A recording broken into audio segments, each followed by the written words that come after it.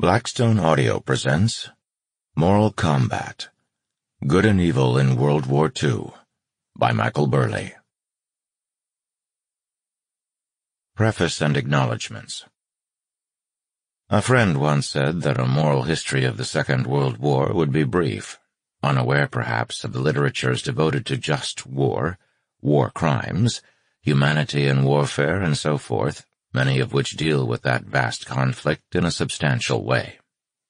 As it happens, this book is surprisingly long, even though I have omitted several themes about which I wrote earlier books, notably on medical ethics, euthanasia, and Nazi racism.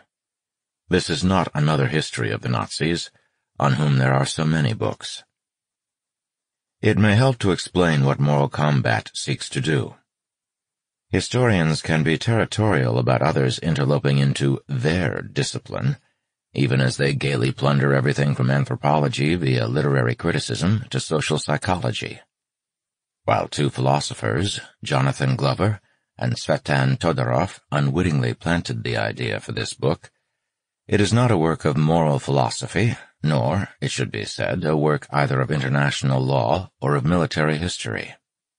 Building on work I did 15 years ago, it is about the prevailing moral sentiment of entire societies and their leaderships, and how this changed under the impact of both ideology and total war, as well as what might be called the moral reasoning of individuals who were not as rigorous as professional philosophers, but who had to make choices under circumstances difficult to imagine. Modern government is not like the Tudor England portrayed in Robert Bolt's 1960s drama A Man for All Seasons. Complex modern economies determine who wins or loses in ways that were inconceivable in the 16th century. Although I certainly do not underrate the ability of key individuals to make fateful choices, especially when they are drained in mind and body rather than fresh as Larry. Wherever possible, I have tried to avoid the set-piece great man agonizing of a Heisenberg, Oppenheimer, Pius XII, or Speer, which so tantalizes dramatists, writing for the edification of audiences unwilling to see beyond the particular. There is also the matter of moral judgment. A lawyer or philosopher would write a different, perhaps more prescriptive book, using the past to dictate present or future conduct under the guise of writing about history. This book is different in that it deals with on-the-spot behavior, rather than how these things look in armchair hindsight. It may seem desirable in retrospect, righteously to lament the Allies' failure to track down Nazi or Japanese war criminals. But those who had been through five years of death and destruction tended not to see it that way, and were sickened by the thought of more of it. How one estimates that choice is irrelevant. It is what happened, partly in order to integrate Germany and Japan into Cold War alliances.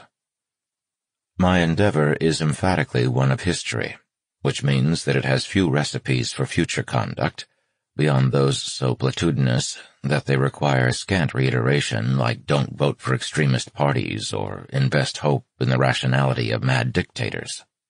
This also means that any quasi-judicial commentary of the kind judges dispense as they hand down sentences on convicted criminals has been avoided.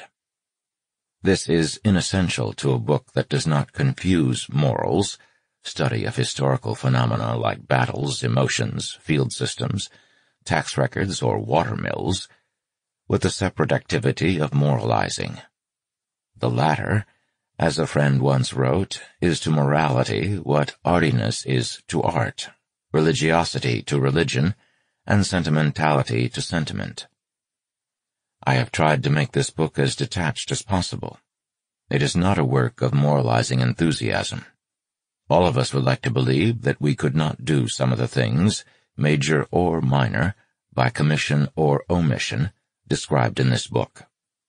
We should all reflect whether this would have been the case had we been responsible adults living in the belligerent nations of the time. How many of us would press for sanctions while knowing they aren't going to work, or counsel radical military action without thinking through the human as well as geostrategic consequences? What actually impresses is that, in circumstances where the temptation to inhumanity must have been overpowering, a vestigial regard for decent or lawful conduct survived at all. Warfare among savages is often relatively less bloody because of its agonistic or ritualistic element of posturing. There is a lot of drumming, stamping, and shouting, but not much blood is spilled, at least if we discount the Aztecs. Since ancient and medieval times, civilized men have endeavored to mitigate the effects of war, notably through doctrines of just war, all ably expounded in a thoughtful book by Charles Guthrie and Michael Quinlan. These doctrines consisted of a series of injunctions about the lawful authorization of armed conflict and the relationship between ends and means, together with the need to exercise humanity, discrimination, and proportionality while waging war. These religious and philosophical exhortations often gelled with the severely practical outlook of warriors on ancient, medieval, or early modern battlefields, who knew that getting a substantial ransom was better than having a dead prisoner. Throughout, however, there was an extreme alternative of war ad Romanum, where the enemy and his population could be enslaved and killed, allegedly in line with what was thought to be ancient Roman practice. Sometimes, in the Middle Ages, a red banner would be flown to indicate that chivalric norms were cancelled, and that the type of war visited on infidels or rebels would ensue as an excellent collection of essays edited by Michael Howard and others reveals, even by the mid-17th century, men-at-arms knew what constituted decent practice in warfare. While I do not think any war has ever been good, the Second World War, which killed 55 million people, was a necessary war against at least one regime which, uniquely, modernized barbarism into an industrial process and another that visited cruelty and savagery on the many peoples of East Asia, from the Chinese to indigenous tribes on remote Pacific islands. That does not diminish the war against Italian fascist imperialism or the moral problems raised by the Western alliance of desperation with the Soviet Union, which imposed communist tyranny on half of liberated Europe nor does it seek to excuse Allied war crimes, although those should not be elided with what are uncharmingly called collateral casualties, which were not the objectives of an operation. To construe the D-Day landings as anything other than a noble enterprise, which the vast majority of French people welcomed, because various Allied bombardments killed tens of thousands of their compatriots, seems perverse. The British cabinet had grave reservations about this, but when they consulted the Free French General Pierre Koenig, he replied that lives are lost in any war, and this was the price to be paid for liberation of his country.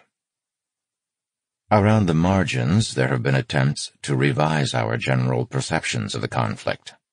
Some conservatives claim that Britain and the U.S. should have let Hitler and Stalin slog it out so that the victor, assuming they both did not lose, would have been too exhausted to take over either the whole or half of the European mainland. This line of argument reflects mutual Anglo-American animosities, to the effect that Churchill and Roosevelt somehow tricked the U.S. into war against Germany, or that the war's ultimate beneficiaries were the Soviets and the Americans who liquidated the British Empire and dominated a divided Europe. It also adopts a narrowly strategic view of the issues involved taking realism to the level of amoralism. Now, while I have sympathy with the view that in some foreign policy circles it is always 1938, with even clowns like Venezuela's president Hugo Chavez compared with Hitler, this argument ignores the existential threat Nazism posed to the human spirit as a whole. Was our rich civilization supposed to culminate in that abnegation of everything decent, humane, or joyous in our condition? ushering in an era of heroic scientizing barbarity? Given Hitler's fanatic volatility, it is also unlikely that he would have left the Anglo-Saxons alone once he had secured mastery of the Soviet Union up to the Urals. As this book tries to show, the Nazis and their partners in crime tried fundamentally to alter the moral understanding of humanity in ways that deviated from the moral norms of Western civilization. They did this by locating their murderous depredations beyond law, but within a warped moral framework that defined their purifying violence as necessary and righteous. While this strategic revisionism reflects an extreme isolationist agenda, a more pervasive fear of armed force has resulted in a dubious moral relativism, exemplified by Nicholson Baker's pacifist tract, Human Smoke, in which all belligerents were as bad as one another. Human Smoke involves cutting, pasting, and juxtaposing random snippets of historical evidence to insinuate this conclusion, generally impressing critics who have no knowledge of what they are reviewing. He implies that because Churchill may have drunk too much, or because Eleanor Roosevelt was an anti-Semitic snob in her youth, they were on a par with a dictator who murdered six million Jews. The leaders of the English-speaking democracies allegedly went to war to benefit a sinister arms manufacturing military-industrial complex, a view which much appealed to extreme U.S. isolationists in the 1930s, and which resonates with the international left nowadays. This exercise in extreme moral relativism and crude conspiracy theory is sometimes excused on the grounds that the author is a novelist, daringly experimenting with forms that resemble a child's scrapbook. In reality, any half-competent historian would have no difficulty assembling a small book in which Hitler appeared to be defending German human rights, or a directory of every leading Nazi's best Jewish friends. This would be meaningless as history, which involves evaluating complex streams of evidence in their overall context and then exercising discrimination and taste regarding events and persons. For rather more local reasons, some German historians are bent on inculpating Allied bomber crews in war crimes by the not very subtle method of allowing the German terminology of mass murder to leach into this context. Japanese conservatives have for a long time practiced what they call anti-masochistic history, which insists that from 1931 to 1945 Japan sought to liberate Asia and the Asians from European colonialism, when in fact they enslaved them. Partly for these reasons, I find myself defending the Allied war effort, whatever reservations one may have about the conduct of the Soviets. Some patriotic myths are not only useful, but true. So were the virtues which accompanied them. These issues are not easy and all I have tried to do is provide a rough map through intractable terrain, which others may wish to pursue with greater refinement. I have never got the hang of employing research assistants. However, at an advanced stage, Hugh Bicheno offered to check facts and to help unravel some of the more tortuous sentences. This editorial work proved incredibly helpful, especially since he is a bona fide military historian who knows more about TMPFFGGH than I ever will do, even though my late father was a wing commander in the wartime RAF. That's trim, mixture, pitch, fuel, flaps, gills, gyro, and hydraulics for fellow non-initiates.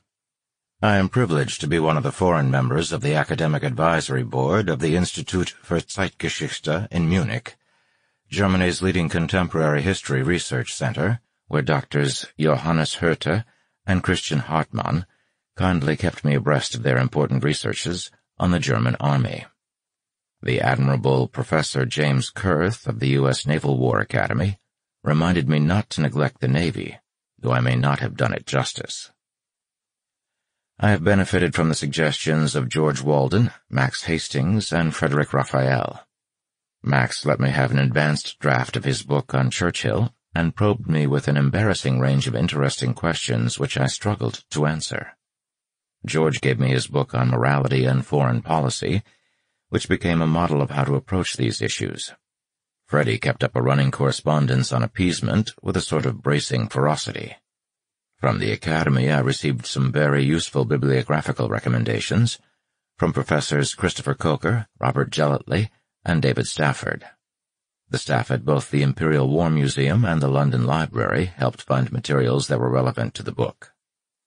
Arabella Pike, Annabel Wright, Helen Ellis, Peter James, and Tim Duggan at HarperCollins have my gratitude for making my last four books happen smoothly on both sides of the Atlantic, as does my agent, Andrew Wylie, to whom I return un abbraccio. James Pullen has been an exceptionally good point man in dealing with foreign publishers. This is the fifth book Peter James has fine-tuned with his characteristic attention to detail. Kathy Arrington expertly found some arresting illustrations. Last but not least, I owe so much to my adorable wife Lyndon, who has successfully created an environment in which I can do this work over sustained periods. Sadly, after enriching my understanding of the imaginative literature of this period, my dear friend Adolf Wood died before seeing many of his suggestions in print. I wrote this book a few hundred yards from the rectory where Field Marshal Bernard Montgomery grew up. It is separated by a road from the park where on 15 October 1940 over a hundred Londoners were killed when their waterlogged trench shelters took a direct Luftwaffe hit. This bomb was one of the 2,500 which rained down on Lambeth to cut bridges and railway lines across the Thames, but which damaged or destroyed four-fifths of housing stock too. In the wake of this single incident, only 45 bodies were recovered intact. The remains of the rest are still under the park. The railings around the adjacent junction are made from steel stretchers kept for such an eventuality, although the underground station was being used to store barbed wire rather than as a shelter. They are a tangible reminder of the Second World War, not as patriotic myth, but as grim reality, as much for so many civilians as the uniformed combatants. Michael Burleigh, Kensington, September 2009. Chapter 1 The Predators 1. New Roman Empire Europe's newly wrought post-war frontiers were first breached by the aging poet Gabriele D'Annunzio, a flamboyant icon of Italian nationalism, when he seized the Adriatic city of Fiume. Fiume had been part of the multinational Austro-Hungarian Empire before the Great War, but its status had been left undefined in the post-war settlement negotiated at Versailles. It remained a predominantly Italian outpost, set amid a Slavic sea, and was salt in the wound of what the Italian nationalists called a mutilated victory, their beggar's reward for belatedly joining the Entente side, in 1915. On 12 September 1919, D'Annunzio arrived overland at the head of 120 war veterans, whom he called his legionnaires, to forestall U.S. President Woodrow Wilson's wish to designate Fiume a free city. The local contingent of Allied occupation troops, under the command of an Italian officer, tamely surrendered the city to D'Annunzio. The seizure of Fiume resonated among the Italian population, and the radical party government of Francesco Nitti in Rome judged it prudent to acquiesce in the spectacle of the old poet and his volunteer band endeavoring to rewrite Europe's post-war settlement. D'Annunzio sought to refashion the lives of the 50,000 inhabitants of Holocaust City, as he dubbed his new domain. He addressed admiring crowds from a balcony, crowds which bade, A Noi, the world belongs to us, or the meaningless chant, Eya, eya, eya, la la. Along with the wartime shock troops anthem Giovinezza, these would pass into the repertory of Italian fascism. So, in more elaborate ways, did his attempt to reconcile a new national religion with traditional Catholicism, and at least the idea of a corporatist state based on group vocation.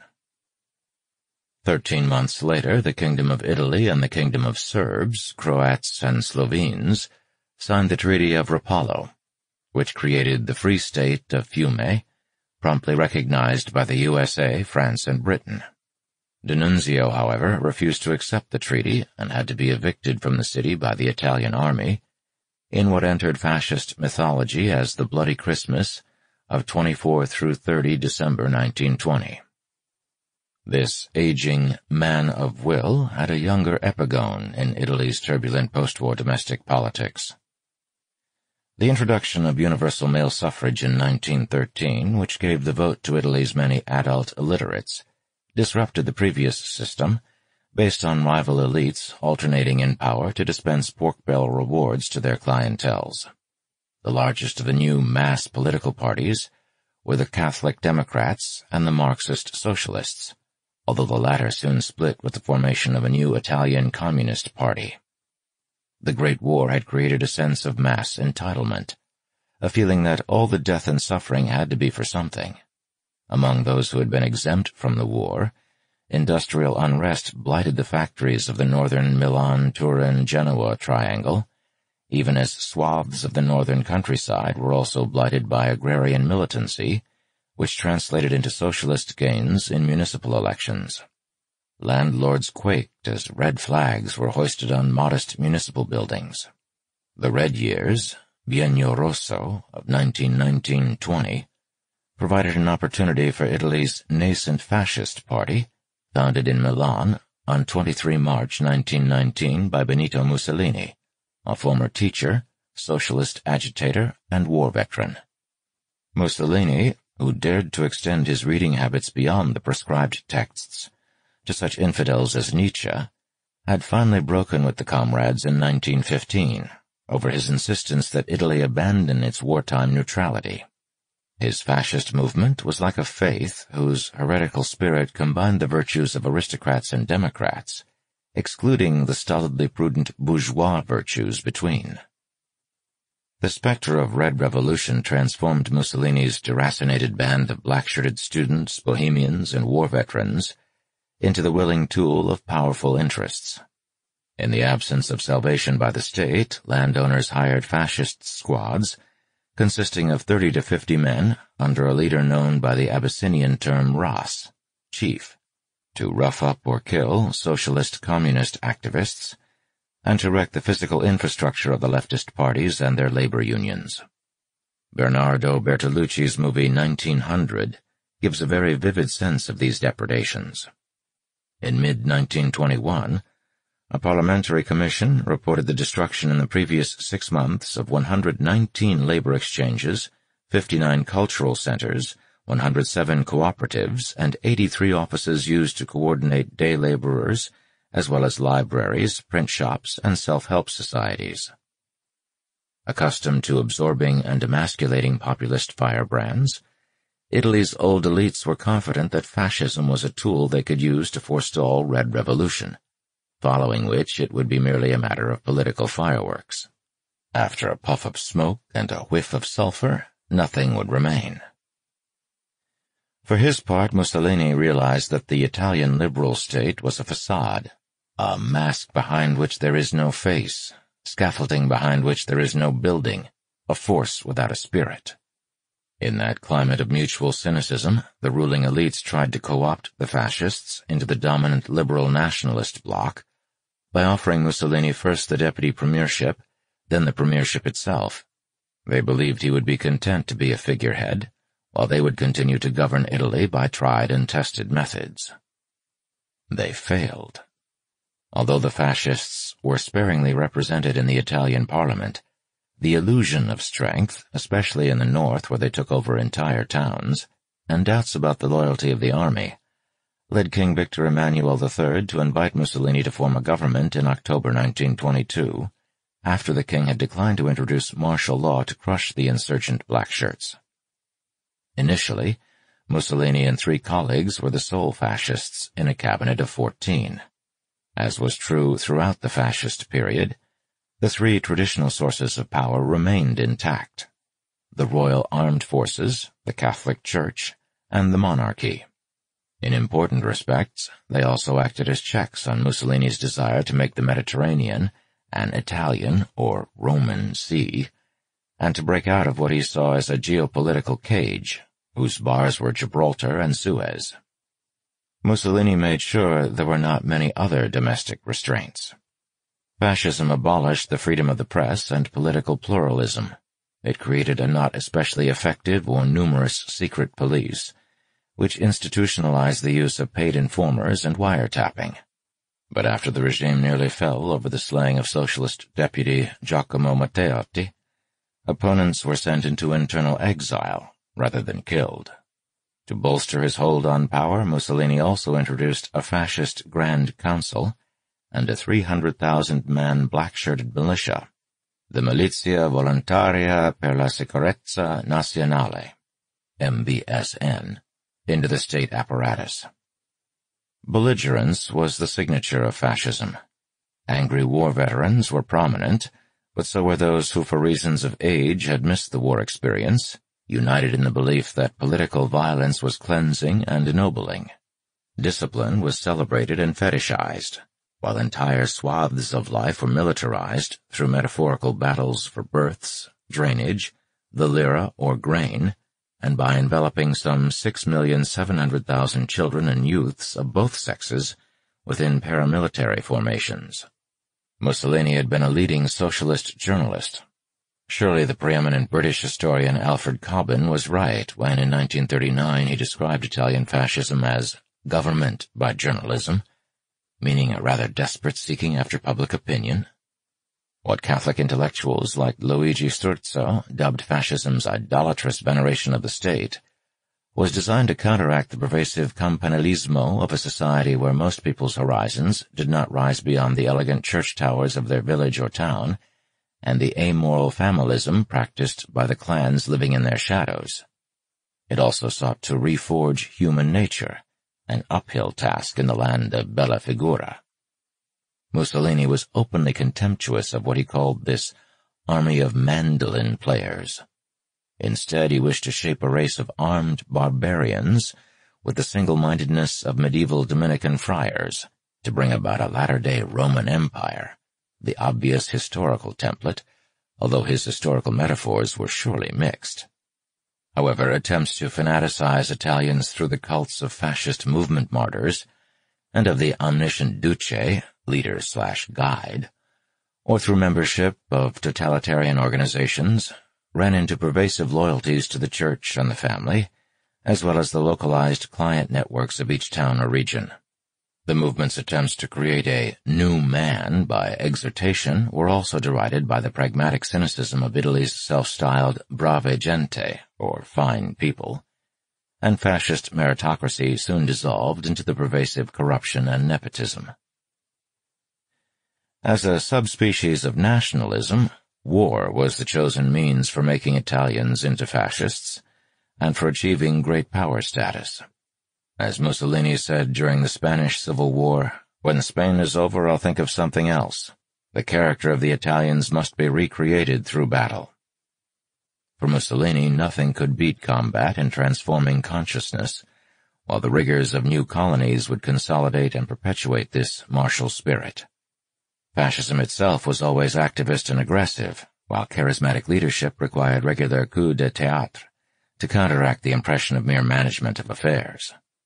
War and imperialism were seen as the means of forging the elusive new man who would enable Mussolini to complete his domestic revolution, which had compromised with the old elites. But the elites who cramped the dictator's ability to implement the society he desired also checked his wilder foreign policy gambits when they courted the risk of war. The core dynamic of the fascist period was that Mussolini believed international war would enable him to carry out a domestic revolution against those who had installed him to preclude one. For over a decade, fascism's uniformed swagger was not reflected in Italian foreign policy, which was conducted by the traditional diplomatic elite from their new home in the Palazzo Chigi the need to consolidate the regime at home, and Italy's dependence on imported coal, oil, iron ore, and chemical fertilizers inhibited military adventures. This was a backward peasant country, with only a fifth of the total industrial potential of Germany and half that of Japan. A third of the population were illiterate or semi-literate, while at tertiary level there was a marked preponderance of arts graduates over engineers. When war did eventually break out, there was a mass exodus into the universities, which sheltered young middle-class men from conscription until the age of 26. True, in 1923, the Italian Navy bombarded and occupied Corfu after the Greek government had prevaricated over the murder of four Italians engaged in resolving a border dispute between Greece and Albania. But after a threatened British naval intervention, Mussolini accepted Greek financial reparations and withdrew his troops. Although Italy regained Fiume and concluded a friendship treaty with the new multinational kingdom of Yugoslavia, the city remained a primary object of fascist animosity. Covert subversion was conducted by supporting Macedonian and Croat fascist exiles based in Italy, since the Italian elites feared that overt aggression would involve Yugoslavia's patron France. Another outlet for fascist aggression was in Africa. In the mid-1920s, Italian forces pushed out from the narrow coastal strip of Tripolitania, taken from the Ottoman Turks in 1912, to conquer what, in conscious echo of the Romans, became known as Libya. Desert concentration camps were used to isolate from the rest of the population guerrillas who were resisting the Italians. Similar brutality was used to ensure control of Italian Somaliland in the Horn of Africa. At the same time, Mussolini kept Italy at the European top table. At Locarno, in 1925, Italy became one of the co-guarantors of Germany's western frontiers with France and Belgium. In March 1933, the Duce floated a four-power directorate to regulate European affairs without the diffuse involvement of the League of Nations, founded after the Great War, a scheme intended to win leeway from further aggression in Africa. For Mussolini, the appointment of Hitler as German Chancellor in 1933 represented both a threat and an opportunity. It was a threat because Nazi machinations in Austria menaced the authoritarian Dollfuss regime, which looked to Italy and the papacy for ideological inspiration, while raising the ominous prospect of German armies at the Brenner Pass. The opportunity chiefly lay in seeking license for overseas aggression in return for collaborating with the other powers in containing Germany. Hitler and Mussolini first met in Venice on 14 June 1934. It was not a meeting of minds, largely because Mussolini dispensed with an interpreter for sessions in a language he only intermittently grasped when delivered in Hitler's guttural South German accent. Despite Hitler's pleasantries about the subtle light in Italian Renaissance paintings, Mussolini grew weary of an interlocutor he compared with a gramophone that played only seven tunes. Hitler came away mistakenly convinced that Mussolini had granted him a free hand in Austria, and a month later Austrian Nazis, acting with Hitler's connivance, murdered Chancellor Engelbert Dollfuss. Mussolini had to inform Dollfuss's wife and children, who were staying with him, what had happened to her husband and their father. Privately, the Duce referred to Hitler as a sexual degenerate, associating him with the homosexual leaders of Germany's brown-shirted Sturmabteilung, SA, murdered on Hitler's orders shortly after that Venice meeting. This was the Röhm purge of stormtroopers disgruntled with Hitler's dispositions. But his public comments were restrained, and he sent only a token detachment of troops to the Brenner Pass. Then, seemingly seeking support to prevent Anschluss, the term for Austro-German Union, forbidden under Article 80 of the Treaty of Versailles, Mussolini turned to the French. Foreign Minister Pierre Laval hurried to Rome despite the fact that in October 1934 Italian intelligence had connived at the murder in Marseille of the Yugoslav King Alexander by Croatian fascists, an incident in which Laval's predecessor, Louis Barthou, had been a collateral fatality. This led to the so-called Stresa Front, an agreement made on 14 April 1935 in the town of that name on the banks of Italy's Lake Maggiore by Mussolini, Laval, and British Prime Minister Ramsay MacDonald. The declaration reaffirmed the Locarno treaties and declared that the independence of Austria would continue to inspire their common policy. The signatories also agreed to resist any future attempt by the Germans to change the Treaty of Versailles, a unified front promptly undone by the British who concluded a naval agreement with Germany that sanctioned an expansion of its fleet beyond the limit set at Versailles. So eager was Laval to strike a deal that he readily conceded what Mussolini was really seeking, the go-ahead for Italian military aggression in the Horn of Africa. There, Italy had been massing large-scale forces in its East African colonies of Eritrea and Somaliland, bordering on Abyssinia. Mussolini also, mistakenly, believed he had secured British complicity on the basis of peripheral soundings at Stresa. It was an easy mistake to make. When a journalist at Stresa asked Ramsay MacDonald about Abyssinia, he replied, My friend, your question is irrelevant. In a sense it was, for the conference had been primarily convened to forge a common front against Hitler in Europe. But that was not what Mussolini understood.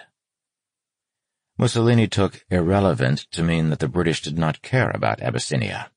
After all, they had not done anything about Japanese adventurism, from which Mussolini and Hitler learned the trick of not declaring war while presenting aggression as defensive in purpose. When, following the Italian invasion of Abyssinia, the British deployed reinforcements to the Mediterranean fleet, an outraged Mussolini ranted about going to war with Britain, much to the horror of King Victor Emmanuel and his service chiefs. By contrast, although Germany and Japan had previously been arming the Abyssinians, Hitler declared his neutrality in the Italo-Abyssinian War, while publicly forswearing any ill intent toward Austria.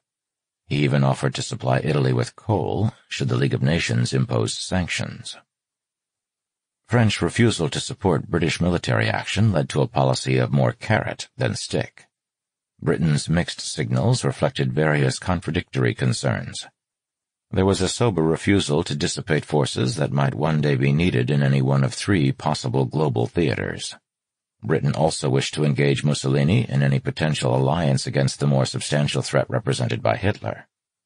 On the other hand, while the British public were opposed to war, they believed in the League of Nations and insisted that infractions of international law should be punished, while remaining passionately opposed to rearmament. The French and British tried to assuage Mussolini's appetites by offering him stretches of empty desert, which he dismissed as lunar landscapes and sand pits. Next, the League of Nations suggested that Abyssinia become a League mandate, with recognition of special Italian interests. But mere sops could not divert Mussolini from his chosen course of action. Mussolini could plausibly present the invasion of Abyssinia along with Liberia the only remaining independent state in Africa, as being a resumption of a catch-up quest for empire. It was also revenge for the humiliating defeat Italy had suffered at Adwa in 1896, when an Italian army had been wiped out by Abyssinian tribesmen. Cost what it may, I will avenge Adwa, Mussolini informed the French ambassador to Rome. Using more contemporary arguments, Mussolini claimed that Abyssinia would absorb the Italian rural poor, hitherto lost to North America at an alarming rate, who would feed themselves and generate a surplus for the Italian metropolis. These landless laborers and sharecroppers would become lords of all the coffee, cotton, and wheat they surveyed, with Abyssinians doing the hard labor. There were even rumors of oil which was never found, but ironically lay undiscovered beneath the Italian colony of Libya. There was also talk of a civilizing mission, of bringing order out of tribal chaos, a view that resonated with Evelyn Waugh and other conservative Roman Catholics beyond Italy. Although in reality it had been Emperor Haile Selassie's success in forging a centralized state, in defiance of rival warlords that inclined Mussolini to act sooner rather than later, the Italians claimed they were going to liberate Abyssinia's slaves and also to deliver the country's six million Muslims from Christian tutelage. During the war, Radio Bari pumped out pro-Muslim propaganda, while afterwards Mussolini built a grand mosque in Addis Ababa and sponsored Abyssinian Muslims on the Hajj to Mecca to reward the 35,000 Muslim troops who had fought for the Italians.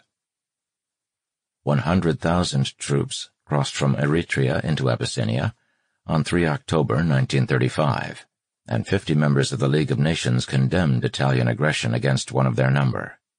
Half-hearted sanctions were imposed, which excluded the trucks the Italians needed for the invasion, as well as oil without which they could not move at all. The British also declined to close the Suez Canal to Italian shipping. The invasion of Abyssinia did not disillusion those who thought that Mussolini could be used to restrain Hitler's excesses. Three months into the campaign, the French press revealed secret talks between the British Foreign Secretary Samuel Hoare and his French opposite number Laval to agree on a scheme devised by the Foreign Office's Robert Vansittart, which offered Mussolini two-thirds of Abyssinia, while leaving Haile Selassie with a rump state and a corridor to the sea. These terms, devised without consulting the Abyssinians, were to be backed up with petroleum sanctions if Italy refused them. Fortuitously for Mussolini, Laval and Hoare were compelled to resign when details of the scheme became public. Vansittart fulminated against the self-indulgent moralism that had scuppered his attempt to keep the two European dictators apart. Mussolini decided to accelerate the Italian campaign by replacing the overcautious local commander with General Pietro Badoglio, who in 1922 had wanted to deploy the Italian army against the fascist threat to march on Rome. Badoglio was instructed to use any means to destroy Abyssinian resistance, including large stockpiles of chemical weapons that had been shipped via the Suez Canal to Eritrea and Somaliland. Three types of chemical weapons were used. Yperite, arsine, and phosgene gas, all illegal under the 1925 Geneva Protocols. They were delivered in artillery shells or dropped as bombs or sprayed from aircraft. They either seeped beneath the skin to cause internal lesions or suffocated the respiratory systems. They contaminated the ground, plants, lakes, rivers, and livestock. An Abyssinian leader, Ras Imru, reported that, On the morning of 23 December, we saw several enemy planes appear. We were not unduly alarmed, as by this time we were used to being bombed. On this particular morning, however, the enemy dropped strange containers that burst open almost as soon as they hit the ground or the water, releasing pools of colorless liquid. I hardly had time to ask myself what could be happening before a hundred or so of my men who had been splashed with the mysterious fluid began to scream in agony as blisters broke out on their bare feet, their hands, their faces. Some who rushed to the river and took great gulps of water to cool their fevered lips fell contorted on the banks and writhed in agony that lasted for hours until they died. Among the victims were a few peasants who had come to water their cattle, and a number of people who lived in nearby villages. My chiefs surrounded me, asking wildly what they should do, but I was completely stunned. I didn't know what to tell them. I didn't know how to fight this terrible rain that burned and killed. In justification, Italian propagandists broadcast stories of atrocities committed against Italian prisoners. These exaggerated instances of crucifixion and emasculation, as well as the use of dum-dum bullets, named after the arsenal in British India when they were first developed, and the misuse of Red Cross symbols to camouflage arms dumps and troop concentrations. Thus empowered, the Italians bombed Red Cross facilities with relative impunity, killing a number of international aid workers. Within seven months, the Italians proclaimed the conquest of Abyssinia, but in reality local resistance went on for many expensive years. It also proved remarkably difficult to lure Italian peasants as colonists, and the conquered kingdom cost much more to maintain than it ever produced. Ten million Italians volunteered their wedding rings to make up for the gold bullion draining away to keep a huge army in the wastes of Abyssinia.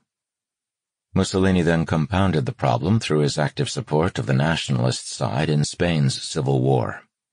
He had multiple reasons for doing so, which went beyond Hitler's more straightforward approach of exchanging support for strategic raw materials. To Mussolini, a nationalist victory was ideologically preferable to the elected government, which was dominated by socialists, although he made no great efforts to bolster the fascist elements in the nationalist coalition. A sympathetic nationalist Spain would ensure Mussolini's navy-free passage through the straits separating Gibraltar from Spanish Morocco. Finally, at a time when Britain and Germany were exploring a durable rapprochement, Italian and German aid to the nationalists would wreck the Anglo-French-inspired non-intervention framework and thereby further polarize the powers into hostile ideological camps. This would leave Italy, so Mussolini believed, considerable room for profitable maneuver. German and Italian military assistance was coordinated through so-called advisors based in Spain. Germany's Condor Legion acquired a reputation for ruthlessness after it bombed the historic Basque capital of Guernica, killing two or three hundred people. Thanks to Pablo Picasso's great chiaroscuro painting of the atrocity, it has received more notice than Italian air raids on Barcelona in March 1937, which killed a thousand people and left 2,000 more injured. The Italians made a more substantial contribution than the Germans, sending not only aircraft, but also ships and 50,000 fascist militia and regular army troops posing as volunteers. After the Italians had been humiliated in the Battle of Guadalajara that March, Mussolini directed his submarines to wage what amounted to a campaign of piracy against all shipping in Spanish waters, regardless of what flag they sailed under. Deniability could be preserved only by abandoning the survivors of torpedoed ships to their fate. Italy's multiple breaches of international law, whether in Abyssinia or Spain, and their condemnation by the Western powers convinced Mussolini that humanitarian arguments were being used hypocritically to inhibit the legitimate rise of the virile nations of Italy and Germany. Through a gentleman's, sick, agreement, Italy recognized Germany's right to dictate Austrian foreign policy, and Germany recognized Italy's conquest of Abyssinia. High-level contacts between Germany and Italy quickened, even as Hitler dispatched Joachim von Ribbentrop as ambassador to London seeking to draw Britain into the alliance with Germany that Hitler wanted. While there was an obvious ideological congruity between the two dictators, cold-blooded calculations prevailed on both sides. Hitler needed Mussolini's Mediterranean antics to distract Britain and France from his ambitions in Central Europe, where Versailles had helpfully created a patchwork of weak states, while Mussolini needed Germany to complicate Central Europe so that they would tolerate his activities in the Mediterranean. In October 1936, the two leaders embarked on a series of agreements which came to be known as the Rome-Berlin Axis. After a speech Mussolini delivered on 1 November, in which he spoke of Germany and Italy as an axis around which all European states, animated by a desire for collaboration and peace, can revolve. He was not the first to coin the term, but his use of it has ensured its future employ to describe all such sinister affinities. The Italian armed forces adopted a version of the German goose step, which Mussolini claimed was really the Passo Romano, and the regime augmented racial legislation pioneered in Abyssinia, with measures against Italy's tiny Jewish minority, despite the fact that a third of Italian adult Jews, as members of the Italian bourgeoisie, were themselves enthusiastic fascists.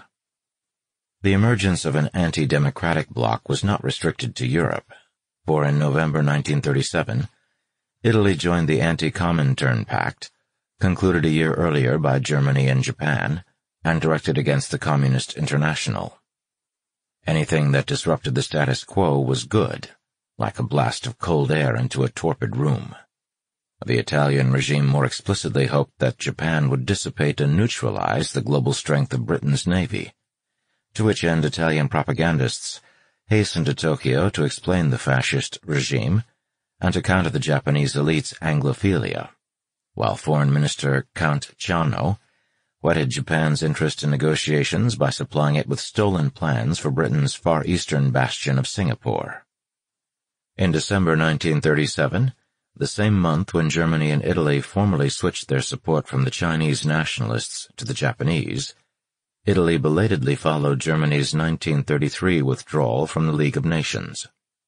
Although these were not military alliances, they did represent the further self-definition and self-isolation of a general ideological camp that held the democracies in contempt, acknowledged no rules other than those of the jungle, and had a track record of aggression that included egregious breaches of international law.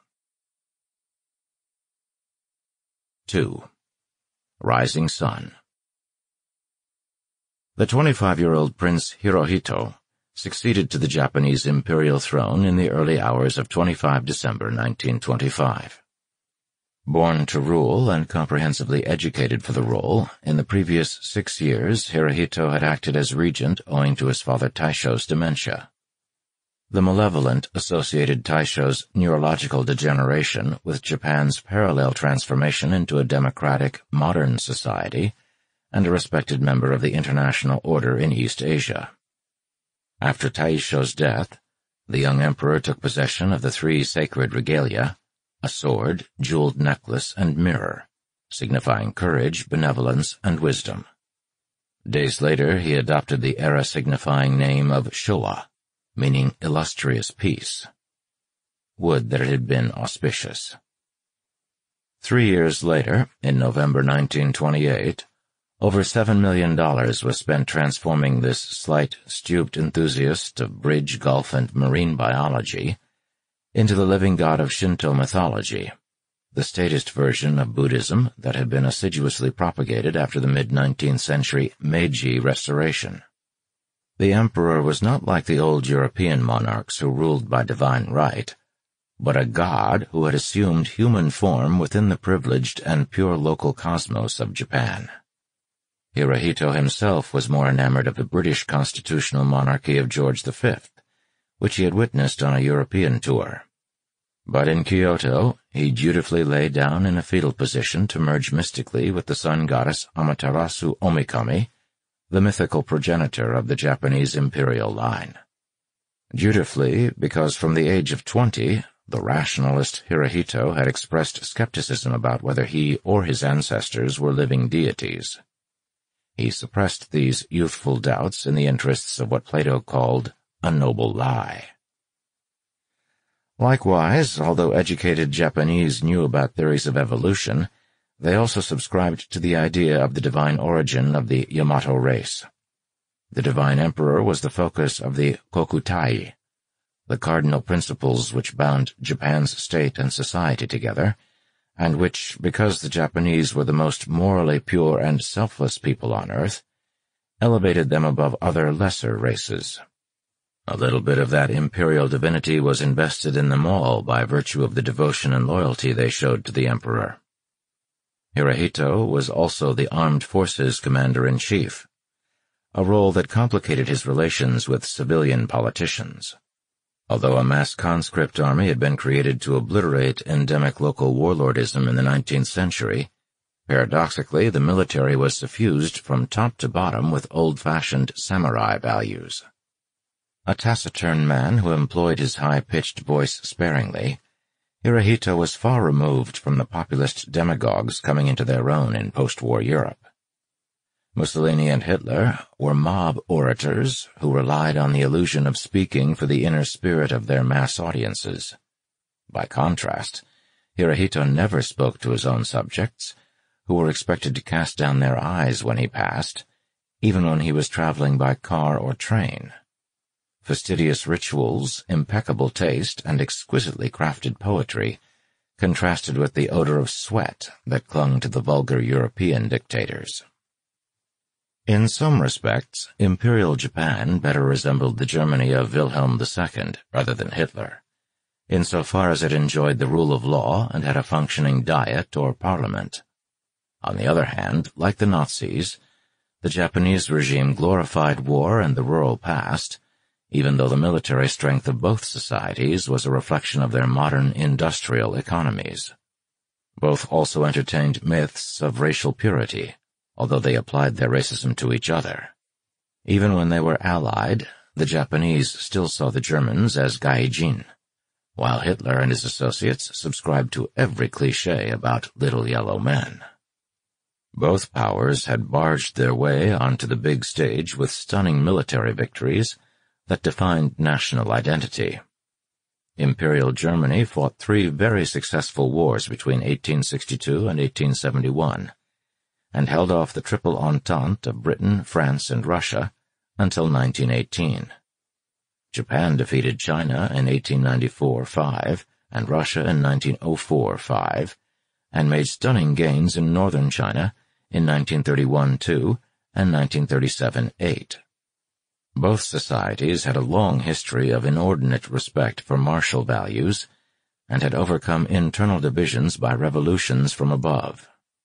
In the Japanese case, there was an aristocratic house of peers and a diet elected by universal male suffrage after 1925, although a tiny group of elder statesmen, the Genro, advised the emperor on who should be prime minister, of whom there were nine between 1937 and 1945, to coordinate the competing bureaucratic, business, army, and navy elite factions.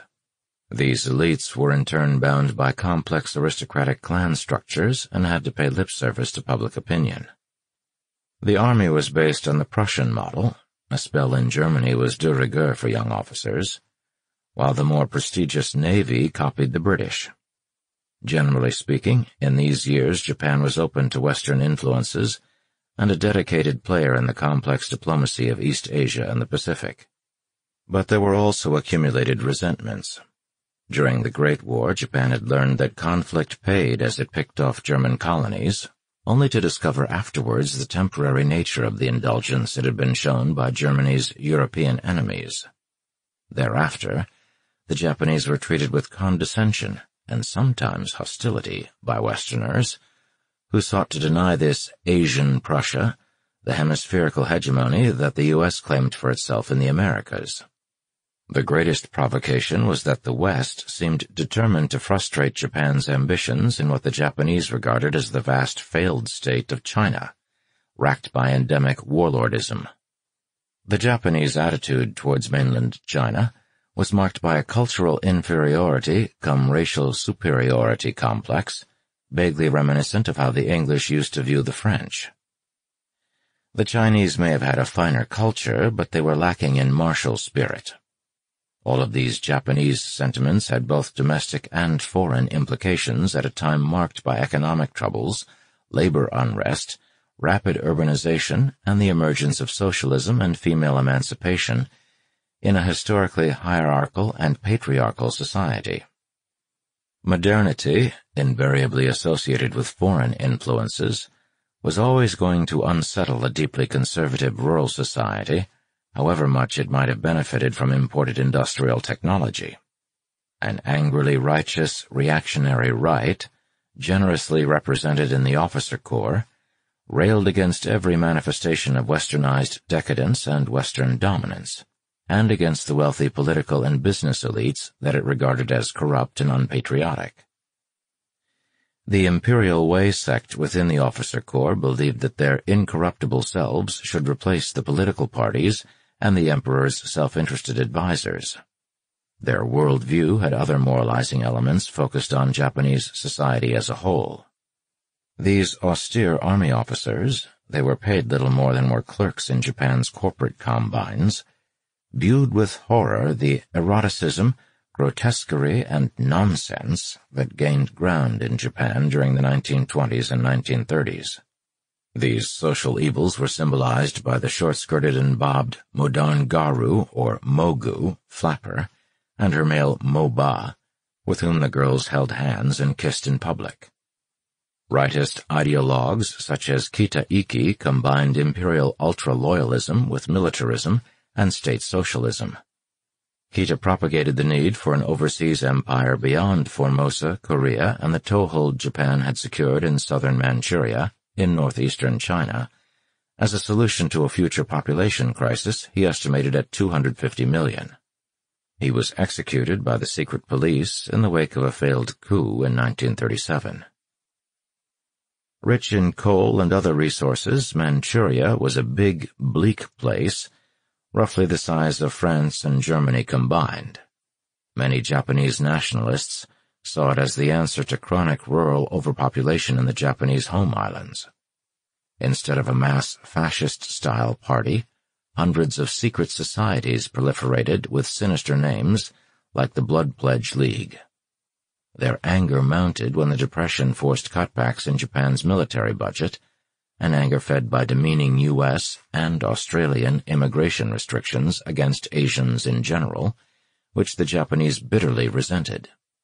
If the white nations were not going to allow Japanese immigration, then they could hardly object if the Japanese emigrated to China.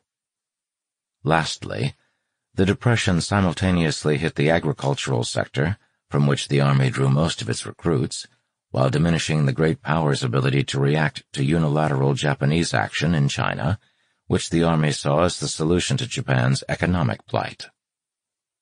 One outpost of radical right sentiment was among the officers of the Kwantung Army, stationed in Manchuria, who felt they were the living executors of the 80,000 men who had perished fighting the Russians in Manchuria in 1904-5. They were garrisoned in a small coastal enclave to protect Japanese commercial interests, and a 600-mile railway line that stretched north into the interior. It was the sort of remote, lonely location where wild schemes incubated.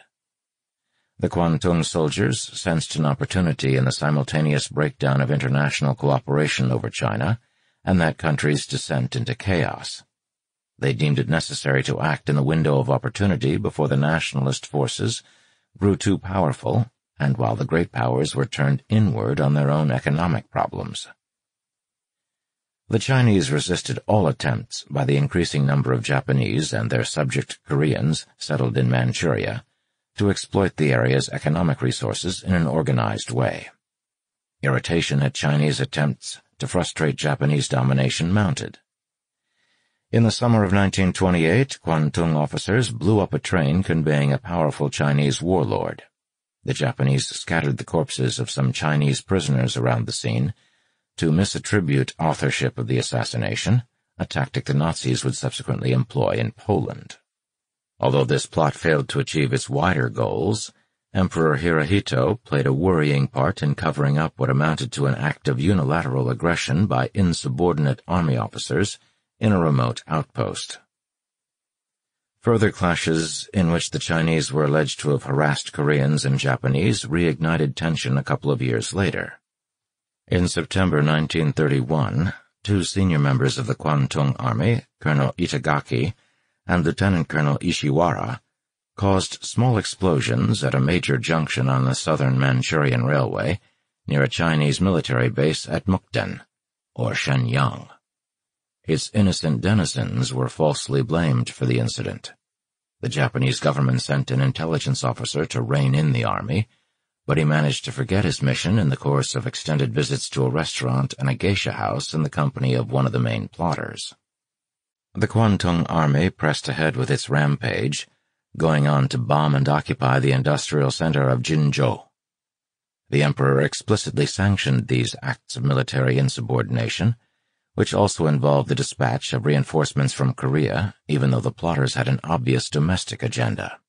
The agenda was when we return to the homeland this time, we shall carry out a coup d'etat and do away with the party political system of government.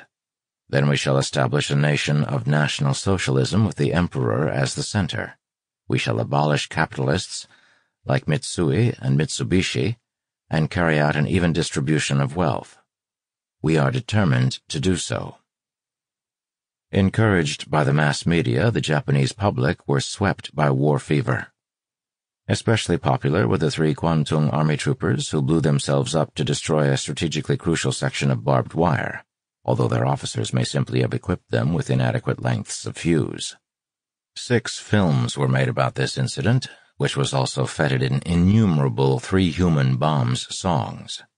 The deceased men also adorned human bomb brands of sake and bean paste sweets. Partly because Japanese fatalities in Manchuria were very low, there was much scope to dwell on individual acts of heroism, as well as on the alleged cowardliness of the Chinese. Manchurian Incident Bidan, or Epic Tales of the Heroism Involving Mukden, lauded men like Commander Koga as exemplars of Bushido, the way of the samurai warrior. Koga led his men into a series of ever more suicidal actions, many of them designed to rescue the imperial flag from capture by the Chinese, whom he slaughtered in droves. The sacrifices of humble women on the rural home front were the female analogue of these stirring tales of the Japanese officer class. Next, in 1932, the Japanese organized a sideshow to distract outraged Chinese attention from their own activities in the north. They employed Chinese criminal gangs to attack five Japanese Buddhist monks in Shanghai to justify landing Marines in China's largest city. When Chinese forces resisted, the Japanese sent in bombers and nearly 50,000 reinforcements.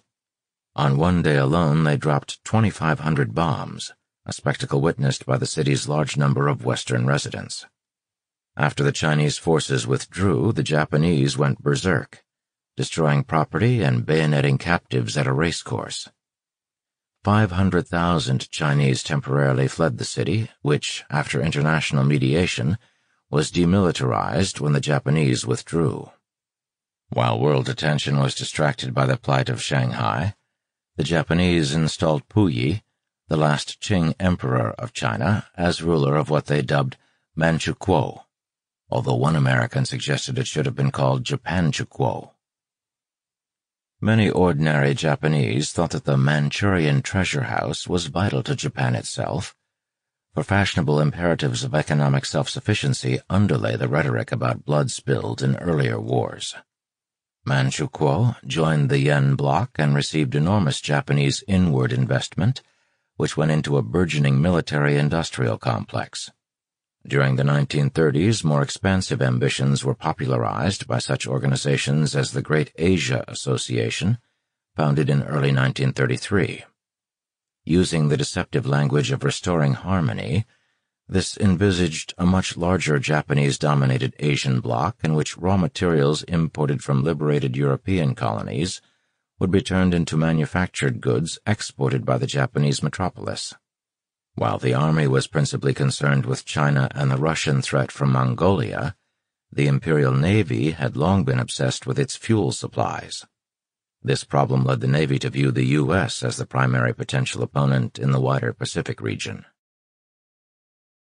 The Army's unilateral action in Manchuria enabled its leaders to tilt the balance in Japanese domestic affairs away from civilian political parties. In the 1930s, governing was a risky affair. Acts of terrorism by radical young officers and their ultra-nationalist civilian admirers were a useful tool in this process for the Army and Navy leaders could claim that only they could keep these hotheads in check. Assassinations and attempted coups in which the Blood Pledge League and the more benign-sounding Cherry Blossom Society were leading players enabled the military to marginalize the political party presence within successive cabinets. Threats of resignation by the service ministers were used to deconstruct cabinets they did not like.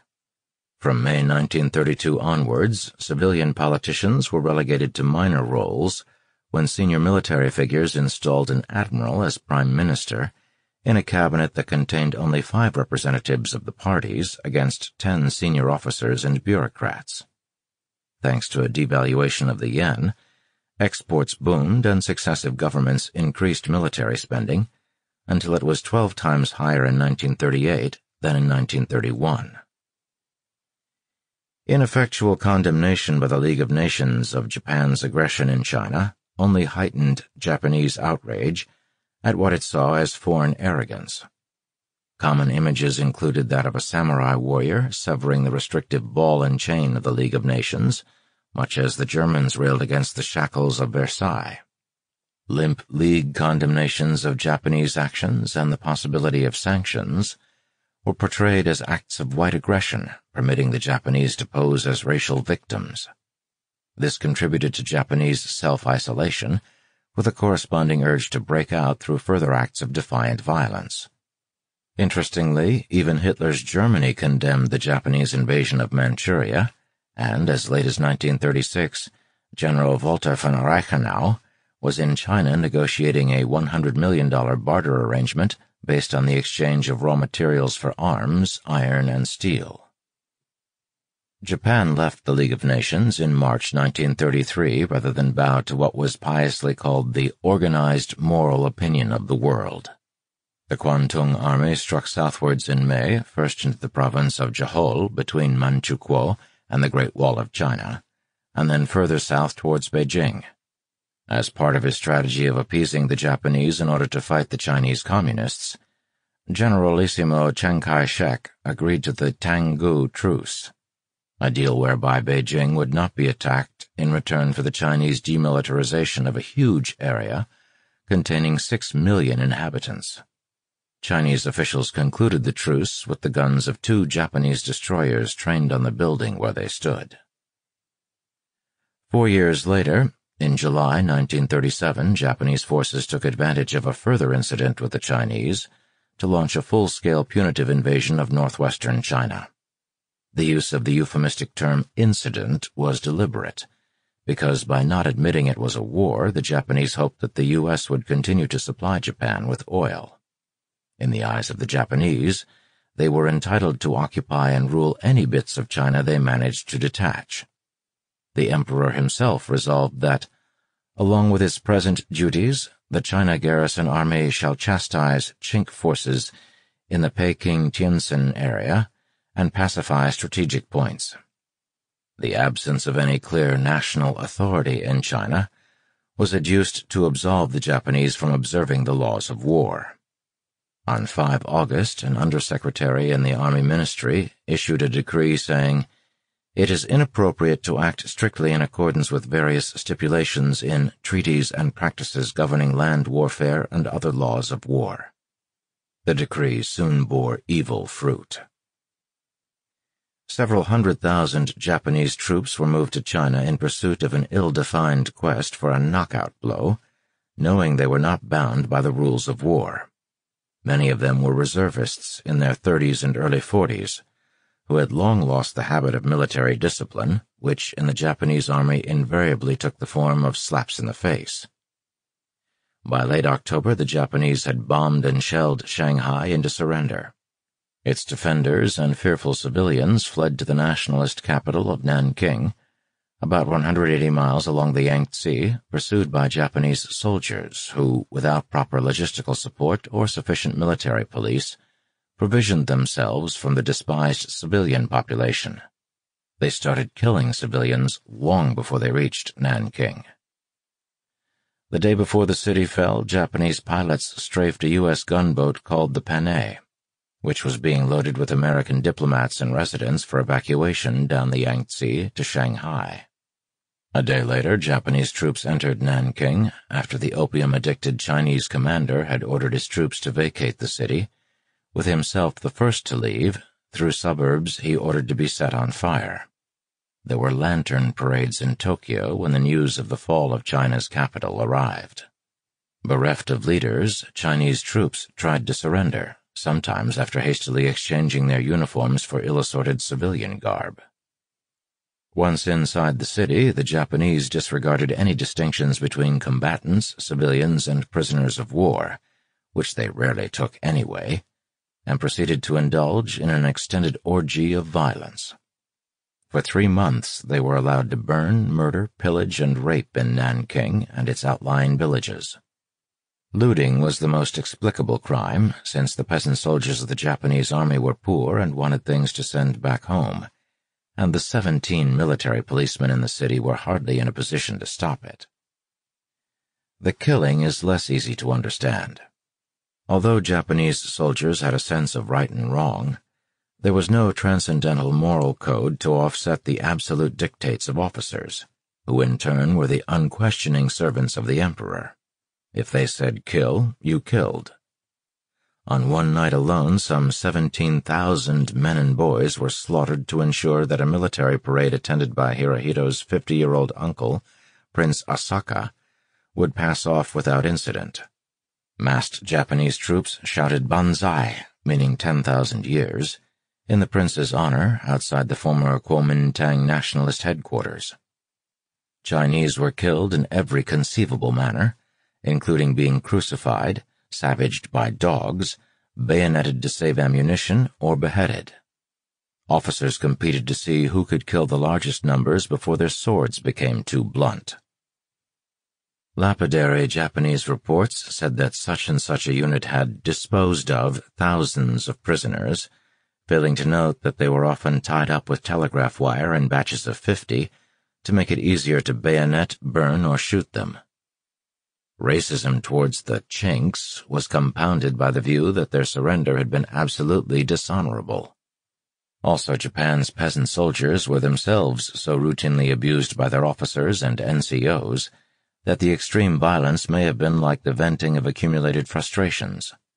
Moreover, a society which treated women as third-class citizens was unlikely to have any regard for women from inferior races who were there to be abused especially if the Japanese were drunk, which they often were. On one night alone, approximately a thousand women of all ages were gang raped by Japanese soldiers and then killed with no more emotion than one would bring to dispatching farm animals. This practice was halted only by the wholesale importation of prostitute comfort women, mainly from Korea. Chinese and Japanese statistics for the victims of this massacre range from two to over 300,000, although a more recent estimate is in the region of 100,000 or fewer. Japanese diplomats protested to Tokyo, concerned about the international condemnation the massacre had provoked, and even Germany expressed concern about the Hunnic storm that the Yellow Peril had unleashed.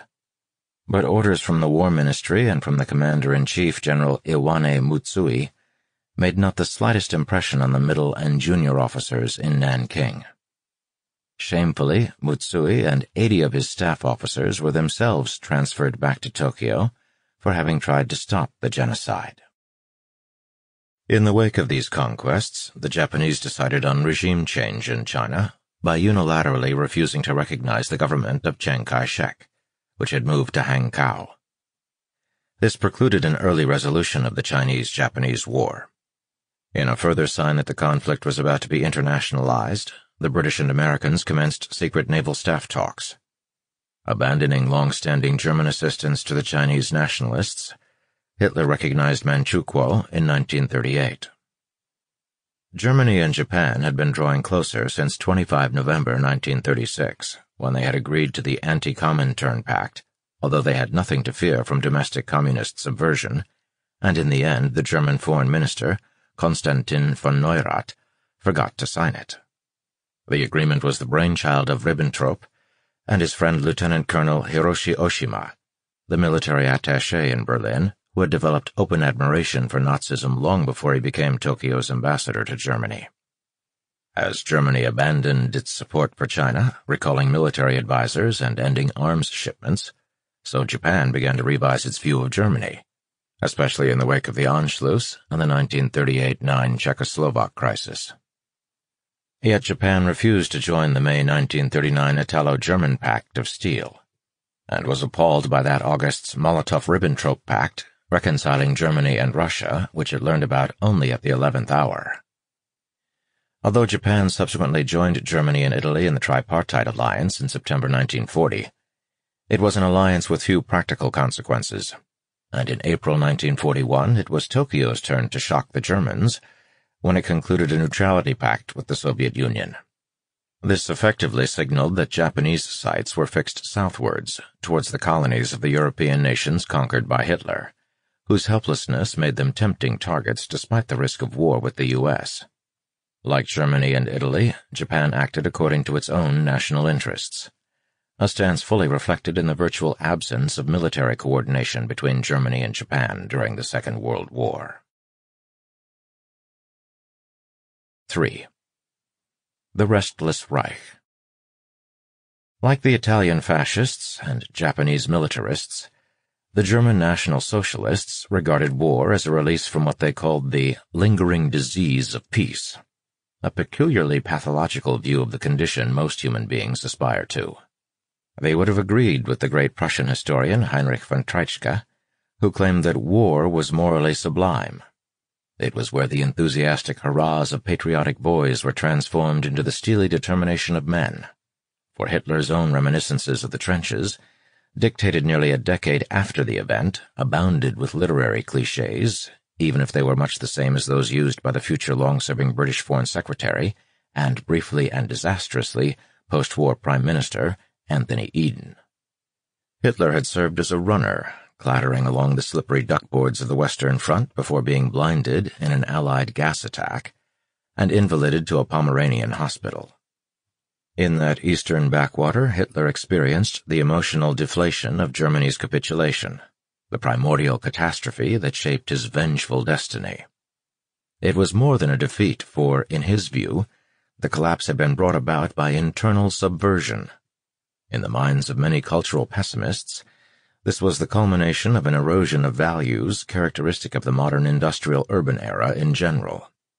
But this collapse was simultaneously an opportunity to inaugurate a new era in which the laws of nature would reign supreme, and collective considerations would supersede the bounds of custom, church, and family.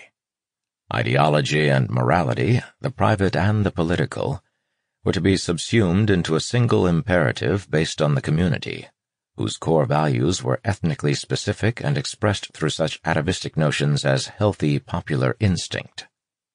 This would replace the Judeo-Christian concept of conscience, and there would be no more subversion based on the thinking of the Jews Marx, Freud, and Einstein. To make this seem less revolutionary, Traditional values like bravery, diligence, duty, honor, loyalty, obedience, sacrifice, and soldierly fortitude were enlisted to support it. The mythologized legacy of Prussia was used to conjure up an ideal of state building. In Mein Kampf, Hitler wrote, Prussia, in particular, demonstrates with marvelous sharpness that ideal virtues alone, not material qualities, make possible the formation of a state. The material interests of a man can always thrive best as long as they remain in the shadow of heroic virtues. Prussia, the germ cell of the Reich, came into being through resplendent heroism and not through financial operations or commercial deals, and the Reich itself, in turn, was only the glorious reward of aggressive political leadership and the death-defying courage of its soldiers. Starting with the day of Potsdam on 21 March 1933, Hitler would have himself depicted as the lineal successor of Frederick the Great and Bismarck, neither of whom would have warmed, one strongly suspects, to the vulgar little Austrian corporal. All these appeals to traditional values and historical example were the tasty sauce that disguised the smell of the rancid meat beneath. The Treaty of Versailles had imposed on Germany constraints that patriotic Germans and nationalist fanatics like Hitler regarded as tantamount to the degradations of a colony. This gained a nasty racist edge when the French deployed black colonial troops in the Rhineland to break local resistance, although most were North African Arabs and Vietnamese. Loyalty became the supreme honor of the SS man, as his belt buckle proclaimed. A term like shame could also be given specific accents, so that it became race shame, or, less literally in English, race defilement, Rassenschande. That is, the pollution of a superior race through sexual congress with another, and in particular the Jewish other. This was also reflected in a reversion to public punishment, as race defilers were forced to go about with placards round their necks, or were denounced on the poster columns of the vile Nazi magazine Der Stürmer. Soldierly virtue was perverted into the fanatical belligerence of SS political soldiers, who became soldiers of destruction, a transformation of values that leached into the regular army and police. Finally, Although Nazism sought to transcend both utilitarianism and what was often referred to as the swindle of humanitarianism, it was responsible for the crassest utilitarian calculations about the social cost of human life, which gave rise to sterilizing or murdering people according to a eugenic calculus. Sharp-eyed officers saw some use in the corporal, who otherwise resembled a lost dog in the aftermath of a great war.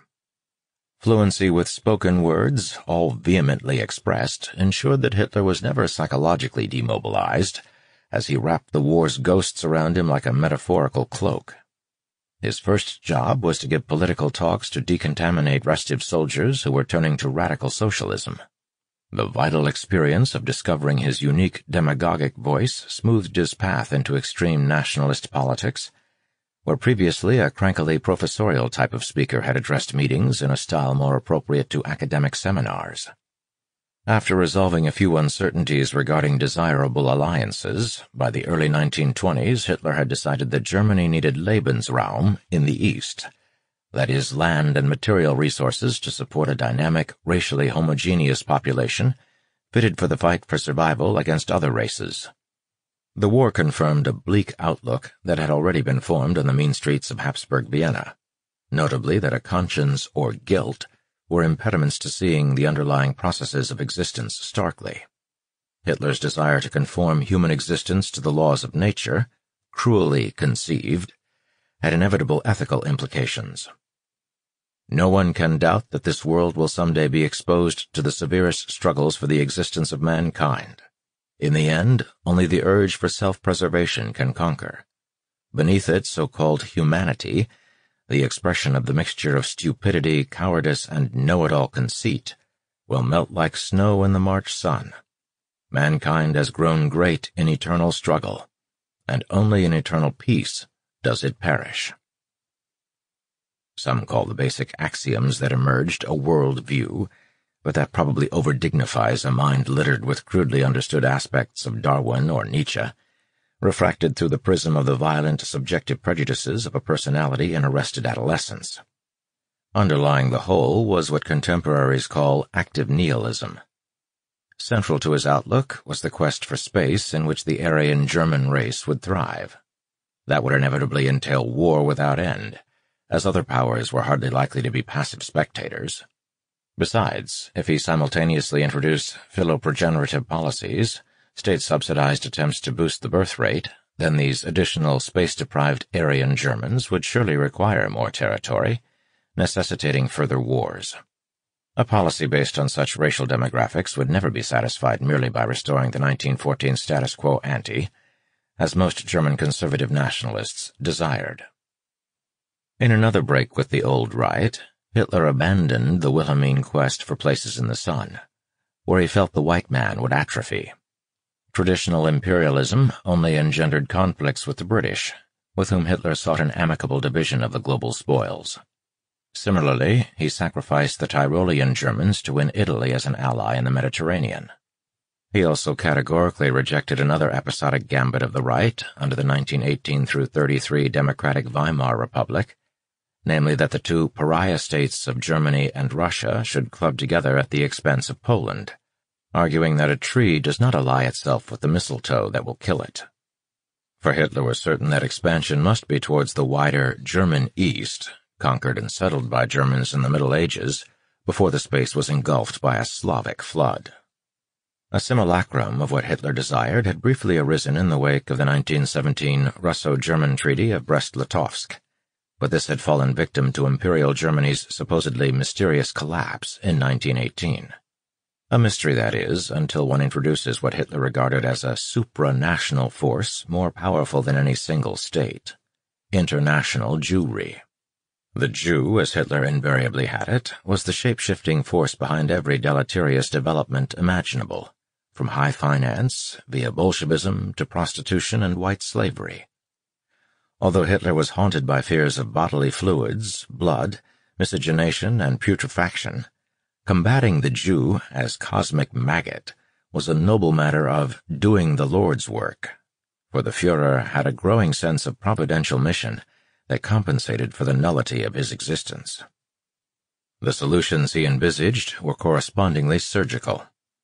In April 1920, he announced his inexorable resolve to strike the evil at its root and exterminate it root and branch, adding a year later, one prevents the Jewish corruption of our people, if necessary by confining its instigators to concentration camps. This was the core of his domestic agenda, defined by the need for a dictatorship to ensure that Germany's racially determined wartime collapse of morale was never repeated. But the Jews had also taken over Russia, displacing the thin Germanic ruling classes. Although Hitler held the Jews responsible for the murderous regime of terror by Lenin's Bolsheviks, he also thought this scum of humanity had no ability to organize the predominantly Slav population to resist Germany's drive towards a continental empire. While as a full vicious ensemble these manias were extreme and marginal throughout most of the 1920s, elements of them were commonplace among nationalistically minded Germans who increasingly rejected the republican system. The Weimar Republic's fragile stability was destroyed by worsening economic conditions, which exposed irreconcilable differences of outlook between the major parties and the interests they represented over how to deal with them. While successive governments floundered, the predominantly Protestant middle classes lurched to the right, collapsing both liberal parties, as well as the plethora of single-issue protest parties that had multiplied in the wake of the hyperinflation crisis of the early 1920s. Nazi electoral support rose as the economic crisis deepened, reaching 18% of the vote in September 1930 and 37% in July 1932. Fear of social demotion was as potent as, indeed perhaps more potent than, having hit rock bottom in the soup kitchens and dole queues. By now, the Nazis' use of political violence had reached its apogee, with 18 dead and 68 wounded following a clash known as Bloody Sunday between Nazis and Communists in Hamburg-Altona. Communist violence enabled the Nazis to pose as defenders of public order against a firebrand-bearing Bolshevik menace, even though their own muscular cadres in the brown-shirted SA relished a brawl. They also publicly rhapsodized about Jewish blood spurting from a knife wound, or shouted, Germany awake, let Jewry croak. Although the Nazis played the democratic electoral game, their attitude towards even the most heinous activities was symbolized by Hitler's vow to pardon five SA stormtroopers who, in August 1932, were convicted of kicking a communist miner to death in front of his mother in the Silesian town of Potempa. After the failure of successive establishment figures to solve the deepening economic and political crises, Germany's elites engineered Hitler's ascent to the chancellorship, confident that they could contain him and the revolutionary forces he represented, just as their peers in Italy had believed a decade earlier. The Nazis' final electoral surge reflected their success in depicting their movement as a natural force, uniquely capable of overcoming Germany's bitter domestic divisions as the necessary prelude to righting its humiliating international position. A fringe party, led by a naturalized foreigner, managed the feat of making the Republic itself seem alien, artificial, corrupt, and decadent, the tool of the country's enemies, who in their latest scheme, the 1929 Young Plan regulating reparations payments, sought to keep Germany in hock until 1988. Something more profoundly irrational was also abroad beneath sinister manipulations of language that in the interim had become the common coin of democratic politicians.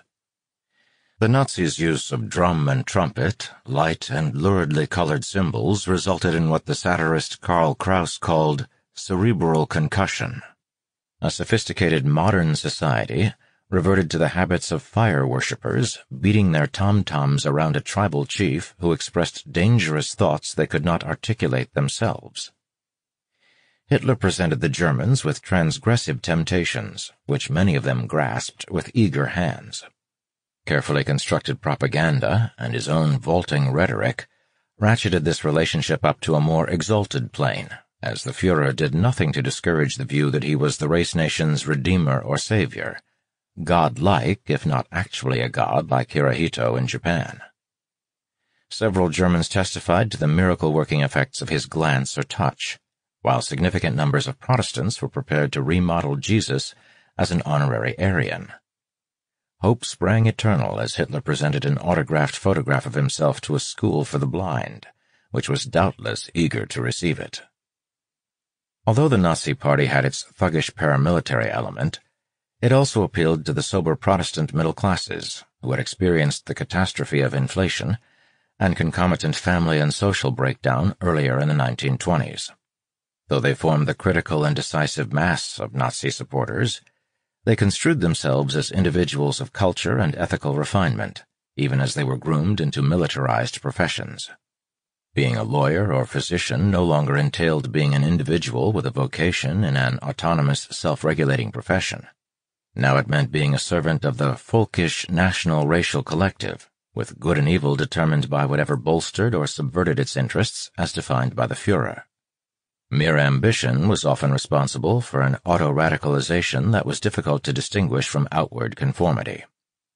Consider for a moment the young Sebastian Haffner's experiences at an ideological training camp for aspirant lawyers at Jüterbog, a garrison town in Brandenburg, which he attended in the autumn of 1933. Attendance was compulsory if one sought a career in law, a grail-like ambition in such middle-class circles. Life in the camp seemed to have no rhyme or reason beyond endless cleaning and marching, long periods of boredom interspersed with sudden cranks on the big mechanical wheel by which they were trapped. Students who belonged to the SA and wore its brown uniform set the collective tone, so that even anti-Nazis were soon marching around singing anti-Semitic songs. The aspirant lawyers found songs derived from the anti-monastic Klostersturm of the 1525 Peasant War especially rousing. We want to cry out to the Lord God in heaven, Hey ya ho ho. That we want to beat the priests to death, Hey ya ho ho.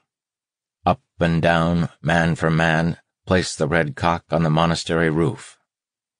One evening Haffner and his colleagues were listening to the radio when, as he put it, the marching band halted with boots poised in midair. The program was interrupted to announce that Germany had left the League of Nations. Under a large portrait of Hitler, one by one the law students stood as the national anthem and the Nazi Horst Wessel Lied were played, each extending his arm in the Hitler salute. Although he and a few others had the taste of doing something disgustingly degrading, Haffner duly raised his arm like the rest. He began to mouth the words that the others sang with gusto, like someone in a church who does not know a hymn. Every one a Gestapo man to the other. The guilty pleasure of identifying prominent Jews bubbled to the surface of public life. Even so fastidious a figure as the soon-to-be exiled author Thomas Mann found himself half approving the sudden denial of oxygen to Jewish writers and critics. The Jews. It is no great misfortune, after all, that exiled critic Alfred Kerr's brazen and venomous Jewish-style imitation of Nietzsche is silenced, nor that the Jewish presence in the judiciary has been ended. Secret, disquieting, intense thoughts. Nonetheless, things that are revoltingly malevolent, base, un-German in a higher sense, remain but I am beginning to suspect that the process could well be of that kind that has two sides. A few days later he wrote, I could to some extent go along with the rebellion against the Jewish element, were it not that the Jewish spirit exercises a necessary control over the German element, the withdrawal of which is dangerous. Left to themselves, the German element is so stupid as to lump people of my type in the same category and drive me out with the rest. Germans who were not thugs needed things expressed in terms of moral and religious restoration after the cultural and sexual indulgences of the Republic, when the youth of Germany had allegedly gone to hell in a handcart. The absence or death of fathers in the war contributed some substance to this charge, as did the well-known artistic excesses of the capital. Tedious low-grade provocation, sometimes involving homosexuality or transvestism, rebounded on its authors, for whom it was truly Goodbye to Berlin, the title of a contemporary novel by the camp English author Christopher Isherwood. In Hitler's first national broadcast after assuming the chancellorship, he declared, The national government will therefore regard its first and foremost duty to re-establish the unity in spirit and will of our folk. It will preserve and defend the foundations upon which the power of our nation rests it will extend its strong protecting hand over Christianity as the basis of our entire morality, and the family as the germ cell of the body of our folk and state.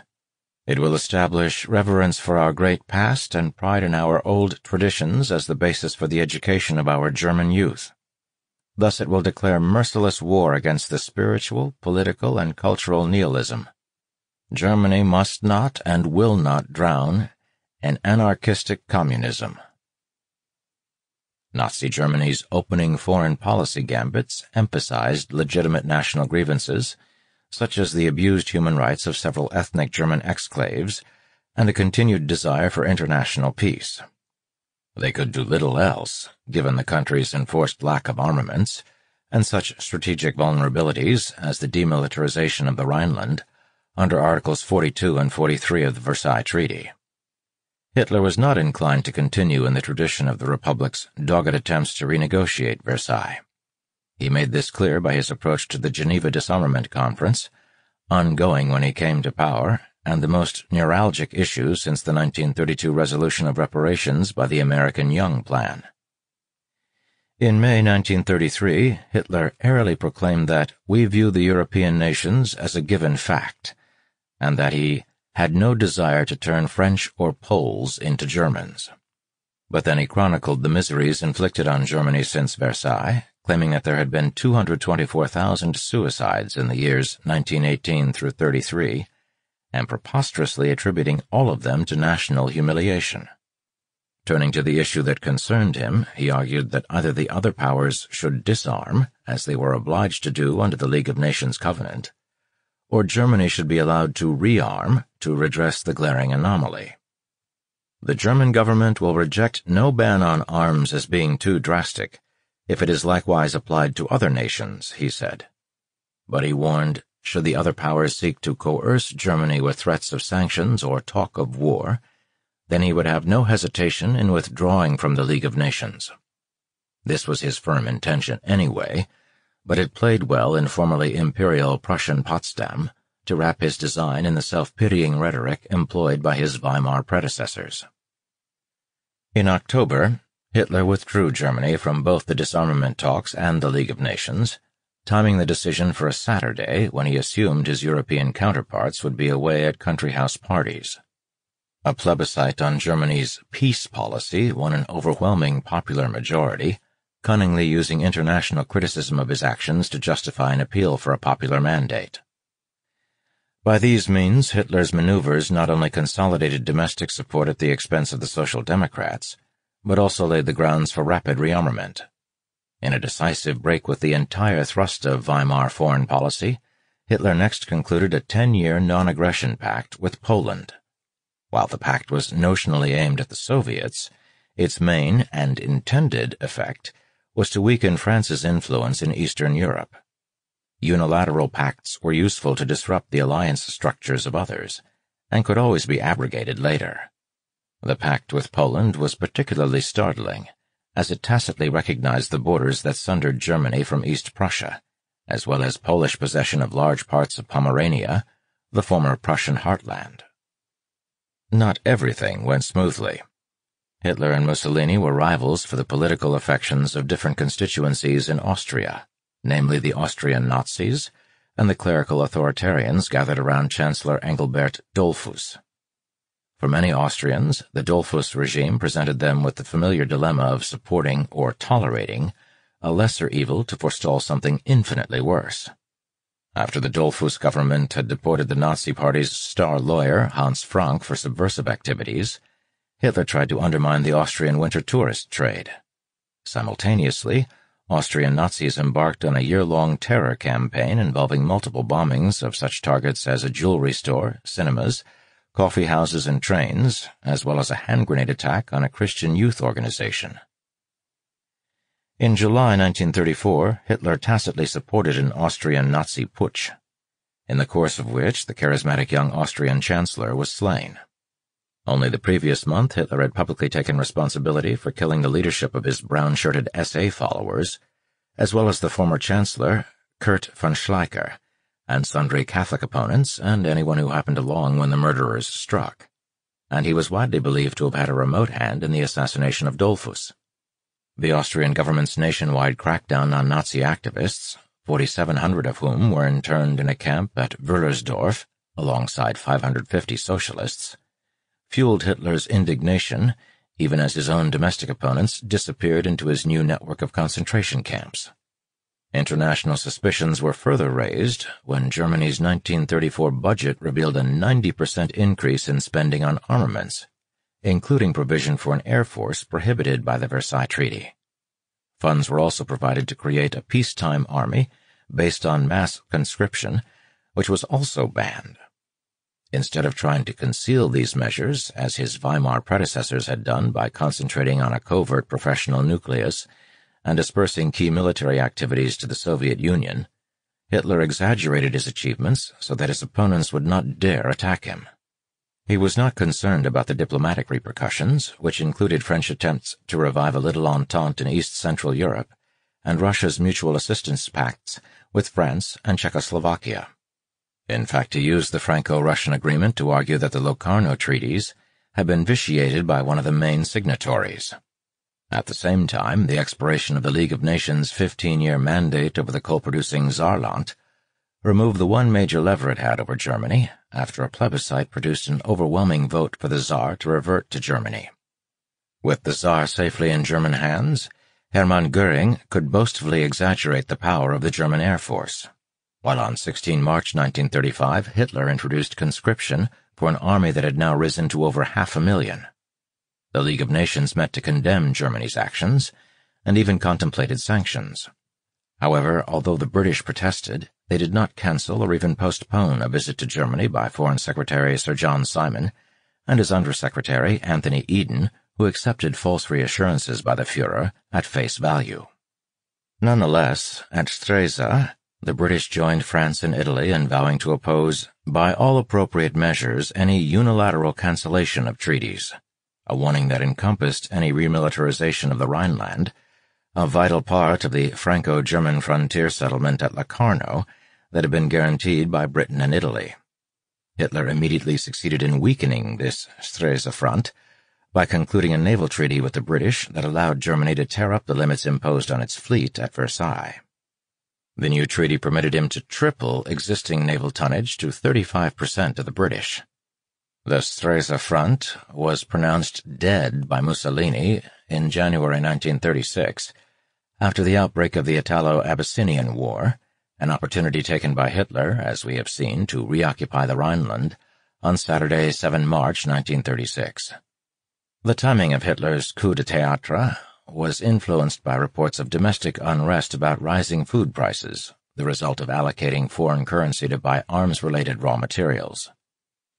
It has become commonplace to argue that this was the moment when the British and French could have stopped Hitler in his tracks, especially as his troops had hardly any ammunition and had to be augmented with policemen wearing military uniform. Leaving aside the fact that the Rhineland was indeed Germany's backyard, intervention was never realistically on the agenda, even of those who later advertised themselves as anti-appeasers like Labour's Foreign Affairs spokesman, Hugh Dalton. The French were not prepared to act alone, and the British lacked the means to join any military action, even had they possessed the will. What little will there might have been was undermined when Hitler immediately offered 25-year non-aggression pacts to France and Belgium, while suggesting he might rejoin the League of Nations. To round off his bloodless victory, an election was held on the sole issue of approval of the recovery of national sovereignty, which resulted in a 98.9% yes vote. Joint intervention in the Spanish Civil War brought warmer relations with the Italians, with Foreign Minister Ciano and Hitler signing secret October protocols in Berlin in 1936. Although Hitler was cautious about the depth of German military involvement in Spain, he dominated the partnership from the outset, exaggerating the Bolshevik ideological affinity of leftist Popular Front governments in Spain and France.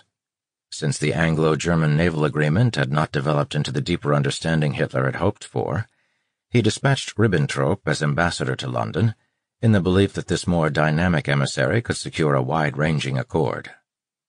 But while Ribbentrop sought to persuade the British to give Germany carte blanche in Eastern Europe in return for non-interference in their empire, Hitler simultaneously explored other options.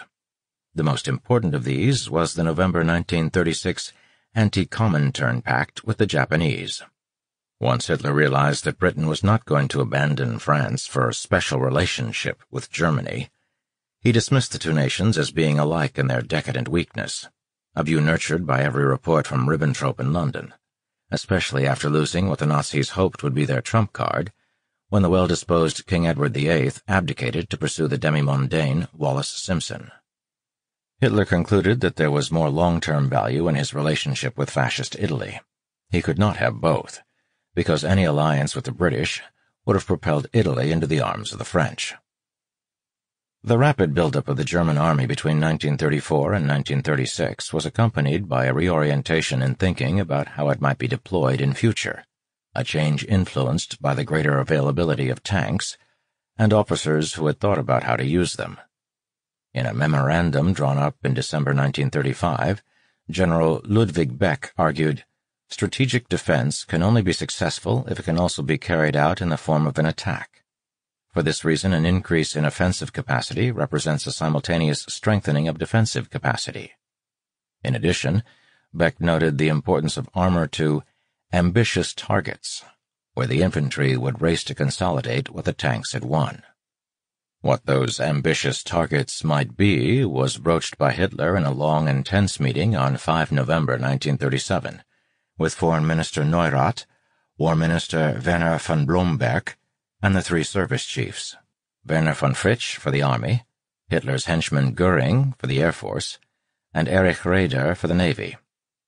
Notes taken by Hitler's military adjutant, Colonel Count Friedrich Hossbach, recorded how Hitler turned a meeting intended to resolve disputes about funding allocations into a lengthy tour d'horizon of grand strategy, where he felt more comfortable. This was not, however, before concentrating minds by ruling out both autarky and reintegration into the world economy in favor of expanding the economic base for rearmament through an expansion of living space, or Lebensraum. Although his musings did not correspond with how events eventually unfolded, and soft-pedaled his fundamental aim of winning living space at the expense of Russia, they began with the throwaway hypothesis that force with its attendant risks is the basis of the following exposition. He went on to explain the drawbacks of waiting until the rearmament program bore full fruit in 1943 through 5 before launching wars of aggression, without putting a precise chronology on action for the more proximate future. Contingencies 2 and 3 involved an opportunistic strike against Czechoslovakia alone, or Austria as well, should France become preoccupied either by civil strife or by a war with another neighbor. The point of these ventures was to improve our politico-military position by the acquisition of additional resources and military manpower, especially as three million people would be subject to compulsory emigration. Hitler saw Contingency 3 arising as early as 1938 from a possible Anglo-French war with Italy in the Mediterranean. Generals Blomberg and Fritsch raised so many objections that sullen annoyance began to show on their leader's face. A few weeks later, Foreign Minister Neurath also objected that such a policy could lead to world war, and that the goals could just as well be achieved through diplomacy. Hitler brushed this aside with claims that he had no more time, an allusion to his fear that he might soon die of cancer. After being reassured by the Fuhrer that at all costs he would avoid a two-front war, German military planners went back to the map tables. Operation Red against France was downgraded in favor of Operation Green, a strike into Austria and Czechoslovakia, with a smaller force taking up a defensive posture in the west. Ribbentrop encouraged Hitler to believe that he might pursue such an option, as the ambassador was convinced that the British would not risk a fight for the existence of its world empire for the sake of a local Central European problem. France would not act if it lacked British backing. In February 1938, Hitler took advantage of a sexual scandal to replace Blomberg and appointed himself commander-in-chief. He also got rid of Fritsch, leaving Goering as the most powerful service chief, and replaced the nervous Neurath with Ribbentrop, who shared his own sense of urgency. While Hitler took upon himself the delicate handling of Mussolini, with the results we have seen, he delegated to Goering the task of undermining Austrian Chancellor Kurt von Schuschnigg, Dollfuss's successor. Under the July 1936 Austro-German agreement, which Schuschnigg imagined was definitive, Austria was supposed to act broadly in accordance with Germany's interests, while taking due cognizance of the views of Austria's national, that is, Nazi, opposition. In February 1938, Schuschnigg agreed to desist from persecuting Austria's Nazis and to appoint their chief spokesman, the Viennese lawyer Arthur Seyss-Inquart, to the key portfolio of Interior Minister. Seyss-Inquart was known to travel regularly to Berlin for instructions, and Schuschnigg bravely, or rashly, decided to risk a sudden plebiscite to give popular backing to Austria's continued desire for independence. Given that those under 24 years of age were disenfranchised, to exclude the generally Nazi-supporting student population, Hitler had grounds for concern that the vote would not go Germany's way. While Prince Philip of Hesse was dispatched to secure Mussolini's complicity, Goering threatened Schuschnigg until he resigned in favor of Seyss-Inquart. While the Austrian president prevaricated over his appointment, Seyss-Inquart sent a telegram, which Goering had drafted for him, inviting a German occupation. The telegram arrived in Berlin almost an hour after Hitler had already ordered Operation Otto, the fraternal invasion of his homeland. Arriving in his hometown of Linz, an emotionally overwrought Hitler authorized the Anschluss, an immediate union with Germany. Appalling cruelties were openly committed against Jews by triumphal and vengeful Nazis. So many Jews committed suicide in Vienna that the municipal gas company temporarily interrupted supplies to Jewish customers. A week before, on 3 March 1938, Hitler had received the elegant figure of Sir Neville Henderson, Britain's ambassador to Berlin. The ambassador epitomized everything Hitler disliked about the British, with his tasteful suits, claret-colored pullover, and trademark red carnation. Henderson brought what the British thought Hitler wanted, namely colonies, in return for a deal in Central Europe. He slyly cautioned that the Belgians, French, Italians, and Portuguese should not learn about the substance of these discussions. Wisely, for most of the colonies he was offering were in fact French. In addition to indicating an understanding over Austria and Czechoslovakia as a means of pacifying Central Europe, the British were prepared to carve up Africa so that Germany would have colonies, although not those it had ruled under the Wilhelmine Empire. To Henderson's dismay, a scowling Hitler dismissed Britain's attempts to interfere in Central Europe. He would not presume to interfere over Ireland, he said, and then expressed an honest indifference to the prospect of colonies, adding that the issue had caused too much fuss with Britain and France already. The interview convinced Hitler that he might be able to extract more from such willing interlocutors. Perhaps he recalled an earlier interview in November 1937 with the future Foreign Secretary Lord Halifax, in which the noble lord had signaled British willingness to countenance changes in the Versailles settlement, provided they were reasonable agreements reasonably reached. Chapter 2 Appeasement 1. States of Mind the Anglo-French statesmen and diplomats who had to respond to the aggressions of the predators were haunted by the mass carnage they had witnessed during the Great War, and by the prospect of cities being razed by indiscriminate bombing. Nightmare visions of Verdun and the Somme, albeit translated into Allied corpses floating in the Channel, would continue to haunt statesmen and generals until D-Day, even before the Great War, the German Jewish painter Ludwig Meidner had depicted the bombardment of cities. In its aftermath, novelists, with H.G. Wells's Shape of Things to Come, 1936, among the most popular works, ratcheted up these anxieties further. Newspaper, and especially newsreel coverage of bombing in Barcelona or Jinzhou, gave substance to such foreboding. Guilt and fear shaped the Anglo-French policy of appeasement, though not in the sense evoked by Guilty Men, a contemporary polemic that was published only after the policy's failure became manifest. Its authors included the future MP Michael Foot, whose Labour Party opposed rearmament. The team's agent absconded with the royalties. Survivor guilt was pervasive among those who experienced the wastage of youthful promise and talent a view that inadvertently accorded greater salience to poets and sculptors than to clerks and butchers' boys. Modern war involved mass conscript armies rather than professionals paid to assume such risks on society's behalf, exacting a human cost on sectors of society that had never paid it before. The heaviness of the burden was apparent in the case of Neville Chamberlain, the conscientious ministerial workhorse who, as Chancellor of the Exchequer from 1931 onwards, strongly influenced British defence and foreign policy, even before he became Prime Minister, in May 1937.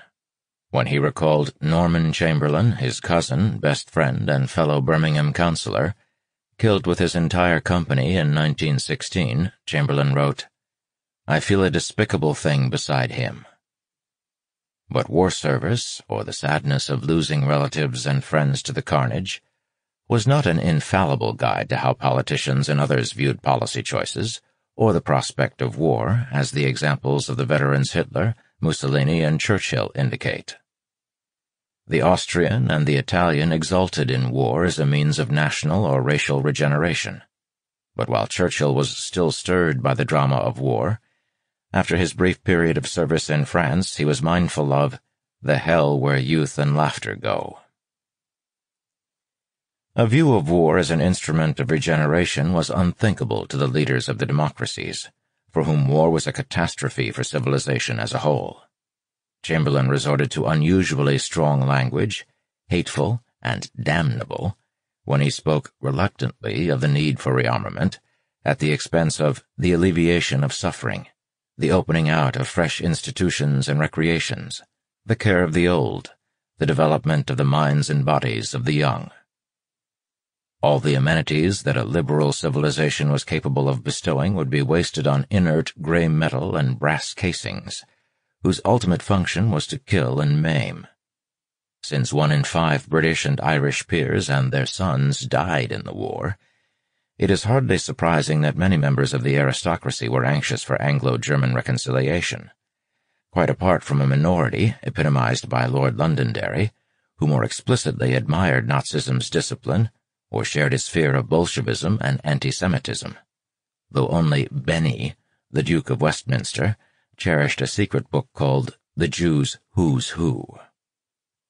A sense of guilt extended to the former wartime enemy, although Chamberlain had showed no signs of it when he caught sight of savage-looking German prisoners in their cages on a four-day trip he made to the Somme after the war. While many had agreed with the call that the Hun must pay, with Edward Wood, the future Lord Halifax, a firm advocate of tough terms, the continuation of the naval blockade after the armistice, which had starved German civilians to secure compliance with Allied peace terms, inclined some to feel pity for the defeated foe. The political economist John Maynard Keynes wrote an influential polemic on the wider economic effects of Versailles, which gave some factual basis to that view. Sympathy for the vanquished Germans was joined by mounting disgust at the apparently vindictive French, who tenaciously sought to disable German might despite that country's transition from autocracy to republican parliamentary democracy. Winston Churchill was one of the few to point out that the Allies' treatment of Germany in 1919 contrasted favorably with the terms Imperial Germany had dictated to Russia at Brest-Litovsk two years earlier, when the boot was on the other foot. Then there was the future. The desire to avoid war was conditioned by widespread fear of bombing that resembled, in its irrational terror, a later generation's dread of nuclear weapons. Literary fictions with titles like War over England reflected the usually amiable Prime Minister Stanley Baldwin's gloomy certainty, aired in 1932, that the Channel was no longer a bulwark, and the bomber would always get through. Figures were extrapolated wildly from the modest casualties that bombing had caused in the Great War, and then exaggerated further by multiples based on new technical capabilities and projected onto inflated figures for German aircraft production without regard to the fact that Luftwaffe bombers were primarily designed to provide tactical support for armored formations. In fact, it was not until 1940, when the Nazis acquired forward air bases in occupied France, that they could launch the air attacks that Britons dreaded throughout the 1930s. Fear of a single massive strike, delivered by waves of aircraft eclipsing the sun, and the mass panic this would cause on the ground was widespread. When it came, the Blitz was more like a damp squib than the annihilation subsequently visited on German cities. Although they never admitted their error or took responsibility for the consequences, pacifist organizations irresponsibly propagated lurid visions of bombs and chemical weapons wiping out entire populations. Although in 1938 Germany was not capable of doing any such thing, this nightmare fantasy haunted Chamberlain as he flew back from his second meeting with Hitler at Bonn Godesberg, where he had just pleaded that if the Fuhrer invaded Czechoslovakia, he should not bomb Prague. According to Secretary of State for India, Lord Zetland, I remember him saying that as he saw spread out like a map beneath him the mile upon mile of flimsy houses which constituted the east end of London, he could not bear to think of their inmates lying a prey to bombardment from the air. It is important to remember the feelings of dread, as well as sheer nervous exhaustion which afflicted the participants in the drama of appeasement.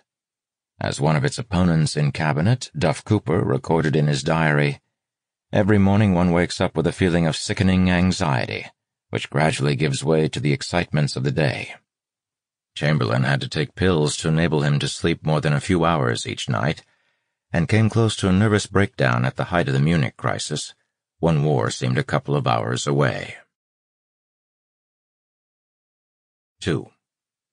A Popular Policy Appeasement is indivisibly associated with Chamberlain, its most obdurate proponent, although many rats had to get off the sinking ship to leave the captain in such splendid isolation.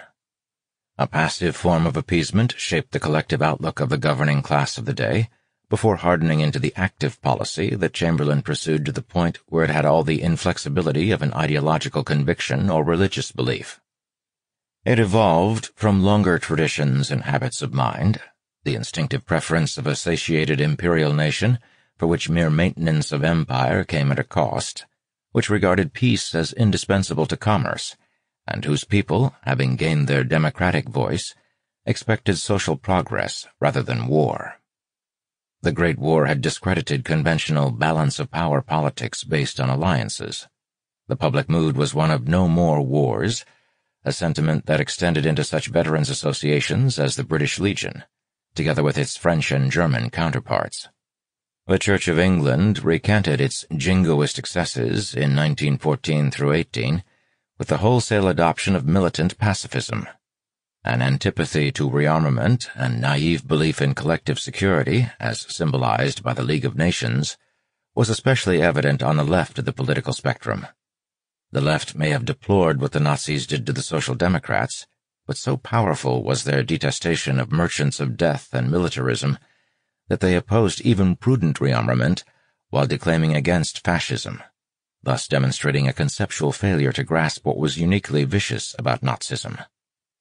When Labor and the Marxist left passionately adopted the cause of the Spanish Republicans, they managed to advocate, as a more skeptical Hugh Dalton pointedly remarked, Arms for Spain, but no arms for Britain. Dalton would shortly outwit the Labour leftist Stafford Cripps, thereby ensuring that the party belatedly supported rearmament, although until early 1939 it opposed even a modest degree of conscription. The conservative right had its own problems, including those who saw only the positive side of the new order in Germany, such as keeping bumptious or Bolshevik Jews in their place all of which is to say that Chamberlain was captive to popular sentiment, rather than a leader like Churchill, who bore grim things. 3. A realistic, wrong policy. The 1920s were characterized by belief that with its empire, Britain could be semi-detached from Europe, its role confined to that of a part-time umpire in a game of cricket that continentals had never played. Since the RAF's aerial policing could deal with colonial insurgents on the cheap, there could be major cuts in spending on the Army and Navy. The overall defense budget fell from £519 million in 1920 to £123 million in 1929, when Chancellor Winston Churchill perpetuated the ten-year rule, introduced in 1919, which assumed that no major war would take place for ten years and which became the basis for decisions by the Committee on Imperial Defense. By extending it for a further ten years, he was able to justify swinging cuts in the Navy. Such economies were intended to realize a wider peace dividend in the form of improved education, health, pensions, and public housing, designed to cauterize domestic labor unrest, or as tax cuts for the industrious middle classes. Defense cuts appealed to those who passionately believed in disarmament as the key to a safer world, even if it was fiscal conservatives rather than League of Nations zealots who wielded the knife. The other side of the coin was the promiscuous moralizing of the League's supporters, the bane of British service chiefs, who did not want to be dragged into endless wars through the League lobby's manipulation of public sentiment. Finally, the onset of the Depression served to focus loyalties on the dependable cocoon of empire, with Britain opting for imperial preference trade tariffs at the 1932 Ottawa Conference, further distancing itself from Europe's endemic quarrels. In an ideal world, the Austro-Hungarian Empire would never have been supplanted by a patchwork of quarrelsome successor states to which neither Britain nor France was prepared to offer military assistance, just as no one looking at the mess of the Middle East would so casually have wished away the Ottoman Empire. That lack of interest was also natural for a governing class that often knew more about the Afrikaner, Maasai, or Pathan than about Britain's geographic neighbors, among whom they merely holidayed, soaking up the glorious past and ignoring the contemporary reality of everyone but hotelier and waiters.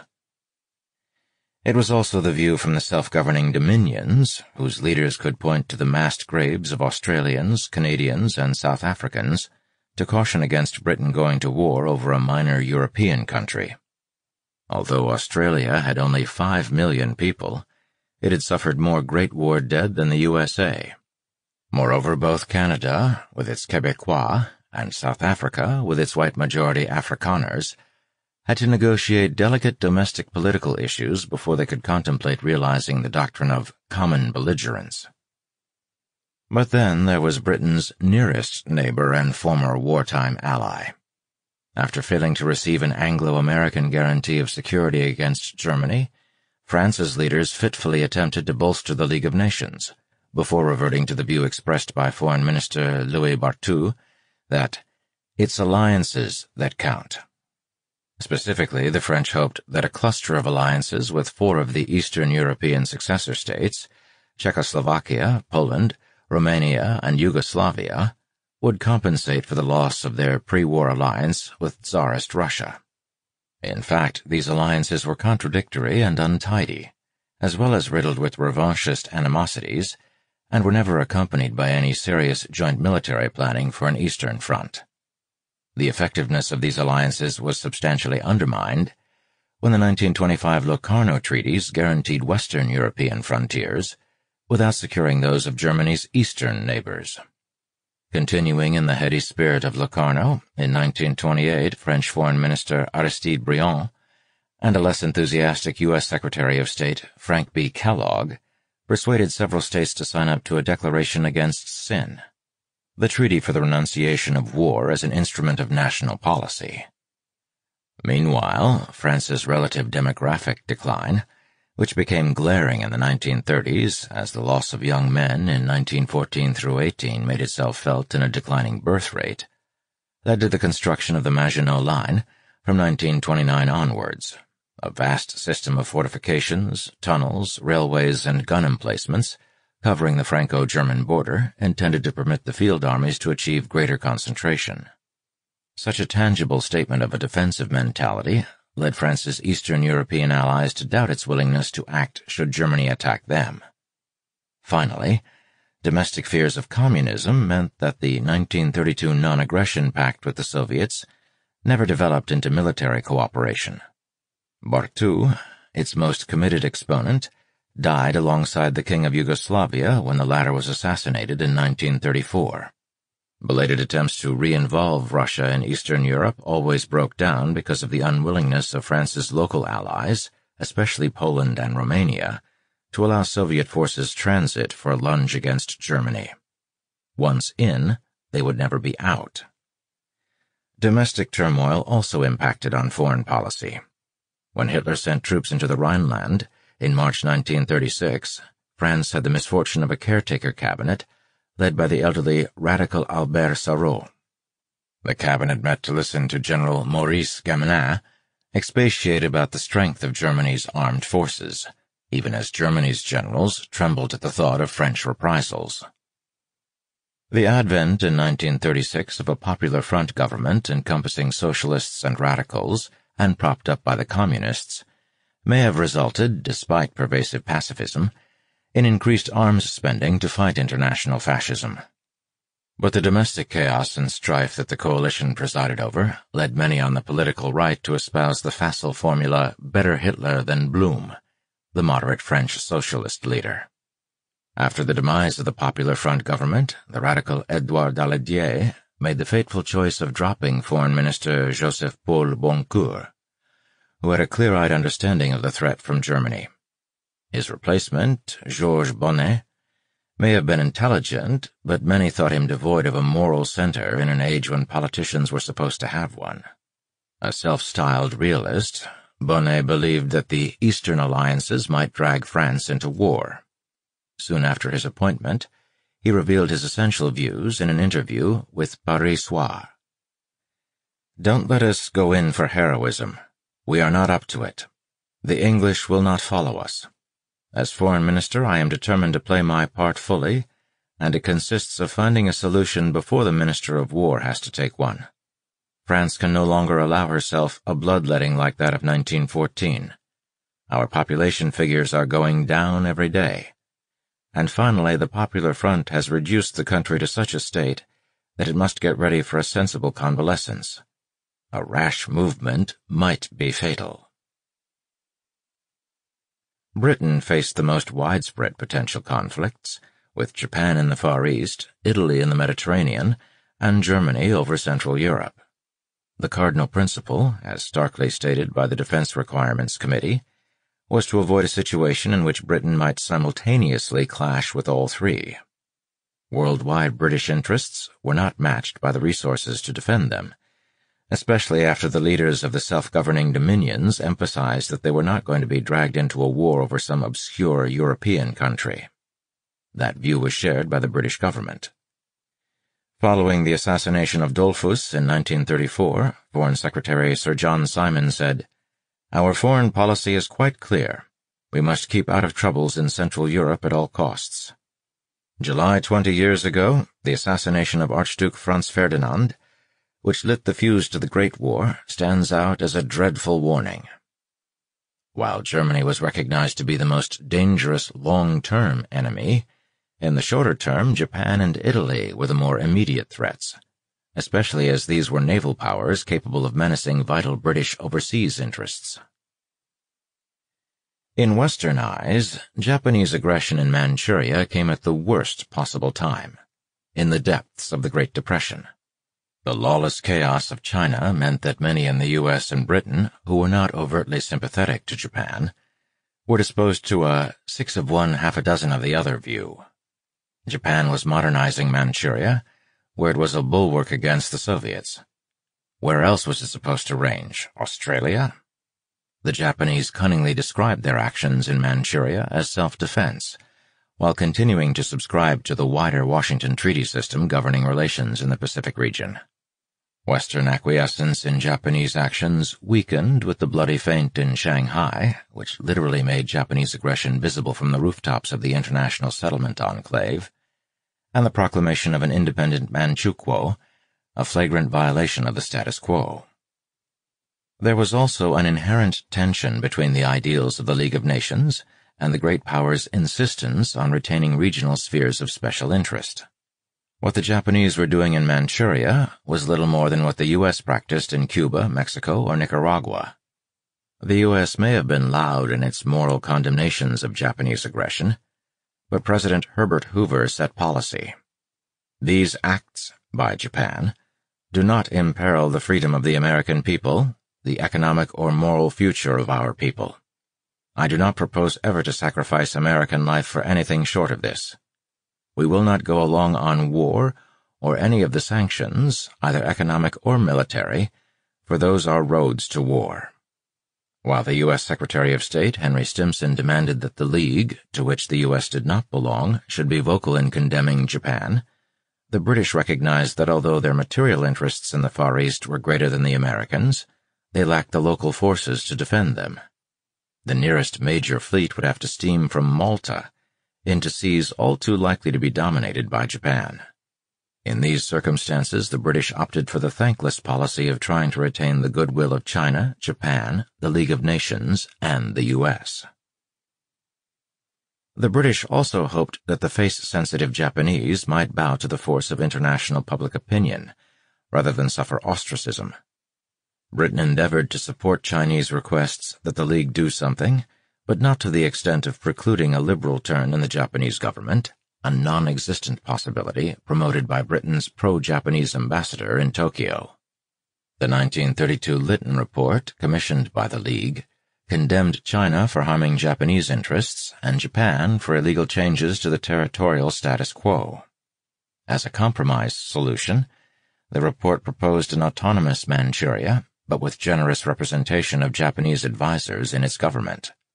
As a token rap on the knuckles, the British supported a four-week arms embargo declared by the League against both nations, at which the Japanese withdrew their ambassador from the League's Geneva headquarters. The U.S. did not manage even a brief embargo, and kept arms and oil flowing to Japan. Foreign Secretary Simon's less than glorious handling of this Far Eastern crisis, and a public perception that the League had been betrayed, resulted in Baldwin replacing him with Hoare, while Eden was appointed Minister of State for League Affairs. British conservatives often admired Mussolini, although Churchill was being Machiavellian when he dubbed him the Roman genius and the greatest lawgiver among living men. Unlike Hitler, whose fitful charm did not conceal lurking resentments that power never assuaged, the Duce was socially vivacious. Apart from their indulgent view of the Italian dictatorship's prodigies of domestic efficiency, British politicians regarded Mussolini as indispensable to the Stresa framework for constraining Hitler. There was a price to pay. In return for his cooperation, Mussolini assumed he had British and French tacit consent for his ambitions in Abyssinia. He may have been right about Pierre Laval, whose keenness on an understanding with his fellow lapsed socialist was already reflected in the Franco-Italian Rome agreements of January 1935. Throughout the subsequent period, France was probably more concerned with Italian aggression in the Mediterranean than it was about Hitler. While many British politicians were contemptuous of Abyssinia, Tory Foreign Secretary Simon's wife was a vociferous campaigner against its slave trade, Public sentiment meant that they could not explicitly support Italian aggression. Enthusiasm for the League of Nations, as manifest in the League-organized 1935 peace ballot, was largely responsible for the Baldwin government's support for League coercion of Mussolini after the Italian invasion of Abyssinia, even though the British fervently hoped that the French would not cooperate in imposing sanctions. Unfortunately, the sinuous Laval did cooperate, and the League duly mandated sanctions. In the Foreign Office, the permanent Undersecretary Robert Vansittart hastened to ensure that they did not include denying Italy oil, fearing that Mussolini might launch some retaliatory mad dog attack on the British. Simon's successor, Samuel Hoare, and Laval met secretly in Paris to plot how best to sell out Abyssinia in the tradition of great powers disposing of the territory of lesser nations. But they were forced to resign when details of their talks were exposed in the French and British press. Public opinion had fully ingested the doctrine of national self-determination, foisted on Europe by President Woodrow Wilson at Versailles, and the U.S. press also lambasted the deal, choosing to overlook the fact that U.S. oil exports to Italy had surged since the war started. Britain now contrived to aggravate Mussolini by threatening oil sanctions, then dropping them when the French tried to link their support for sanctions to the maintenance of a demilitarized Rhineland. As we have seen, Hitler was to take advantage of Anglo-French disarray following the 1935 Anglo-German naval agreement to ignore the advice of his generals and to send his troops into the Rhineland. The Nazis have become so synonymous with absolute evil that it requires considerable effort to understand how foreign statesmen reacted to them at the time. Diplomats provided the equivalent of Kremlinology in their regular assessments of who was up or down, moderate or rabid in the regime. Following two British ambassadors who disliked the Nazis, Neville Henderson was sent to Berlin. He was judged something of an expert on dictators because of experience in monarchical Yugoslavia. But he was also chosen because he was a good shot, a shared interest that led to a friendship with Goering. The Nazis also raised the perennial problem of how far the domestic character of a regime should influence the way other states reacted to it. British statesmen may have deplored the persecution of the Jews, or, as in Chamberlain's case, merely registered that it was happening. But even Churchill, who spoke on this issue more than most, was adamant that a country's internal affairs were its own. The realities of the case, however, did not fit into the tidy internal-external dichotomy. German persecutions created the international problem posed by Jewish refugees, in Britain's case exacerbating tensions in its mandate of Palestine. An even more difficult problem was the extent to which a nation's international conduct could be predicted from its domestic policies, hardly an exact science, despite the certainty with which historians sometimes dress up hypothetical reconstructions of alternative outcomes. British statesmen believed that if Hitler tore up Versailles in a controlled and consensual way, Germany would then become a powerful member of the European concert. At worst, if Mein Kampf was to be believed, he might at some future point turn on Russia which senior conservatives like Baldwin did not regard as a disastrous outcome. Britain's power was still considerable, as acknowledged by the alliance Hitler offered it. It seemed inconceivable that he would turn on Britain itself. British policy towards Germany after the advent of a Nazi regime was dominated by the ongoing question of disarmament, which had survived the change of government. Such talks are invariably characterized by deception and hypocrisy, with obsolescent arms offered up while potent weapons are retained. The Geneva talks, commenced in 1932, continued until October 1933, when, for the second time, Germany withdrew. The British were sympathetic to German arguments about the unfairness of unilateral arms limitations, despite general agreements to disarm. Hence, they wanted Germany to be allowed limited rearmament, while urging France to scale down its own forces. The French refused to do this without security guarantees that the British were not prepared to give.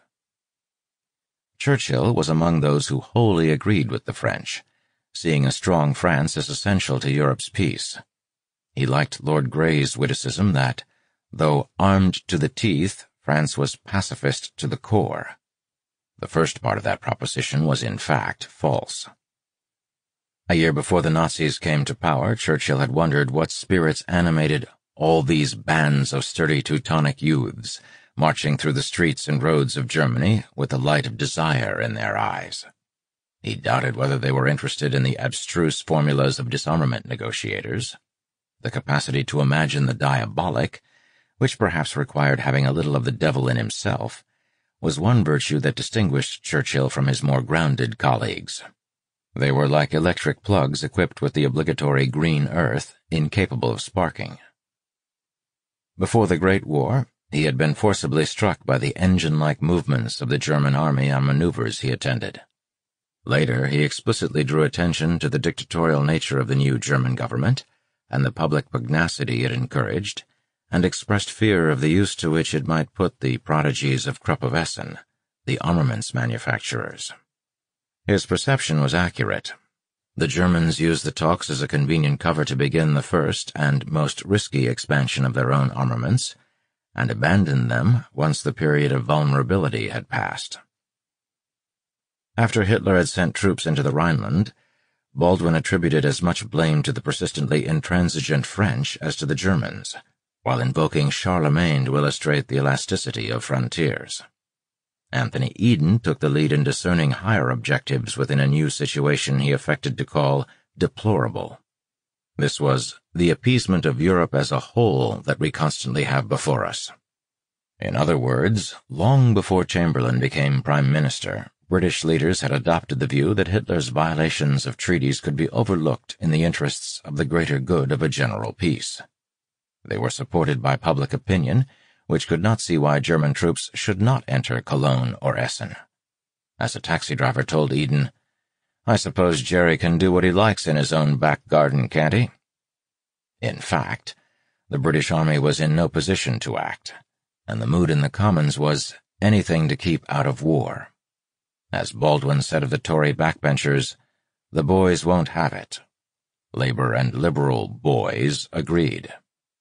Echoing the government's tendency to put an optimistic spin on every strategic defeat, the headline in The Times was A Chance to Rebuild.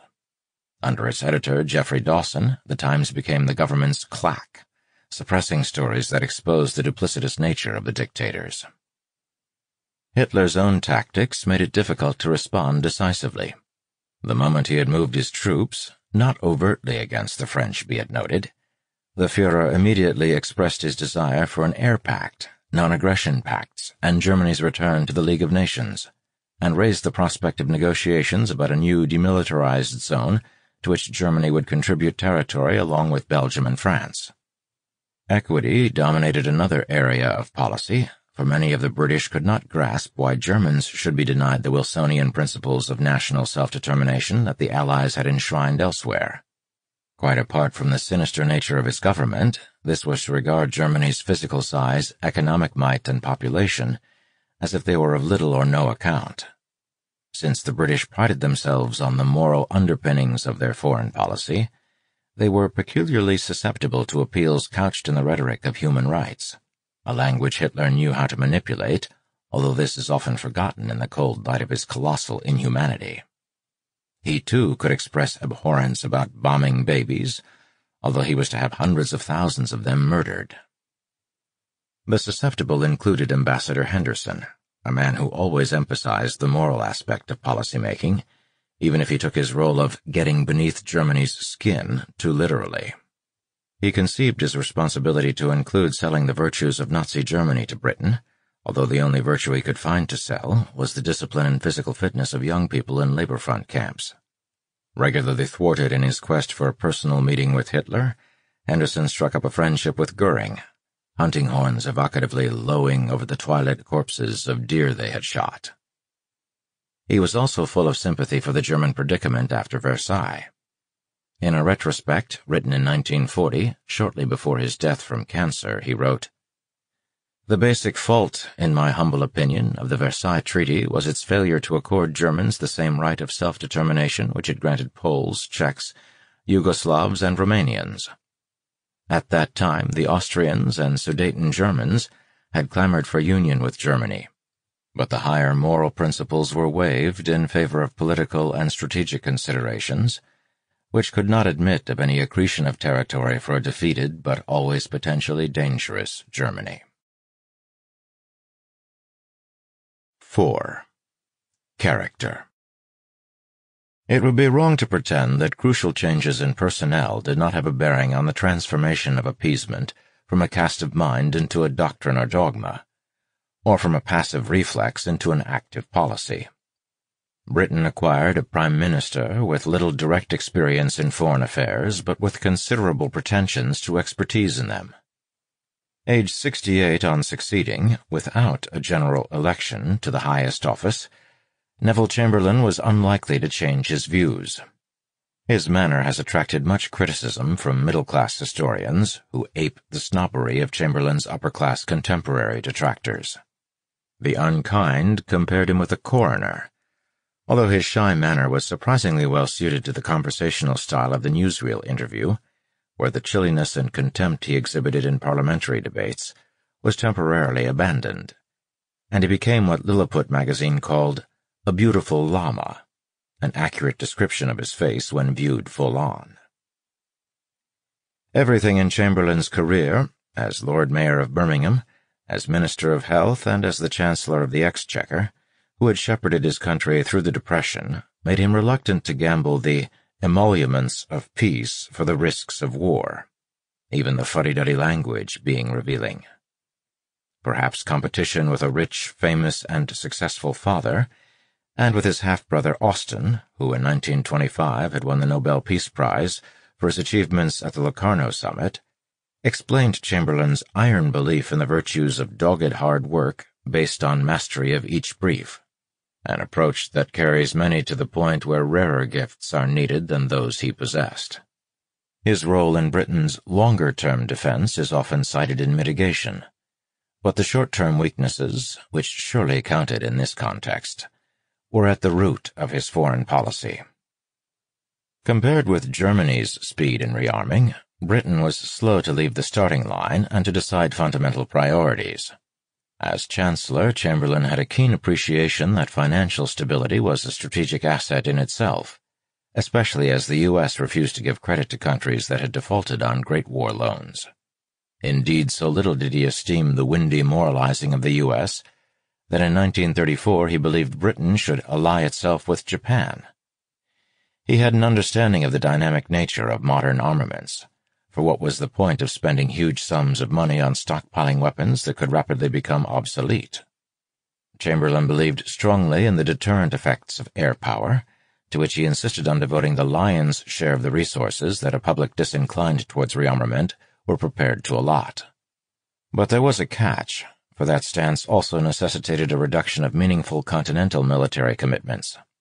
In 1935 and 1937, the Treasury, which ultimately called the shots in Whitehall, decreed two sets of cuts in the budgets of the infantry forces that might be deployed to the continent. A point seldom made in Chamberlain's defense is that he did not share Churchill's belief that Britain should seek to match Germany bomber for bomber to achieve a purely deterrent effect. Instead, Chamberlain switched resources to building up a fighter force, a defensive measure that could be more easily sold to the public and which, compared to bombers, came in at a quarter of the cost per aircraft. This would ward off an initial German onslaught before both sides fought a long war of attrition, which Imperial Britain would win because of its superior economic resources. In reality, both he and Baldwin were too much in dread of a largely imaginary German bomber onslaught which the Luftwaffe was certainly not capable of launching from German bases at the time they pursued the policy of appeasement. Ironically, the main proponent of bombers, although for imperial deployment, was Lord Londonderry, Baldwin's air minister, who has gone down in history as an upper-class crypto-Nazi. Appeasement was the corollary of this belated attempt at rearmament, something to tide the country over the danger period identified by its defense and intelligence chiefs. It had something of the making do, unsystematic approach that appeals to the English temperament, although it also evolved into fashionable opinion across the entire range of the British establishment, from All Souls via the Church of England to the Times newspaper. Beyond this was the smart London society of Channons and Cunards, with their cynically silly flirtations with such scintillating charlatans as the German ambassador Ribbentrop, a man most top Nazis regarded as an idiot, given the London posting to get him away from Berlin. After one London cocktail party had relocated to Berlin, they joked that SS Chief Heinrich Himmler resembled a department manager at Harrods, unaware that they themselves were lightweight jetsam bobbing towards a catastrophe. Foreign policy was not such a precise science as structuring a country's armaments or economy for war. Therefore, it was the stage to which many politicians aspired. In the view of his detractors, Chamberlain never lost the air of a provincial seeking to shine in the big city. However, even allowing for envious snobbery, there was a great deal of truth in Duff Cooper's characterization of Chamberlain's outlook. The dictators of Germany and Italy were like the Lord Mayors of Liverpool and Manchester, who might belong to different political parties and have different interests, but who must desire the welfare of humanity and be fundamentally reasonable, decent men like himself. This misconception lay at the root of his policy and explains his mistakes. Chamberlain argued, correctly, that in a totalitarian system it made sense to speak to the man at the top. What he could not see was that his mastery of municipal politics, or of a complex ministerial portfolio like public health, took him only from A to B, rather than to Zed when it came to dealing with personalities and forces that lay completely beyond his comprehension. Although Chamberlain's diaries show he was fully aware that Hitler and Mussolini were political desperados, his belief that people of goodwill everywhere fundamentally desired peace led him to imagine that the dictators must, deep down inside, share such sentiments. Everything could be resolved, he once told the Soviet ambassador, by sitting round a table going through Germany's grievances with a pencil, a view which failed to encompass Hitler's wider geo-racial vision. He dismissed the view that they were entirely inhuman I believe this idea to be quite erroneous. There was, however, no consistency in this belief, nor was it prudent to use diplomacy to discover Hitler's inner humanitarian. One minute Hitler was a lunatic, the next he was someone Chamberlain could do business with, and whose flattery he courted. Churchill's view, derived from such informed observers as Frederick Voigt, of the Manchester Guardian, that Nazism involved the fetish worship of one man, could not be reconciled with Chamberlain's unimaginative rationalism. Of course, like many rationalists, he was not devoid of his own irrational beliefs. He invested extraordinary faith in dubious evidence that ordinary Germans or Italians did not want war any more than the British, discounting the fact that in dictatorships their views would usually be registered only by the secret police. We are all members of the human race and subject to the like passions and affections and fears and desires, he said. There must be something in common between us, if only we can find it. Chamberlain's faith in reason as the universal panacea led him to believe that if reasonable demands were made, then they could be reasonably accommodated. Unfortunately, the dictators reasoned that the reasonable would also meet outrageous demands, as they duly did, going on to make the further assumption that the reasonable were decadent and would never confront them. Foreign Secretary Eden resigned in February 1938 after three years in the post over being second-guessed about policy towards Mussolini. The BBC chose not to broadcast an interview with him afterwards, lest it upset the policy of appeasement that seems to be written into the corporation's DNA. Thenceforth, Chamberlain effectively shared the role of Foreign Secretary with Lord Halifax, who could speak only in the Upper House. They had been coordinating their own alternative foreign policy, especially whenever Eden was absent on official business, preferring such dubious emissaries as Austen Chamberlain's widow Ivy, or Chamberlain's eminence grise, Sir Horace Wilson, to reach out to Mussolini. The Unitarian Prime Minister trusted the High Anglican peer, whose gravedigger's face suggested honor and high-mindedness, a man truly born to rule, with all the expectations this large assumption entailed under the social codes of the time. Halifax rebuked one of the few bishops, Hensley Henson of York, who dared to criticize Archbishop Cosmo Lang's persistent faith in Mussolini despite the Abyssinian venture. Little or nothing in Halifax's smooth progress to the top equipped him to deal with Europe's déclassé dictators either. He was sincerely sly, they had the cunning of Al Capone.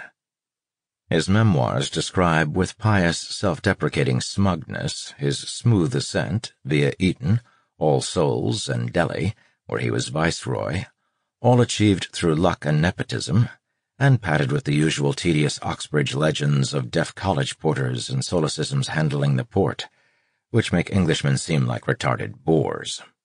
These witty banalities of a man in arrested adolescence have more immediacy and insight than his pedestrian accounts of the events leading to war. Rather revealingly, whereas Halifax routinely forwarded the letters of Nazi sympathizers to Special Branch, he always exempted those written by members of his class, such as the Marquis of Tavistock. The cabinet's Big Four of Chamberlain, Halifax, Hoare, and Simon were routinely supported by the majority of yes-men, as Duff Cooper called them, around the cabinet table. The fact that both Simon, 1931 through 5, and Hoare, June through December 1935, had themselves been Foreign Secretary added further weight to their views. Chamberlain's own flaws are abundantly evident from his contemporaneous diaries, although they went predictably unremarked by the royal family, who were among his greatest admirers. Trite nursery room maxims such as, if at first you don't succeed, try, try again, hope for the best, prepare for the worst, were combined with belief in his own mission as Europe's savior. This last conceit, which translated into his lone voyages to Germany, may have been connected with his awareness that at some point before autumn 1939 he would have to venture a general election, and a foreign policy triumph might have clinched victory. The testy logic with which he defended his views immunized him from criticism. He viewed the maverick Churchill as erratic and unstable, Eden as a vain glamour boy, and the Foreign Office as a narrow caste that spent too much time with foreigners. There was also an unattractive vanity that sought solace in every carefully noted fan letter, be it from a king or a credulous old lady requesting a chip of his umbrella to insert in a reliquary. An old man's vanity partly explains why he made so many basic mistakes, although the people colluded with him. In June 1937, a few weeks after he had become Prime Minister, Chamberlain outlined his views on British foreign policy for representatives of the Dominions, who were invariably a constraint on Britain's ability to commit itself in Europe. As a former chancellor, with a businessman's faith in the ameliorative powers of trade, Chamberlain argued that Germany might welcome measures to ease its current economic difficulties, problems largely caused by breakneck rearmament. He had high hopes of Hjalmar Schacht, the German finance minister. Typically, he invested in Schachts when Schachts were on the way down, a view that conformed with that of the City of London, which sought to protect the money it had invested in Germany. He thought that Germany's ambitions were limited to reunion with Austria and the deliverance of ethnic Germans marooned in the uncongenial environments of Czechoslovakia, Lithuania, and Poland. These were large assumptions based on accepting the ethnic rationalizations for Hitler's policies without considering the possibility that the Fuhrer might covet the arms industries and labor of these countries for further acts of aggression, an odd oversight in a man with a background in business and economics. That October, he and the Foreign Office encouraged Halifax to see Hitler after he had received an unrelated invitation to a hunting exhibition. Halifax conveyed the crucial message that we were not necessarily concerned to stand for the status quo as today. If reasonable settlements could be reached with the free assent and goodwill of those primarily concerned, we certainly have no desire to block.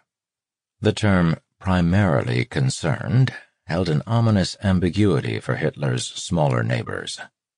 At lunch, the former Viceroy of India became dimly aware of incompatible values as Hitler's rambling conversation drifted from his favorite film, Gary Cooper and Henry Hathaway's Lives of a Bengal Lancer, to the problem of Indian nationalism, perhaps seeking to connect with a guest he thought looked like an English parson. Shoot Gandhi, Hitler said, and if that does not suffice to reduce them to submission, shoot a dozen leading members of Congress and if that doesn't suffice, shoot 200 and so on until order is established. Halifax claimed he gazed at Hitler with a mixture of astonishment, repugnance, and compassion, and did not strain himself to disagree before dutifully returning home to put indirect pressure on newspaper cartoonists who had attracted Hitler's ire. Armed with Halifax's assessment of the Fuhrer, in November, Chamberlain expressed the essence of his government's approach in a weekly letter to his sister Ida. I don't see why we shouldn't say to Germany, give us satisfactory assurances that you won't use force to deal with the Austrians and Czechoslovakians, and we will give you similar assurances that we won't use force to prevent the changes you want, if you can get them by peaceful means. If appeasement was an alternative to U.S.-style isolationism, an easier option when two oceans rather than the English Channel intervened, then it also meant Britain behaving like a busybodying schoolmistress, a national flaw that has endured beyond the precipitate diminution of British power since Suez. Thus Britain came to practice third-party diplomacy, ultimately denying representation to those whose fate was being determined. Although the British affected the stance of an empire, the long-held view that no single power should dominate the continent meant that Britain also became a player. Its attempts to stipulate the rules of the game in Central Europe were accompanied by a refusal to contemplate alliances or the use of military force to ensure that Hitler acted with the respect for the international proprieties the rules sought to uphold.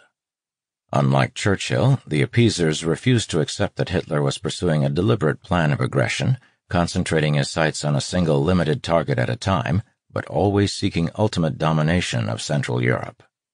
Unlike Churchill, too, many of the appeasers were disdainful of the League of Nations as a possible forum for frustrating, rather than merely denouncing, outright aggression. They saw themselves as realists, although their own chimerical quest for a general European peace settlement, without alliances or threats of war to strengthen their own hand, was incredibly idealistic too. What Churchill would call the pursuit of futile good intentions.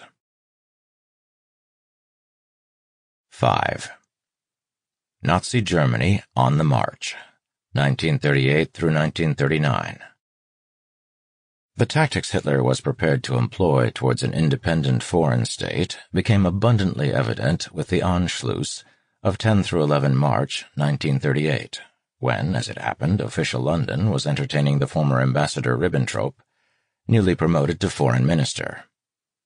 Filled with accumulated hatred of the British, Ribbentrop must have savored the moment.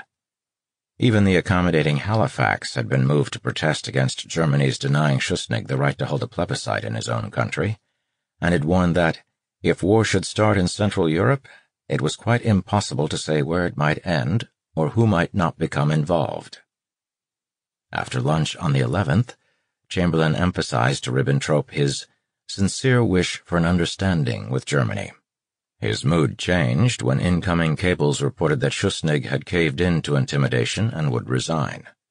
Later that day, Halifax remarked, what was happening was an exhibition of naked force, and the public opinion of Europe would inevitably ask what there was to prevent the German government from seeking to apply in similar fashion naked force to the solution of their problems in Czechoslovakia, or to any other where else they thought it might be useful.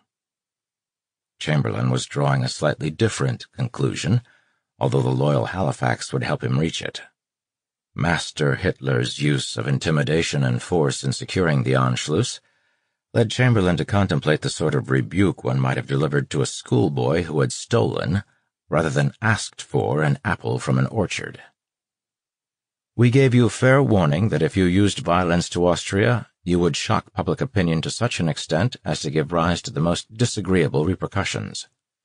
Yet you obstinately went your way, and now you can see for yourself how right we were. But it is no use crying over spilt milk, and what we have to do now is to consider how we can restore the confidence you have shattered. By any measure, even the tone of this admission was pathetic. While aware at some conscious level that a bullying Germany understood only force, Chamberlain pursued such will-o'-the-wisps as Italian cooperation in restraining Hitler. This approach lost him Eden, who was also alienated by the Prime Minister's disdain for U.S. President Franklin D. Roosevelt's guarded offers to involve the U.S. in European affairs. Chamberlain's policy took little cognizance of how events and ideological affinity were drawing the two dictators together, as the Duce's enthusiastic sanctioning of the Anschluss demonstrated, with the further prospect that smaller states would be drawn to the Axis like iron filings to a magnet every time the democracies advertised their own weakness. The alternative strategy, most forcefully represented by Churchill, was to form a grand anti-Nazi alliance, based on Britain and France, Czechoslovakia, Bulgaria, Greece, Romania, and Turkey, with the Soviets presumed as members. That would enforce compliance with the League of Nations Covenant, a document to which Churchill attached great importance. His approach had practical drawbacks, notably the reluctance of neighboring states to allow the Red Army transit rights over their territory. But these were not the objections that most concerned Chamberlain and Halifax, who, having identified the likely course of events, proceeded to frustrate the wisest reaction to them. At a meeting of the Cabinet's Foreign Policy Committee on 18 March 1938, Chamberlain supported Halifax's view that such an alliance would fuel German fears of being encircled, dismissing the view that German hegemony over Central Europe would be the prelude to picking a quarrel with France and ourselves. Writing to his sister, Chamberlain resented having been badgered and pressed by opponents both in and outside his own party to give a clear, decided, bold, and unmistakable lead, show ordinary courage, and all the rest of the twaddle pressures designed to vex the man who has to take the responsibility for the consequences. While no one should underestimate the pressures Chamberlain was under, such burdens are borne for a purpose. Chamberlain prided himself on his intellectual dexterity. He had thought of Churchill's scheme before the latter had even broached it with him. Emphasizing his own practical disposition, he asked if Churchill had studied any maps. Following the Anschluss, Czechoslovakia was beyond salvation, while Russia was a hundred miles away. He would not guarantee Czechoslovakia, or underwrite French guarantees to it either. It was better to go back to Hitler to establish exactly what he wanted from Czechoslovakia, a state Chamberlain thought had been cobbled together from scraps and patches. Chamberlain's focus on Czechoslovakia was warranted, as within two weeks of Hitler's glorious introitus into Austria, he was plotting the Czech state's piecemeal disintegration. A Czech-language German radio station, called Truth Prevails, the motto of the Czech state, beamed anti-Semitic and anti-Czech propaganda from what had been Austria towards Czech peasant supporters of the Agrarian Party, which shared many of the ethnic Germans' prejudices towards Prague. These three and a half million Sudeten Germans were the largest minority in a successor state that included Magyars, Poles, and Ruthenes, as well as the dominant Czechs and Slovaks. All four minorities exhibited the national egoism that the Czechs themselves had visited upon the Habsburg Empire before 1914. Germany was not the only neighbor casting a greedy eye over Czechoslovakia, which was why Hitler entertained the Hungarian regent, Admiral Miklos Horthy, on a five-day official visit to Germany in late August 1938, on the pretext of attending the launch of the heavy cruiser Prince Eugen at Kiel. What Hitler actually intended was to whet the Hungarians' appetite for part of Czechoslovakia. Although the Czechs had their British aficionados, they did not inspire the British imagination in the way the more romantic Poles did. Seeking to inspire sympathy for the threatened nation, even Churchill had to dredge up Good King Wenceslas from his otherwise capacious historical repertory. Chamberlain was not alone in regarding Czechoslovakia as an artificial construct, although at least he got its name right, unlike some Tory MPs who in their interventions referred to Czechoslovenia, a British political class that had wrestled with Irish nationalism for over a century, affected a lofty incomprehension toward issues of national identity and minority rights in Central Europe. The Sudeten Germans were discriminated against in petty ways by the Czechs, although they tended to attribute structural weaknesses in their regional economy exclusively and unfairly to alien rule from Prague. Their glass and textiles were hit more severely by the depression among the neighboring states than Czechoslovakia's industrial core. As a leader of a state with 80 million people, Hitler worked himself into a rage at the thought of three and a half million ethnic Germans being pushed around by seven million Czechs, although it was the belief that Czechoslovakia was a geopolitical spear at Germany's back that really concerned him. The leader of the Sudeten German Party, Konrad Henlein, was Hitler's chosen local instrument, his viceroy, as the Fuhrer put it with imperial pretentiousness, although Henlein's objectives were initially restricted to regional autonomy rather than embracing pan-Germanism. This stance gradually became irreconcilable with Czech nationalism and democracy. By the late 1930s, Henlein's orders came from the German Foreign Ministry via Ernst Eisenlohr, Berlin's minister in Prague, who might have done his job with less enthusiasm had he known that Hitler was prepared to have him assassinated to justify German intervention. Henlein's role vis-a-vis the Czechs, according to secret instructions, was always to demand so much that we can never be satisfied. In other words, egged on by Hitler, the Sudeten Germans always negotiated in bad faith with a Czech government that also strung talks along, in the hope of an external deliverance that never came. Ethnic German demands were given a plausibly humanitarian gloss in the resolutions of the Sudeten German Party at a conference in Carlsbad but their insatiable scope was apparent beneath that surface. As well as calling for regional autonomy, the conference sought complete freedom to profess adherence to the German element and German ideology. In a letter to his sister, Chamberlain bleakly gave every reason why it was impossible to defend the Czechs against German aggression. During discussions with the French in Downing Street in April 1938, Daladier talked up the military capabilities of the Czechs while countering Halifax's claim that Stalin's purges of his officer corps had emasculated the Soviet armed forces.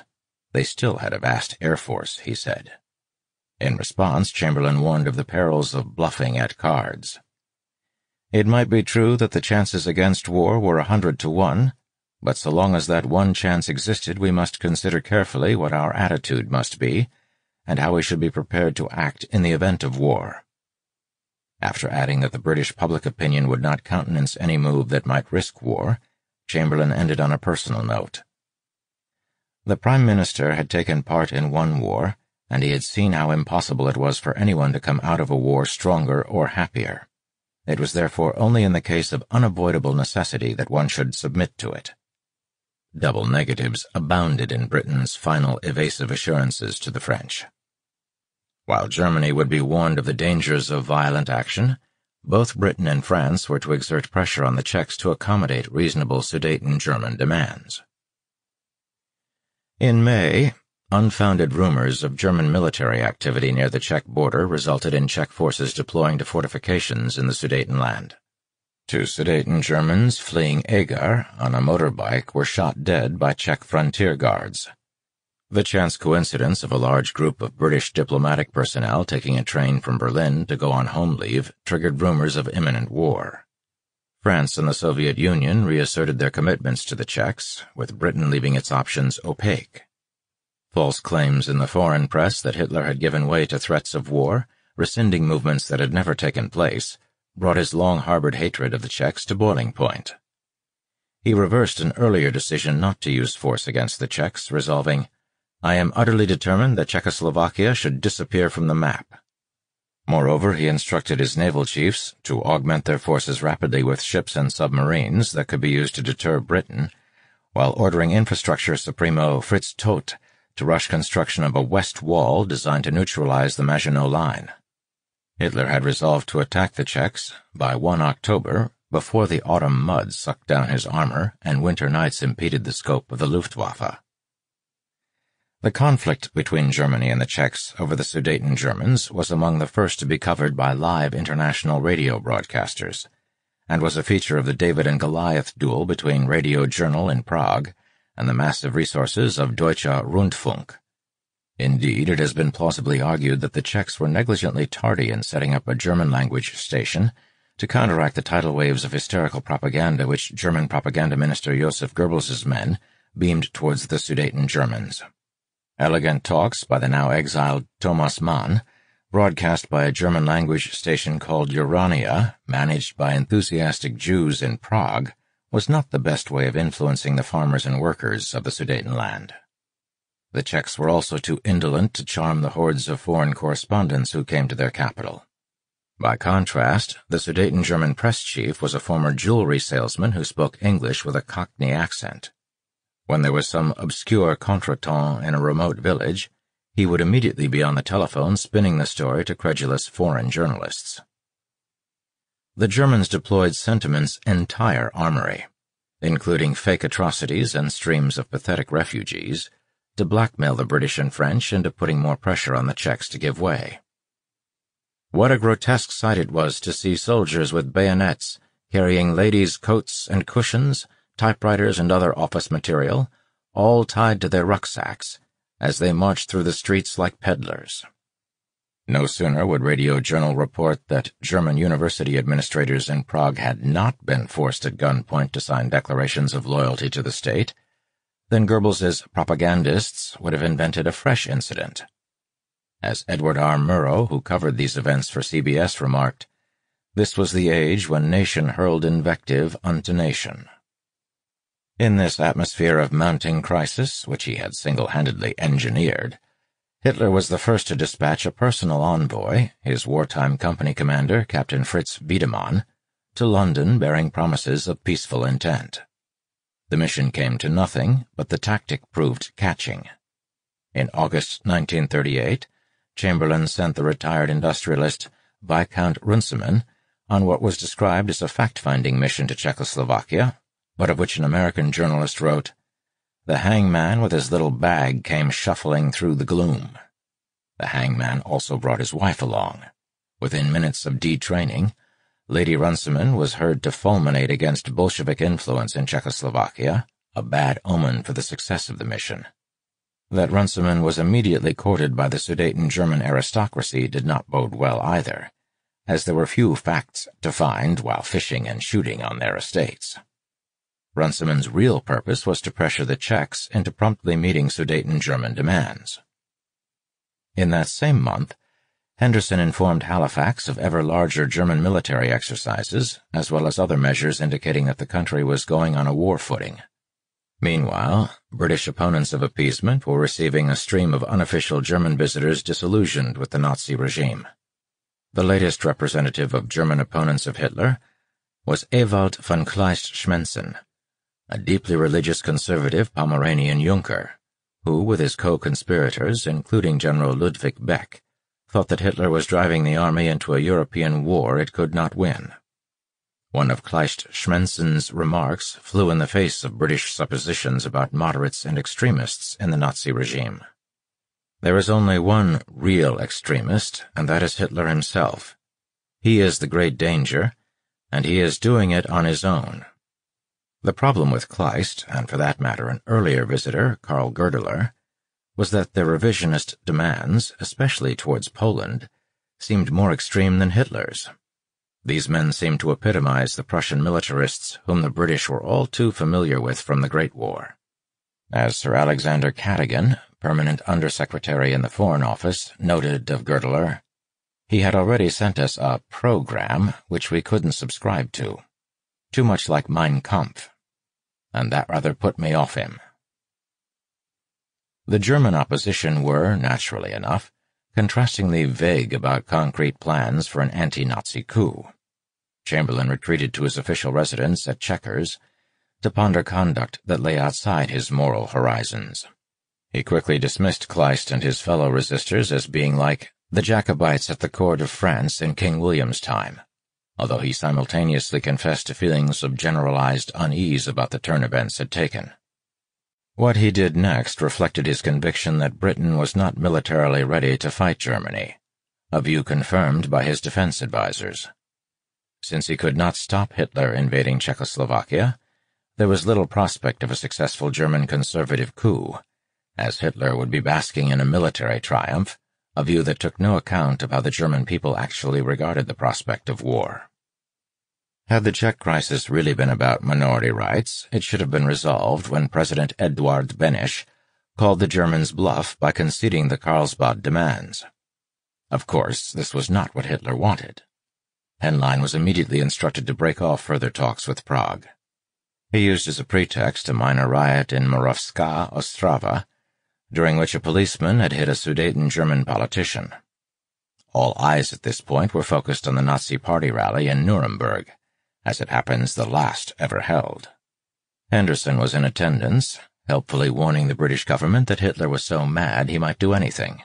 Useful information if one were planning to do nothing by way of response. Goering set the mood on 10 September, calling the Czechs a vile race of dwarves without any culture. Nobody knows where they come from, and behind them, together with Moscow, there can be seen the everlasting face of the Jewish fiend. Hitler waited until the concluding session to deal with the Czechoslovak crisis. The situation in this state has become unbearable, as is well known. In a political context, three and a half million people there are robbed of their right to self-determination in the name of the right to self-determination as construed by a certain Mr. Wilson. In an economic context, these people are being ruined methodically and hence are subject to a slow but steady extermination. The misery of the Sudeten Germans defies description. The Czechs desire to destroy them. In a humanitarian context, they are being oppressed and humiliated in an unprecedented fashion.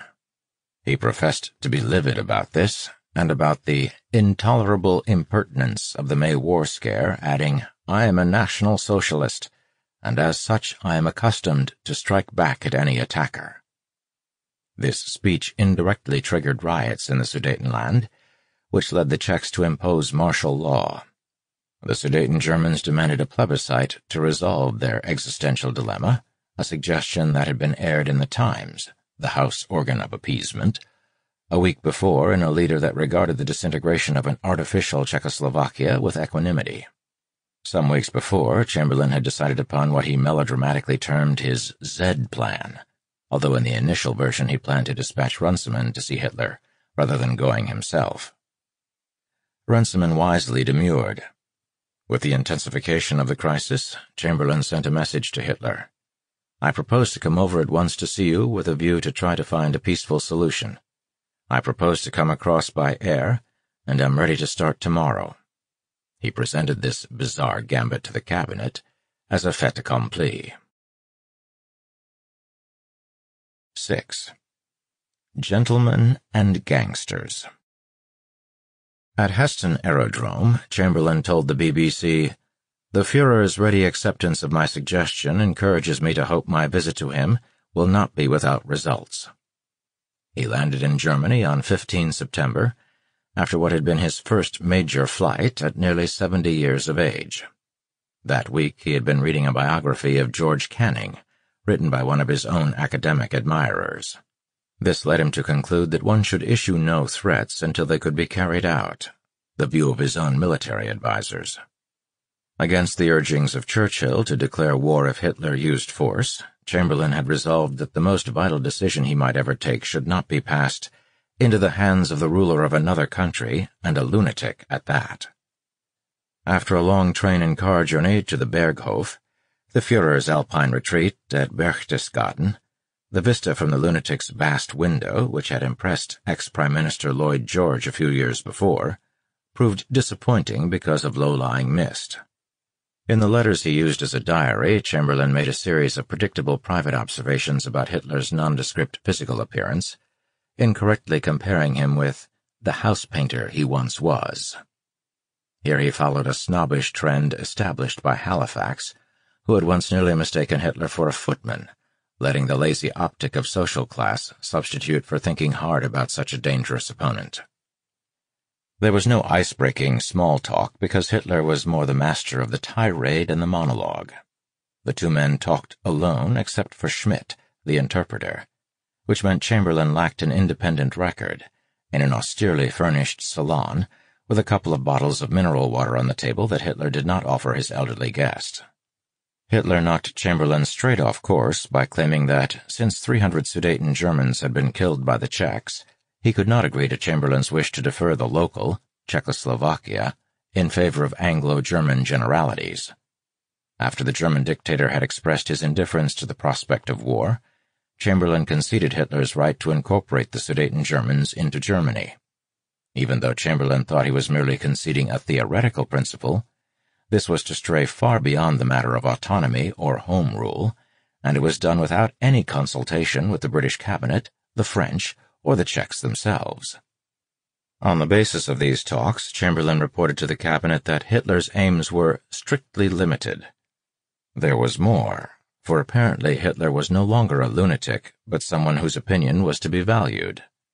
Accurately identifying the British Prime Minister's own flaws, Hitler had let it be known that he had liked Chamberlain, whose own account of the Fuhrer's flattery was revealing. I have had a conversation with a man, Hitler said, and one with whom I can do business, and he liked the rapidity with which I had grasped the essentials. In short, I had established a certain confidence, which was my aim, and in spite of the hardness and ruthlessness I thought I saw on his face, I got the impression that here was a man who could be relied upon when he had given his word. So one might think, if one had not bothered to ascertain that the 300 dead ethnic Germans Hitler had made theater from were entirely fictitious. Moreover, a day after meeting Chamberlain, Hitler authorized the formation of a Sudeten German Freikorps, a paramilitary force consisting of men who had fled conscription into the Czech armed forces.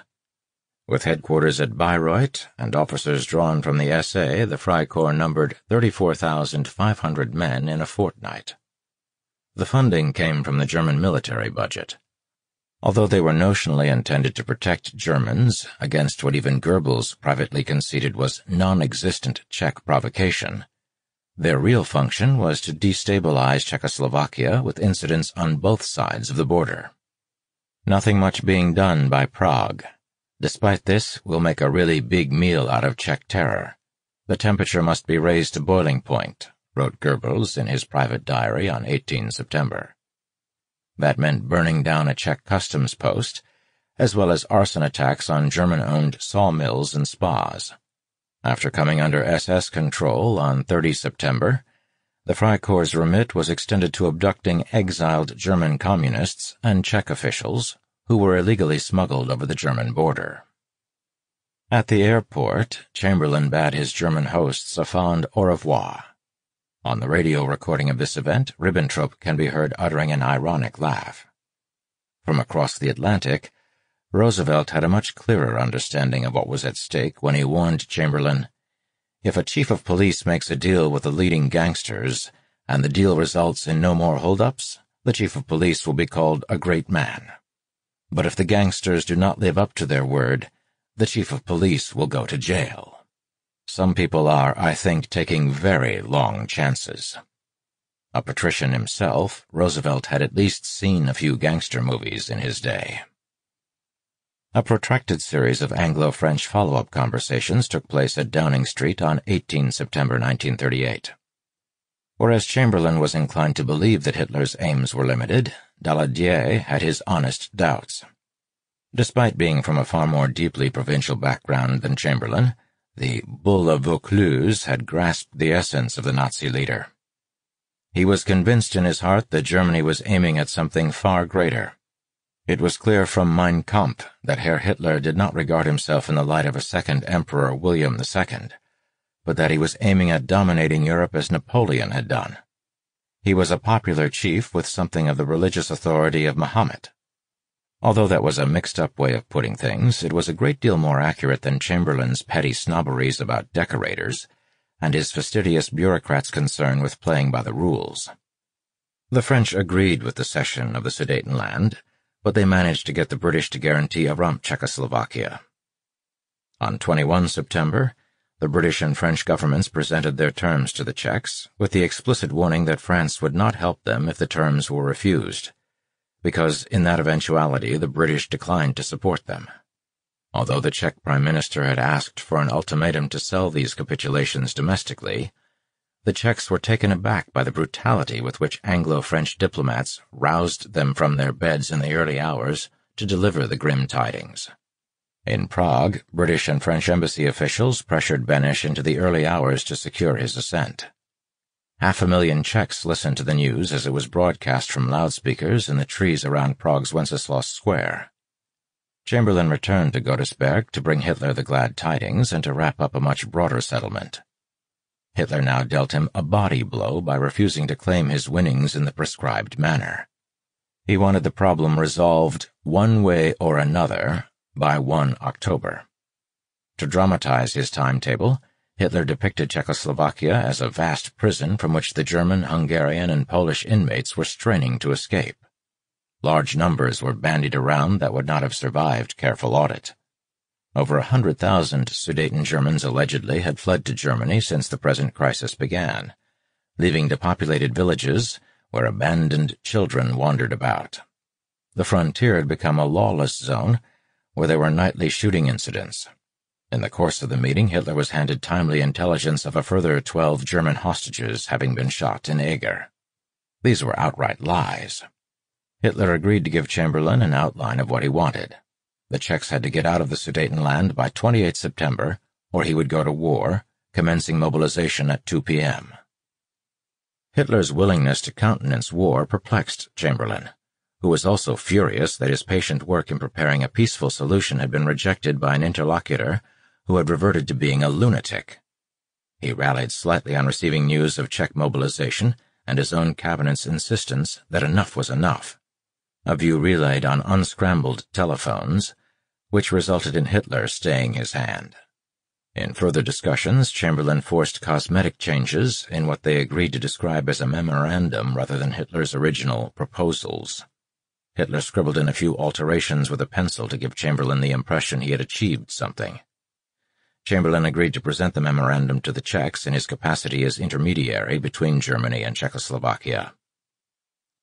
After bidding Hitler auf Wiedersehen, Chamberlain flew back to Heston. A waiting BBC reporter was perplexed to find the plane's door jammed shut, so that he could not immediately interview the Prime Minister. When he emerged, Chamberlain said, I will only say this. I trust that all concerned will continue their efforts to solve the Czechoslovak problem peacefully, because on that turns the peace of Europe in our time. He hastened to sell the German leader's proposals to his own cabinet, with Runciman on hand to help resolve the technical difficulties of deciding how population densities would determine the cession of a given area. An old man's vanity was sometimes evident. In his presentation to the cabinet on the evening of 24 September, Chamberlain stressed the rapport he had established with Hitler, who he claimed had some respect for him, too. He thought he had now established an influence over Herr Hitler, and that the latter trusted him and was willing to work with him. He was inclined to take Hitler at his word when he claimed to be solely interested in racial unity rather than ruling racially undesirable Czechs and Slovaks. Also evident was a certain messianic intent, the lure of one comprehensive settlement of all Europe's woes. The Sudeten issue was subtly marginalized in the interests of a broader Anglo-German understanding, the necessary precondition for a general settlement in Europe. At a second session of the cabinet on the morning of 25 September, first Hoare and then Halifax, Chamberlain's most reliable colleagues, balked at the British coercing the Czechs to accept the Godesberg deal. Halifax had been chided by Cadogan the previous night, and had lain awake tormented by his high Anglican conscience. He thought that Hitler has given us nothing and that he was dictating terms just as though he had won a war but without having had a fight. Testy notes were passed along the cabinet table. Your complete change of view since I saw you last night is a horrible blow to me, scribbled the Prime Minister, indicating that he might resign if the French went to war. I feel a brute, but I lay awake most of the night tormenting myself and did not feel I could reach any other conclusion at this moment on the point of coercing Czechoslovakia, came the reply. Night conclusions are seldom taken in the right perspective, flashed back N.C. Nor were the French, who were in Downing Street on the night of 25 September, as ready to renege on their commitments to the Czechs as Chamberlain presumed they were when the discussions were extended to include them. The French Prime Minister demonstrated a moral conscience, firmity of purpose, and realism about where Hitler was heading that was evidently absent from his Allied hosts. Daladier questioned whether the prospect of German bombing was as terrible as everyone imagined, pointing out that despite massive nationalist air superiority, Franco was no nearer winning the Civil War. The French Prime Minister was ashamed of what he and Chamberlain had forced the Czechs to accept already referring to himself as a barbarian.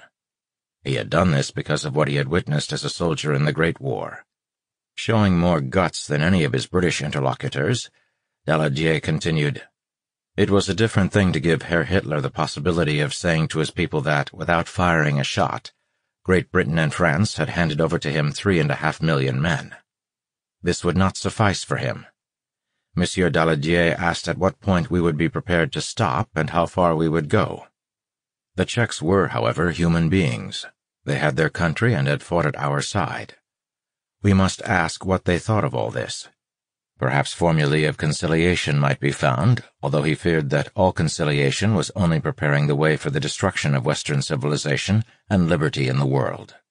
There was one concession, however, he would never make, and that was that marked on the map which had for its object the destruction of a country and Herr Hitler's domination of the world, and all of that we valued most. France would never accept that, come what might. The session included the disagreeable spectacle of Sir John Simon, the Chancellor of the Exchequer, followed by Chamberlain, seeking to undermine Daladier's faith in his own country's defense capabilities. Simon imagined he was back in court, quizzing a shifty witness rather than speaking to the French Prime Minister. Chamberlain warned of the nightmare of bombs raining down on Paris. It would be poor consolation if, in fulfillment of all her obligations, France attempted to come to the assistance of her friend but found herself unable to keep up resistance and collapsed. He also doubted whether Russian military aid to the Czechs would amount to much. In a final abdication of responsibility, Chamberlain remarked that, We were not the people to whom the proposals, Hitler's, had been addressed, and we could not therefore accept or reject them. Our role was confined to transmitting them to the Czechoslovak government, as we had done. As a result of pressure from within his cabinet and from his French ally, Chamberlain resolved to dispatch Sir Horace Wilson to Berlin with an offer of an international commission and a threat that if France supported Czechoslovakia against a German attack, Britain would go to war. After Hitler rose and launched a tirade at Wilson's first attempt to deliver this message, the envoy had to return a second time to hear explosions like, Germany was being treated like niggers. One should not dare treat even the Turks like that. The Fuhrer added, On 1 October I shall have Czechoslovakia where I want her. If France and England decided to strike, let them strike. He did not care a farthing. As Hitler escorted him out, Using epithets about Mr. Chamberlain and Sir Horace that could not be used in a drawing room, Wilson somewhat weakened the main point by whispering to Hitler, I will still try to make those Czechos sensible. Hitler ordered the preliminaries to full mobilization once the civil servant had left. War was becoming a grim, hourly prospect. In France, white-colored posters went up calling a million reservists to the colors. Gas masks were issued to the British population, and the fleet mobilized. In his deservedly famous Autumn Journal, the Northern Irish poet Louis MacNeice described the scenes outside his London apartment. Hitler yells on the wireless, the night is damp and still, and I hear dull blows on wood outside my window. They are cutting down the trees on Primrose Hill. They want the crest of this hill for anti-aircraft. The guns will take the view, and searchlights probe the heavens for bacilli with narrow wands of blue. Cellars were converted into bomb shelters, and ordinary people pondered various DIY solutions to the prospect of massive bombing. Anti-aircraft guns, barrage balloons, and searchlights appeared around London landmarks, while local authorities excavated trenches in public parks. Staff at Lambeth's Imperial War Museum, recently ensconced in a former lunatic asylum, drilled with captured Great War German helmets. Feelings in Germany were little different. When Hitler ordered a motorized division to parade through Berlin for three hours, bystanders scowled or scuttled into doorways.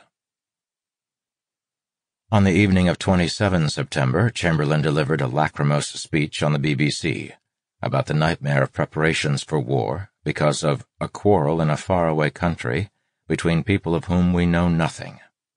He made much of Hitler's feelings of indignation, offering to meet him a third time if I thought it would do any good.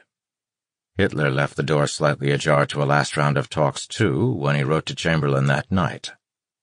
The 28th September saw a stream of foreign diplomats bustling into the Reich Chancellery, which resembled a military camp. The Wehrmacht commanders, due to invade Czechoslovakia, were supposed to be coming to lunch. War was very close that day, so much so that Goering, who knew about war, rebuked the belligerent civilian Ribbentrop for constantly pushing for one, sarcastically offering to take the foreign minister up in the first combat plane. In the event, Chamberlain dispatched his ambassador, Lord Perth, to see Mussolini, who at the eleventh hour persuaded Hitler to delay mobilization for 24 hours so that there might be a final conference. This was a request that Hitler could not refuse, especially as the Czechs were excluded and the citizens of the Reich capital seemed so unenthusiastic for war. Late that afternoon, Hitler invited Chamberlain, Daladier, and Mussolini to Munich. Uncharacteristically high emotions were on display in the House of Commons when Chamberlain dramatically announced this development, a fortuitous solution to the deflationary ending to his speech that he had planned to deliver. In the public gallery, Queen Mary wept openly. Tears filled Baldwin's eyes. But the politician Jan Masaryk and the poet Stefan Zweig were among those who remained stony-faced as they scented betrayal. Churchill commented bitterly, and what about Czechoslovakia? Does no one think of asking their opinion? Churchill stayed seated as the House rose to applaud, although he congratulated Chamberlain afterwards. Enormous gusts of public goodwill accompanied Europe's statesmen on their respective odysseys. Reveling in the attention, Mussolini set off by deluxe train. Daladier and Chamberlain took off from Heston and Le Bourget amid much backslapping from their many admirers. For experienced statesmen, Chamberlain and Daladier made remarkable errors. They clearly let emotion speed them on their way instead of seeking to delay their trip to allow calm discussion of alternative possibilities based on a thorough assessment of whether Hitler was in a position to fight a major war at that time. Charismatic diplomacy replaced cold-blooded analysis. They left their respective foreign ministers at home, while Hitler and Mussolini had Ribbentrop and Ciano in attendance. Mussolini spent the night on a train discoursing to Ciano about the decadence of a people who had cemeteries and hospitals for cats and dogs, before boarding Hitler's train at Kufstein to go over their joint agenda with the aid of models and maps. In contrast, the British and French leaders walked into the conference without having conferred. They did not insist on appointing a chairman, a role Mussolini assumed but did not perform, or agreeing an order of business, they had no briefing books to anchor the discussions in cold fact. They consented to seating arrangements that put Hitler and Mussolini together while separating the French and British. The conference itself was a chaotic shambles lasting 13 hours, which suited only the adrenalized Hitler. At Chamberlain's insistence, the Czechs were eventually allowed to station two representatives in an adjoining room. Hitler already had the measure of Chamberlain, so he concentrated his attention on the French leader, professing a long-held desire to see Paris that had been frustrated by the Great War, a theme the French premier warmed to, as he had risen from private to captain in that conflict. Chamberlain's punctilious desire to resolve questions of financial compensation for Czech businessmen or farmers who would forfeit assets in the Sudetenland finally got on Hitler's nerves. The main meeting broke into a series of conversational groups as experts were brought in to resolve technical issues. Mussolini affected a lordly lack of interest in the parliamentary atmosphere of the conference, except whenever he intervened to resolve a difficulty with a flash of genius. The proposals, drafted by Hitler but presented by Mussolini, were agreed quickly enough, with enough tactical retreats from the Godesberg Memorandum to secure assent to a modified form of that deal. The Germans agreed to delay their occupation of the majority German areas of the Sudetenland from 1 to 10 October, while plebiscites would resolve the fate of more ethnically mixed areas. These changes took care of the more sensitive consciences in Whitehall. This fix-up was presented to the waiting Czechs, who were not given the opportunity to demur, as Europe's general peace was at stake. Chamberlain's indifference to the Czechs was on display when he failed to stifle a yawn during their only encounter. With the Czech difficulty resolved with surprising alacrity, Chamberlain sought out Hitler to proffer a document about a wider settlement, ranging from aerial bombing to the war in Spain. He warmly appreciated Hitler's words, he thanked Herr Hitler for these assurances, he would not keep Herr Hitler any longer, are some of the casual phrases that reveal where the whip hand lay. After Hitler expressed an exasperated ja, ja, hardly bothering to glance at the document, they signed the ironic-sounding communique. Chamberlain had not informed the French about this separate venture. 7. Les Cons as they left Munich, the two Western leaders were impressed by the immense throng of ordinary Germans manifestly relieved at the successful talks. More crowds awaited them at home. At Heston, where Richard Dimbleby was on hand to cover the event for the newsreels, Chamberlain flourished the piece of paper he and Hitler had signed. Echoing Disraeli's words upon returning from the 1878 Congress of Berlin, he claimed to have achieved peace with honor, a phrase he instantly regretted using, for honor was something he discovered a bit later, after he had ditched the quest for peace. His face broke into toothy smiles as crowds cheered good old Neville outside Buckingham Palace and along Downing Street, where he spoke to the multitudes from a window with the BBC in fawning attendance. Duff Cooper thought the crowd was more like a mob. Daladier was similarly feted by enthusiastic crowds when he returned to Paris. He is supposed to have muttered, Les cons, the polite translation of which is, the fools, if they only knew what they were cheering. Another skeptic was Pope Pius XI. The French ambassador to the Vatican was taken aback when the pontiff declared, A very fine thing, this peace, botched together at the cost of a weak country that was not even consulted. Oblivious, Chamberlain took an all too apparent delight in gifts that flowed into the man whose name had become a synonym of peace. Defenders of Chamberlain argue that at Munich he won a year's grace, during which Britain strengthened its fighter and radar defenses. Critics claim that had he stood firm, Hitler's domestic conservative opponents might have essayed a coup with better chances of success than the one they undertook in 1944, or, more tellingly, that Germany was in a far weaker position in 1938 than in 1939. These are imponderables. What is unambiguous is that the policy of appeasement failed in its wider ambition of a general resolution of European conflicts, proof being that Hitler elected to press ahead with aggression against Poland, now confident that even if the men of Munich stirred, he could defeat them. And the Czechs, who had lost about 20% of their territory, when the Labour Party's Hugh Dalton rang Masaryk at the height of the crisis to inquire whether Britain and France were being more resolute on the Czechs' behalf, Masaryk exclaimed, Firm? About as firm as the erection of an old man of seventy. In Prague, people milled around dazed, as if their spirits had been crushed. The justice minister broke down and sobbed several times as he tried to talk to the Czechs on the radio about what he referred to as a diktat from his country's allies. The newly appointed propaganda minister, Hugo Vavrečka, the grandfather of future Czech President Václav Havel, said that Poland and Hungary had taken Hitler's side, while Romania and Yugoslavia had abandoned their little Entente ally. The Russian card was not one to play. Both Britain and France would have considered such a war to be a battle between Bolshevism and Europe. Probably all Europe would have turned against Russia, and thus against us, too. Within a matter of days, the Poles, aggressors rather than victims in this context, had realized their own claims on Czechoslovakia. After Beneš's resignation on 5 October, Slovak and Ruthenian separatists proclaimed their own right to self-determination. In November, at Vienna, the Hungarians were granted nearly 4,000 square miles of territory, ironically stripped from the newly autonomous Slovak and Ruthenian federal states. An independent Czechoslovakia survived into the new year under a government that at Christmas decided to dissolve all political parties while striking at the Slovak separatists. It also exerted a tighter grip on the state broadcaster, which entered into an agreement with the German propaganda ministry to eschew politics. In February, the Czechs signed a deal exchanging radio programs, in whose fine print the Czechs averred, We are totally loyal and are not employing any non-Aryans, for their government, to appease the Germans, had decided to reduce the number of Jews in public employ. In the interim, the Nazis had given massive public evidence of their barbarity.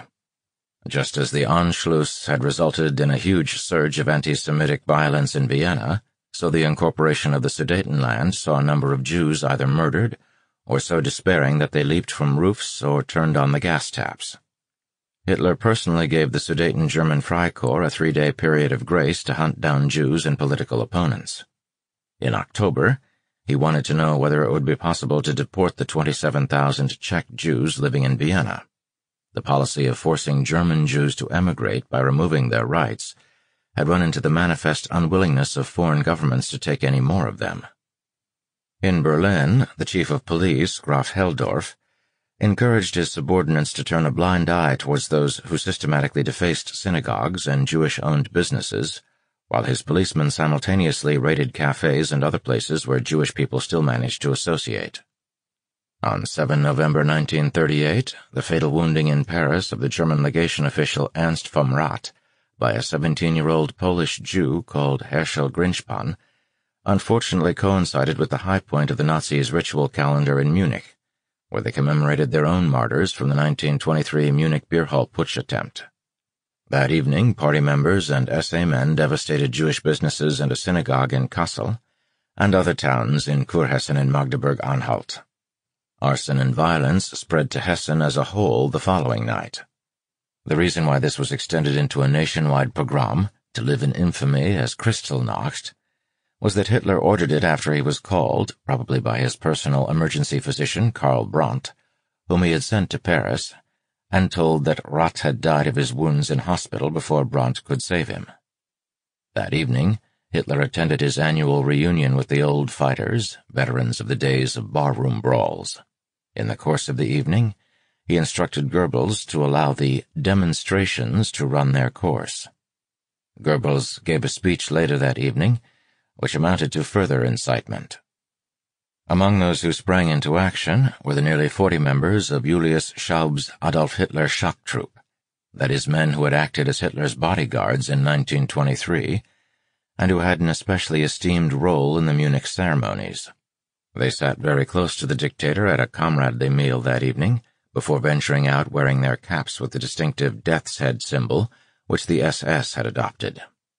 At around midnight, they set fire to the Ohel Jakob and Reichenbachstrasse synagogues in Munich.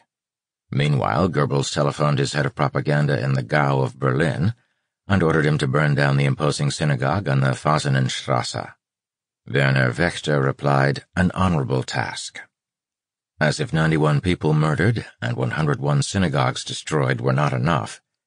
In the days following the pogrom, the Nazi regime introduced a series of measures which made the Jews collectively responsible for Rath's death, while excluding them from both economic activity and public places. Without much exaggeration, on 5 January 1939, Hitler told the Czech foreign minister, The Jews are being destroyed, while inquiring what steps the Czechs were taking to deal with the Jews themselves.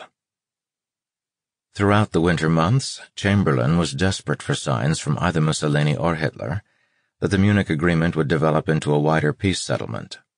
In January 1939, Old Chamberlain, as Ciano called him, visited Rome for a round of desultory talks with the Italians.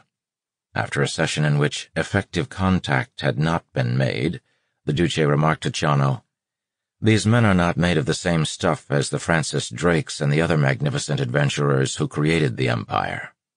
These, after all, are the tired sons of a long line of rich men, and they will lose their empire. There was some truth in that, although it underestimated the 18-hour days the sons of rich men were putting in at the Foreign Office and elsewhere in Whitehall. Mussolini defended Germany strongly. Ciano telephoned Ribbentrop to report that the visit had been a huge farce Chamberlain had tears in his eyes when British expatriates sang for He's a Jolly Good Fellow as his train pulled out of Rome's Terme station. the upper lip, so stiff when disposing of Czechoslovakia, easily succumbed to pathetic sentiment. The British convinced themselves that a German balance of payments crisis might force Hitler to relax his breakneck rearmament program in order to put more food on German tables. But the same crisis could, of course, fuel his desire to control Czechoslovakia's industry and gold reserves. In March, the Slovak leader Monsignor Josef Tiso fled to Berlin, where Hitler invited him to demand German intervention, warning him that since Germany had no interest in this Carpathian agricultural backwater, he might otherwise let the Hungarians gobble it up entirely. He was not finished with the Czechs themselves, despite their manifest willingness to accommodate him in a matter close to his heart. In January, they took steps to expel 96,000 German victims of political or racial persecution who had sought shelter in Czechoslovakia. In February, they agreed to dismiss all Jews from German schools, preparatory to dismissing Jews from the civil service and reducing their presence in law and medicine. On 15 March, President Emil Hácha, Beneš's successor, dashed to Berlin to plead his country's case. Hitler kept him waiting until after midnight before receiving him. According to Goebbels, this was a tactic the Allies had used against the Germans at Versailles. Hitler resorted to the extraordinary argument that the new regime had not succeeded in making the old one disappear psychologically. Why did Czechoslovakia need a large army? Since the Czechoslovak state no longer had a role in foreign affairs, such an army had no justification. As the night wore on and Goering threatened to bomb Prague, the elderly Hácha's health failed. He had to be given emergency medical injections lest anyone think his heart attack was a further example of murder. This was the reality of politics in Central Europe that Chamberlain, Halifax, and the rest of them could never grasp.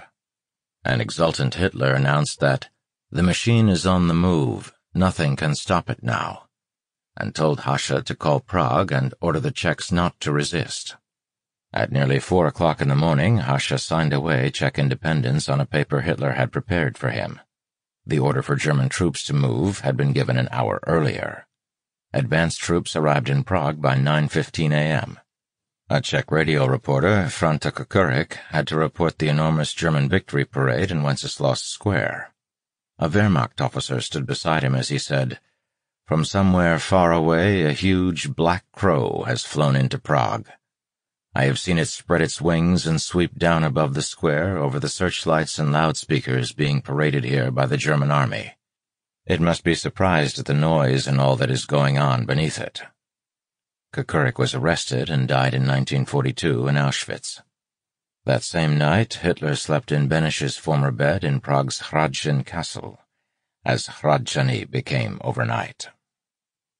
In an annex to the Munich Agreement, Britain and France had guaranteed the new boundaries of the Czechoslovak state against unprovoked aggression.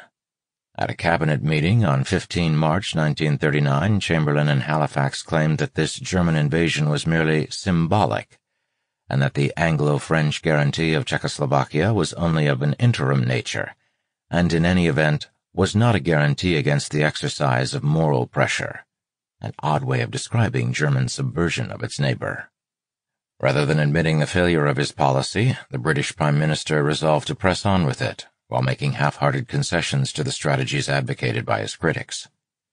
That March even he adopted a different tone, partly because public opinion was so hostile about the rape of Prague, partly because representatives of Romania arrived in London seeking help in resisting Hitler's importunate demands for privileged access to grain and oil, and finally because of the noises Hitler began making about ethnic Germans in Poland.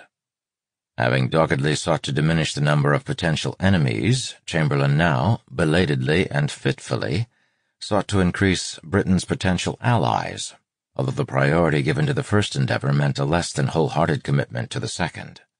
For example, the Treasury systematically blocked Polish and Romanian attempts to secure loans to buy arms, giving them £8 million in export credit guarantees rather than the £24 million they had requested nor were effective steps taken to combat steady German economic penetration of the Balkans, whose agrarian produce was not vital to Britain in any case. The net effect of these restrictions was to drive those countries into dependence upon Germany. Chamberlain proposed a joint declaration by Britain, France, the USSR, and Poland that they would consult in the event of further aggression by the dictators. Neither the Poles nor the Soviets were enthusiastic that the other had been invited to the party. Since helping themselves to the coal-rich Teschen district and the dismemberment of Czechoslovakia, Poland's ruling military junta could not decide whether they were Germany's partner or its next victim. About all the Poles and Romanians could agree on was their joint desire to expel the Jews. Mounting German clamor about and from within the Free City enclave of Danzig, and Hitler's personal voyage to Memel, retrieving this German-dominated area from Lithuania, resolved Polish doubts. Instead of the four-power declaration, the Poles asked for a secret understanding with Britain. On 31 March, Chamberlain announced a British guarantee of Poland's independence. Although, like the French, the British aim was to oppose German hegemony rather than to save Poland, a lost cause they were powerless to effect. Alexander Cadogan compared it with putting up a signpost, not to halt Hitler's swift succession of surprises, but as a means of sparing Chamberlain the agonizing doubts and indecisions inherent in his own policy.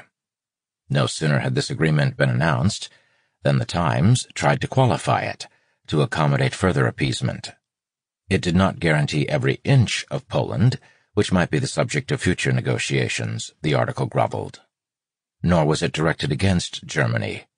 It was more of an appeal to their better nature. Halifax thought this article just right. Polish objections ensured that Russia was not encouraged to join the guarantee. Consequently, in August 1939, Hitler would complete the encirclement and isolation of Poland by making a deal with Russia. Chamberlain's belief that Mussolini might soften the impact of this guarantee upon Hitler came to naught in April, when the Italian dictator invaded Albania, cynically offering the British Corfu as a consolation prize. Chamberlain was forced to issue further guarantees to Greece and Romania, in the first case to prevent the Prime Minister General Ioannis Metaxas joining the Axis camp, and in the second in an effort to deny Germany oil. Characteristically, he persisted in the belief that Mussolini might restrain Hitler, even though it was now Mussolini who was on the march. Defying calls for an alliance with Russia from the labor opposition and from Churchill, Chamberlain put forth every objection, enumerating the countries this would annoy, not just Germany or Poland and Romania, but also Spain and Portugal, even though his own cabinet had come round to the view that such an alliance was necessary. Soviet counterproposals in April for a triple alliance with Britain and France were treated with dilatory skepticism in London, despite dim awareness that the Russians might seek an alternative alliance with Germany. Having failed to prize apart the dictators or to curb their predations, Chamberlain was instrumental in ensuring that the main alternative policy was never pursued with any vigor. As Anglo-French military talks with Marshal Kliment Voroshilov petered out, Hitler saw his chance, as did Stalin, who had been watching developments with keen interest. Hitler had no moral scruples, so an alliance with Stalin was merely an ideological obstacle. But the nature of the Soviet Union raised a large question mark over democratic politicians who would ally with it. Having convinced himself of the righteousness of his war on behalf of the ethnic Germans, Hitler decided that the little worms he had met at Munich would not go to war over something so vacuously intangible as their national honor. In fact, that is what the British and French did do, as exhaustion and impatience narrowed down their psychological options to this one conviction. On 25 August, war was on, and then suddenly called off. On 1 September, Hitler chanced a local war, which on the 3rd, Chamberlain and Daladier converted into a European war. What now? a vexed Hitler asked Ribbentrop, as they stared out of the Reich Chancellery windows. Chapter 3 Brotherly Enemies 1. Family Resemblances The advent of the Nazi regime inevitably raised the question of how the Soviet Union should respond to it, especially as Hitler had vowed to secure the Germans' future living space at Russia's expense. If the Western powers offered Hitler membership of the club, in exchange for scaling down his demands to what they regarded as reasonable, how did Stalin respond to the Nazi challenge? Before we can answer that, it may be helpful to examine what these two regimes had in common, for some fundamental identities conditioned how in turn Western leaders regarded the offer of an alliance with Russia. On 25 January 1937, Winston Churchill addressed the annual dinner of the Chamber of Commerce in Leeds. In a talk devoted to the need for robust rearmament against Germany, he touched on what communism and National Socialism had in common. There are those non-God religions, Nazism and communism. We are urged from the continent and from different quarters that we must choose which side we are on. I repudiate both, and will have nothing to do with either. As a matter of fact, they are like two peas. Tweedledum and Tweedledee were violently contrasted compared with them. You leave out God, and you substitute the devil. You leave out love, and you substitute hate. I have made a resolve. I am getting on now in life. I have made a resolve that I will never go to the Arctic or the Antarctic regions in geography or in politics. Give me the temperate zone. Give me London, Paris, or New York. Let us keep to our faith and let us go somewhere and stay there where your breath is not frozen on your lips by the secret police. Let us not wander away from the broad fields of freedom into those gaunt, grim, dismal, gloomy regions. Within three years, Churchill had revised this view, expressing a pragmatic willingness to sup with the devil in hell to defeat Nazism, a figure of speech that retained his abhorrence for the Soviet system. He had identified some of the key elements which Nazism and communism had in common. An antipathy towards transcendental religion, the vicious role of the secret police, and ideologies that organized mass hatreds, whether of capitalism, liberal democracy, or entire races and social classes. This moral discourse, which out of national necessity Churchill had to put into suspended animation after June 1941, gives us a valuable starting point in considering what communism and Nazism shared, and where they differed, although a few thoughts need to be aired about comparison itself. Comparison should not be confused with equivalence or identity, nor be used to condemn or exculpate one historic horror with the aid of the other, especially by insinuating some otherwise tenuous causality.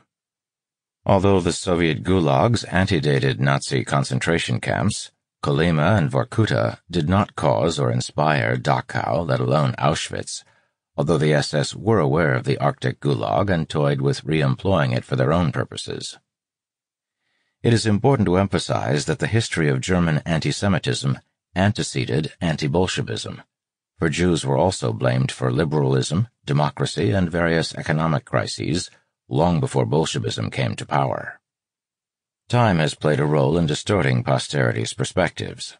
Nazi crimes were overwhelmingly committed in 1941 through 5, and were then examined and judged at Nuremberg by the victors in the Second World War, whereas the crimes of the Bolsheviks came in waves over a 25-year period of violence and were only fully exposed when communism itself collapsed in 1991. Most Nazi crimes involved non-German nationals, whereas the majority of victims of communism were citizens of the multi-ethnic and polyglot Soviet Union. Since many of them were killed because of their nationality, we should dispense with the notion that one regime killed races while the other murdered social classes. On the other hand, it is important to note that whereas Nazism expressed an extreme form of ethnic egoism, in which Germans would always be on top, the polyglot Soviet Union was effectively posited on the artificial suppression of dominant nationality, in fact obliging ethnic Russians with greater or lesser sincerity to celebrate the colorful folkways of Tajiks and Uzbeks. Any decent person should respect the sensitivities of victims, although that is a relatively recent addition to the criteria relevant to writing history. Victims of mass political or religious violence do not appreciate being told that others suffer, any more than the parents of a murdered child derive comfort from being informed that many other children have been killed too. This is particularly so when the victims belong to a national or religious group rather than a social class, which inherently lacks such intense common feeling and is not a recognized category in international law. The suffering of Chinese, Poles, or Jews is more focused and enduring than that of Russian aristocrats, bourgeois, or kulaks a derogatory term for farmers who owned a few cows. But the ineffable uniqueness of suffering can also mutate into its sacralization, a finite quantum that it is forbidden to subtract from, or to diminish through revised totals or lateral comparisons. This is so when the sacral memory of suffering, or in the case of Germany, guilt about having perpetrated such horrors, becomes adjunct to, or a substitute for, transcendental religious identity, or part of a state's legitimacy, as evident in Poland or Ukraine as it is in Israel. Not all victims are equal either. Europeans and North Americans, living in predominantly urban societies, find it difficult to empathize with victims of state violence if they were anonymous millions of peasants from cultures they do not comprehend, rather than the sort of people who share their own culture and could be living next door. Our eyes have become our primary sense, too. The relative dearth of visual evidence of Soviet atrocities in contrast to the superabundance of film and photographic material from Nazi Germany, has also conditioned how the two regimes are perceived. Although there is no footage and almost no photographs from the major Nazi extermination camps, most of us have images of the entrance to Auschwitz printed on our minds in a way that is not true of Kolyma or other Soviet labor camps, which have disappeared rather than being preserved for posterity. While the motives of Soviet mass murderers have not attracted sophisticated speculative scrutiny, we know much about civilized Nazi killers and their individuated civilized victims, with whom they shared German high culture.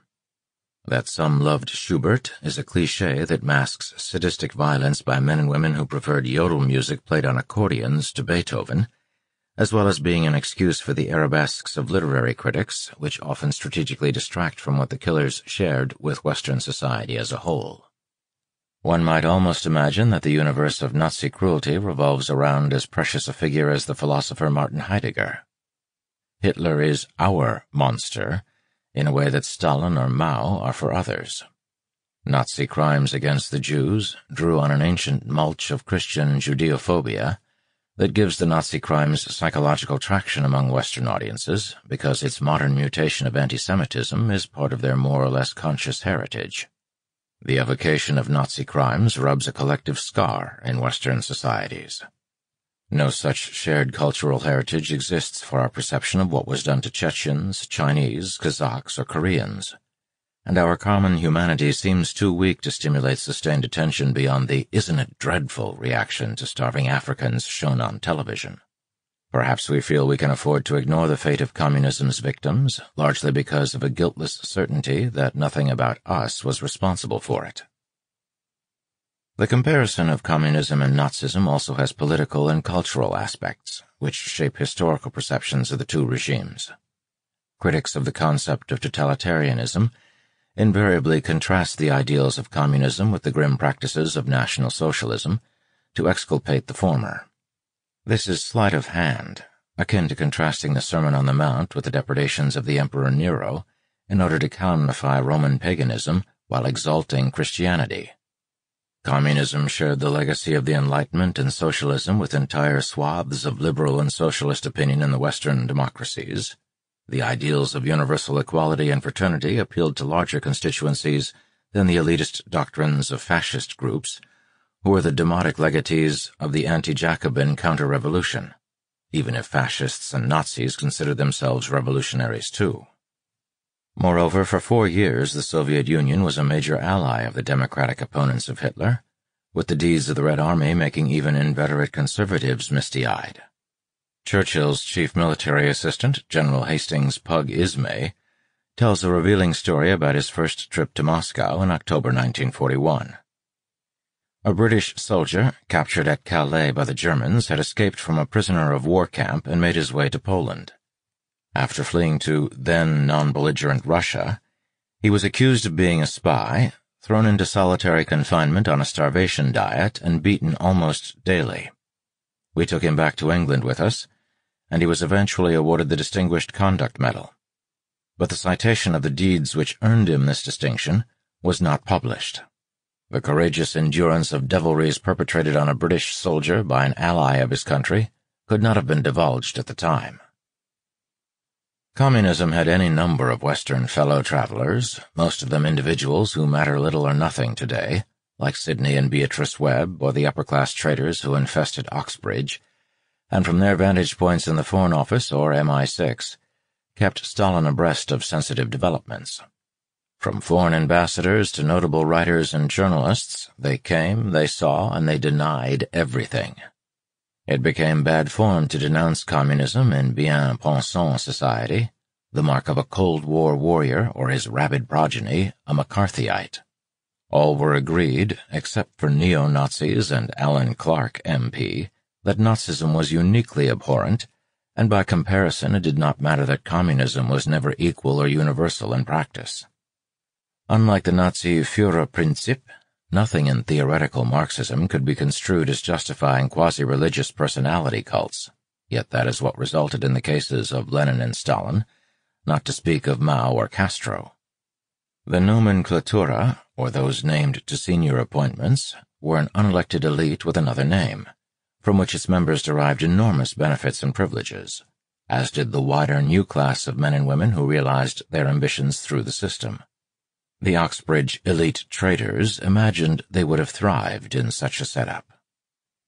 The Communist International, Comintern, so successful in recruiting spies among the privileged elites of the West, was not a vehicle of international revolution, but a subsidiary instrument of Soviet foreign policy, whose line was set by Moscow.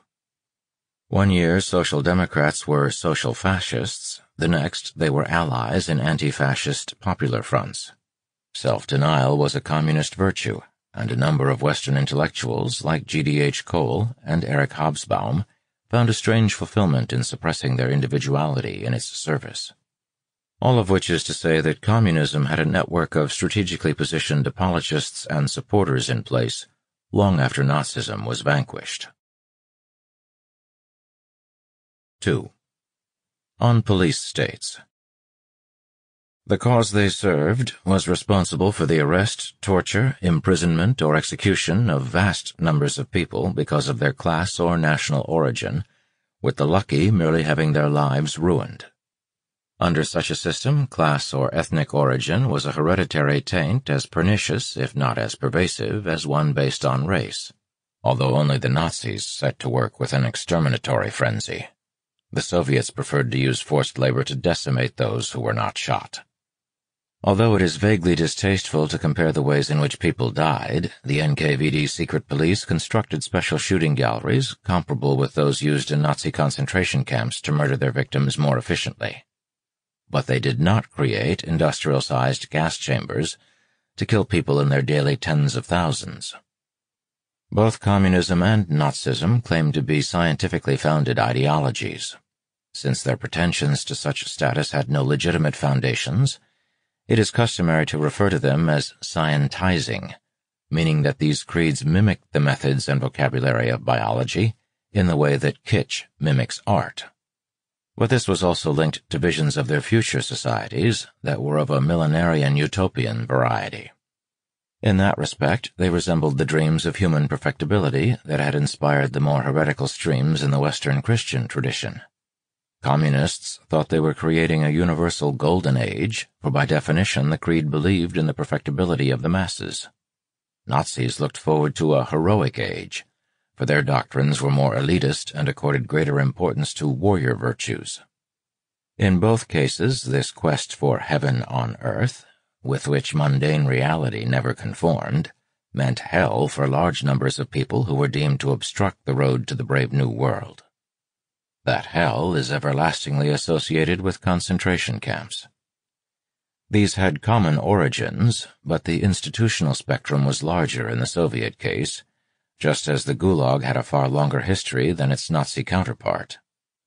Both the Bolshevik Kontslager and the Nazi Konzentrationslager, KZ, derived their names from the Spanish original, used in Cuba to intern and isolate populations sympathetic to guerrillas a practice copied by the British during the Boer War.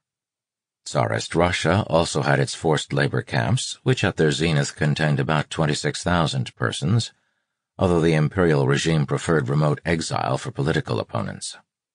Accounts of Stalin's own experience of exile to Siberia and of the number of times he simply walked away, leaving his indigenous hunter friends behind, suggest this was not life-destroying in the manner of the gulag he created. It also reflected what people had done, rather than who they were, a major distinction between authoritarian systems like Tsarist Russia and the later totalitarian regimes. The young Stalin was a notorious bank robber who fully deserved to be in prison. Lenin's and Felix Dzerzhinsky's All-Russian Extraordinary Commission for Combating Counter-Revolution and Sabotage, the Cheka, later OGPU, and later still the NKVD, was primarily responsible for the Red Terror against political opponents and members of proscribed and persecuted former classes, such as the bourgeoisie. The best they could hope for was to be robbed blind or publicly humiliated through the demeaning tasks akin to the ones the Nazis imposed on middle-class Jews. Most were either shot or sent to a network of concentration camps which commenced with a former Orthodox monastery on the remote Solovetsky Islands within the Arctic Circle.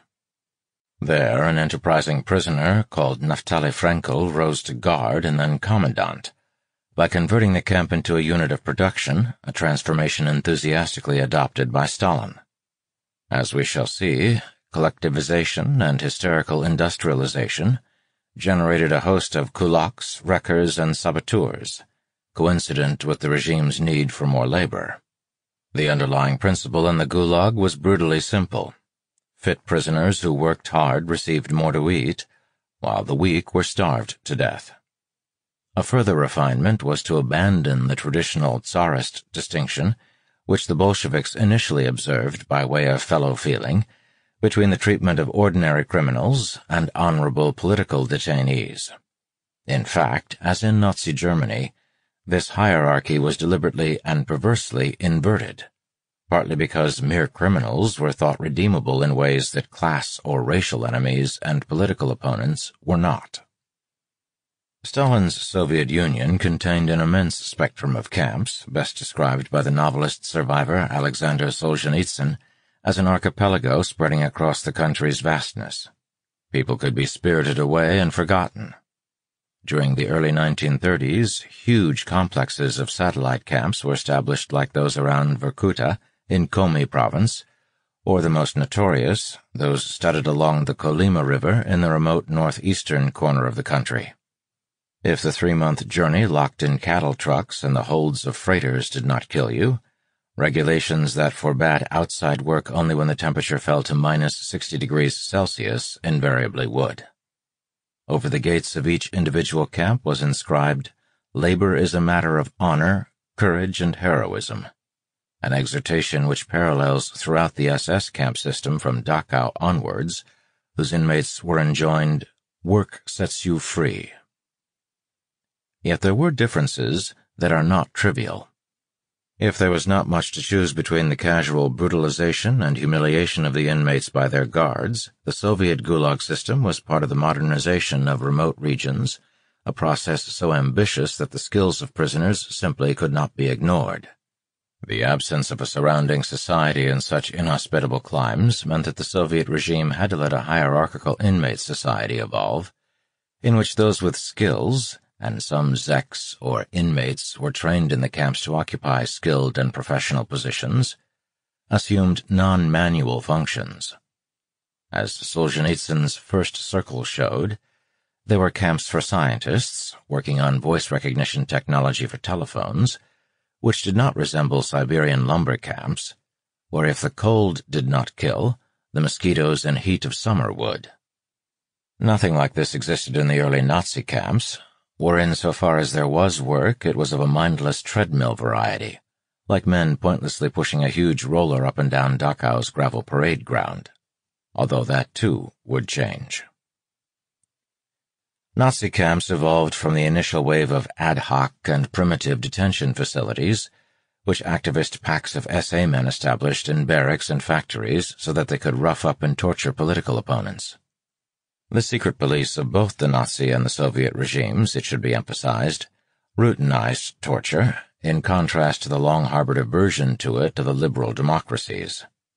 The locations of 160 such places are known, But there were many more. An estimated 25,000 people, most of them communists, were held in these centers in Prussia alone in the spring of 1933, following the Nazi seizure of power. That figure rose by 2,000 in the summer as the national and local leadership of other parties were also interned. The historian Robert Gellately estimates that by the end of 1933, 100,000 people had spent brief periods in such camps, with a similar number subjected to brutality or harassment without being held in custody. The majority of these camps were soon disbanded, leaving some six to seven thousand detainees throughout Germany. There was even talk of abandoning camps entirely, so thoroughly had opposition been crushed. Many people seem to have believed newspaper reports that the function of these camps was re-educative, with an emphasis upon discipline, hygiene, and hard work. Following two amnesties, one at Christmas 1933 and the other the following August, by the end of 1934, there were only 3,000 camp inmates in the country. SS Empire Building explained why the camp system was regularized and gradually expanded part of a prerogative state that placed people beyond the protection, such as it was, of the law.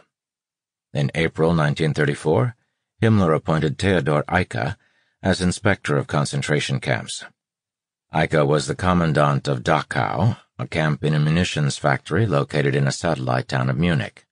He developed the Dachau Regiment for inmates and for guards, drawn from the SS Death's Head brigades, which became paradigmatic for the entire camp system since all guards were trained at Dachau. Corporal punishment was normal, and prisoners who tried to escape or who simply displeased the guards in some way were shot. Eicke reduced the number of camps from seven to four, and from April 1936 their costs were assumed by the Reich budget.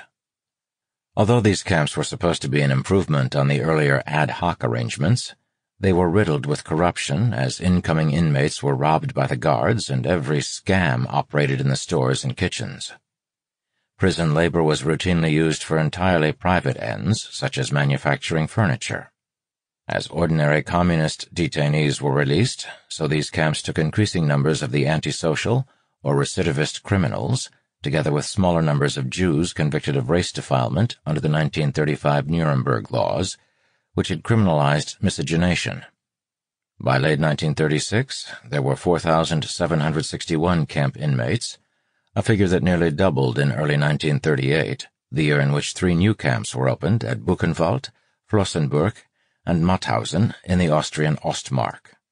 These were adjuncts to brickworks and stone quarries owned by the SS German Earth and Stone Works, whose major function was to supply monumental building projects. The number of camps expanded again after the outbreak of war, adding Gross Rosen in Silesia, and then Natzweiler in newly reconquered Alsace. 3. Living Gods The comparison between communism and Nazism is not exhausted by the subtle differences that were evident in how both regimes went about the unsubtle business of mass murder, although that is surely what lends them enduring historical significance. It may be fascinating that ordinary Germans and Russians still purchased bread, milk, and petrol and slept with each other, but that is not why anyone remains interested in this type of regime. The totalitarian dictators represented a regression to what Churchill called one-man power, a form of idol worship alien and odious to Anglo-Saxon civilization, and more akin to that of the ancient Egyptians and Aztecs, with their monumental structures and idols demanding perpetual human sacrifice. Both were based on something that in softer forms perennially threatens liberal societies. They were anti-individualist, with the Nazis' slogan, the common good before your own good, being as heroically collectivist as anything in Bolshevism. That at least was how the Dresden philologist Victor Klemperer saw things when on 31 December 1933 he wrote in his diary, National Socialism and Communism both are materialistic and tyrannical, both disregard and negate the freedom of spirit and of the individual. Terms one rarely finds in the work of modern historians, for whom freedom, unlike identity, seems to have gone out of fashion. In Stalin's case, the emergence of a full-blown personality cult was more protracted than in the case of Hitler. whose charismatic dominance of the Nazi movement was established by the mid-1920s, before assuming godlike proportions in the following decade. Both men converted character flaws and social maladroitness into political assets. Hitler made the transition from being an awkward ranting bore into a compelling public orator with a story, indivisible from his own everyman's odyssey, which resonated powerfully with enough of his adoptive countrymen to make his rise irresistible in the view of the elites who jigged him into power. The Nazi Party was nothing without him, and was itself structured around the leadership principle. For us, the idea is the Fuhrer, and each party member has only to obey the Fuhrer, Hitler informed the left-wing Nazi Otto Strasser in 1930. Although Hitler's world view, as he grandiloquently called it, was a mishmash of ideas from the anti-Semitic Völkisch right, his personal synthesis of it was the fons et origo of Nazi doctrine. Heterodox tendencies, especially those that sought to elevate issues of class over race, were marginalized along with their exponents at an early stage. Violence was used sparingly against senior comrades and only when Hitler's power was at stake. The 1934 Röhm Purge was not a clash about ideas, but a power struggle between the SA and the Army, with Hitler using his SS to destroy the less useful organization. Commenting on the Night of the Long Knives to his external trade commissar Anastas Mikoyan, Stalin exclaimed, what a great fellow! How well he pulled this off! Actually, Hitler had not pulled off much more than securing his own position. While he had smashed the German left and his own party militia, until 1944 he never struck at the political right, and came to regard that tactical omission as one of his few failings.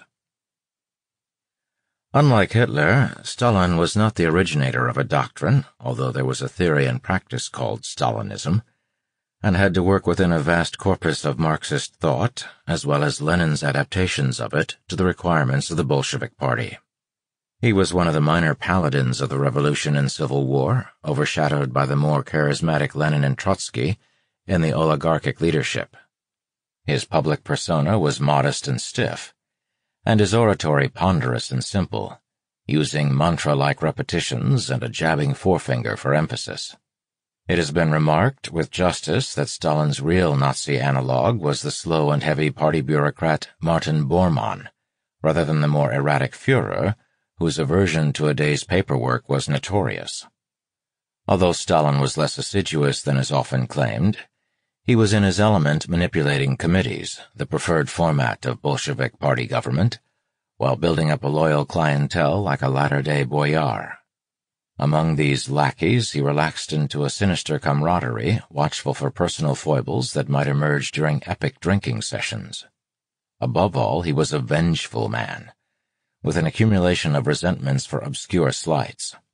Occasionally, he let the mask slip, as when in 1923 he explained his chief pleasure in life to two associates.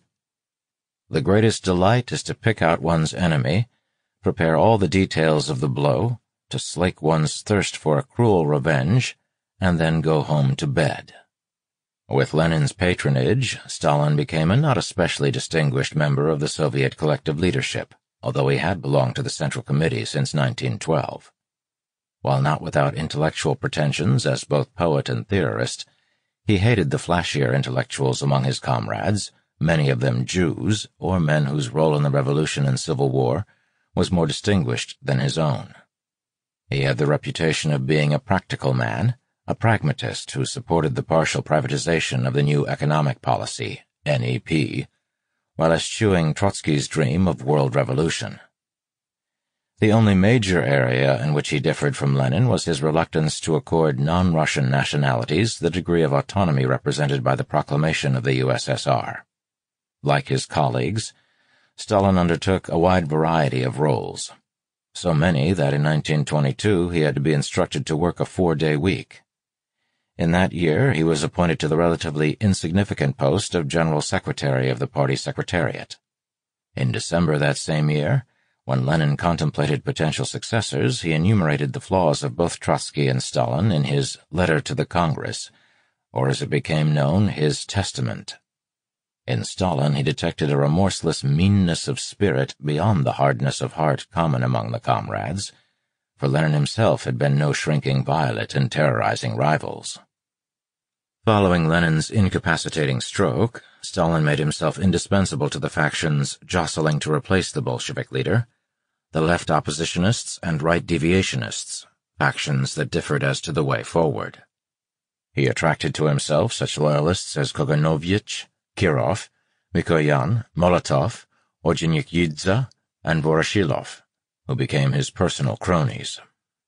He used his position on the Orgburo, which controlled party appointments, to favor supporters with key positions throughout the Communist Party apparat. The little Stalins who, obviously enough, were not without ambitions of their own. Ambitious young fellows like Nikolai Yezhov also knew the value of becoming experts in what is nowadays called HR, human resources, because that was the boss's own expertise. The oligarch-in-chief had dexterously destroyed all his rivals by the late 1920s, although at that time it was still not bon ton to shoot fellow leaders. What he had achieved was to create a disciplined party of the type that Lenin had aspired to. The inner party debates and discussions and the factions that resulted were replaced by an organization that put discipline above revolutionary idealism, even as the party's strategic decision-making Politburo itself became the cipher of one man and his immediate cronies, practicing a highly informal manner of government. After a seven years period of relative grace associated with the NEP, in which Marxist-Leninist dogma was relaxed to enable the economy to recover to its pre-1914 levels, comparison with the advanced Western world and strategic fear of Britain, France, and Japan led to the fateful decisions in favor of agricultural collectivization. In Stalin's reasoning, enhanced grain exports from factory-like farms would generate credits for the imported capital plant needed for crash state-planned industrialization, which in turn would yield enhanced military security. The systematic exploitation of convict labor would also build the symbols of heroic modernity that the regime would present to itself, its people, and the outside world in a ferocious drive to catch up with the West in ten years. This endeavor was symbolized by the 140-mile-long White Sea Canal, a project begun in September 1931 and completed 21 months later, four weeks ahead of schedule. Some 175,000 convicts worked on this project day and night with their bare hands at a cost of 25,000 of their lives. Finally, the frenzied pace also enabled the regime to remobilize the energies and enthusiasms of the party itself as an era of pragmatic compromise gave way to the aggressive resumption of the quest for social utopia. All these things came together to produce mass death on a previously unimaginable scale.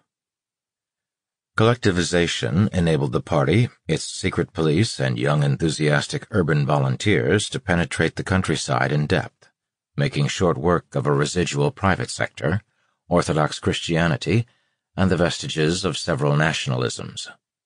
Peasants, with their weather-beaten idiosyncrasy and hidebound superstitious religiosity, were to be remade into muscular adjuncts to machines.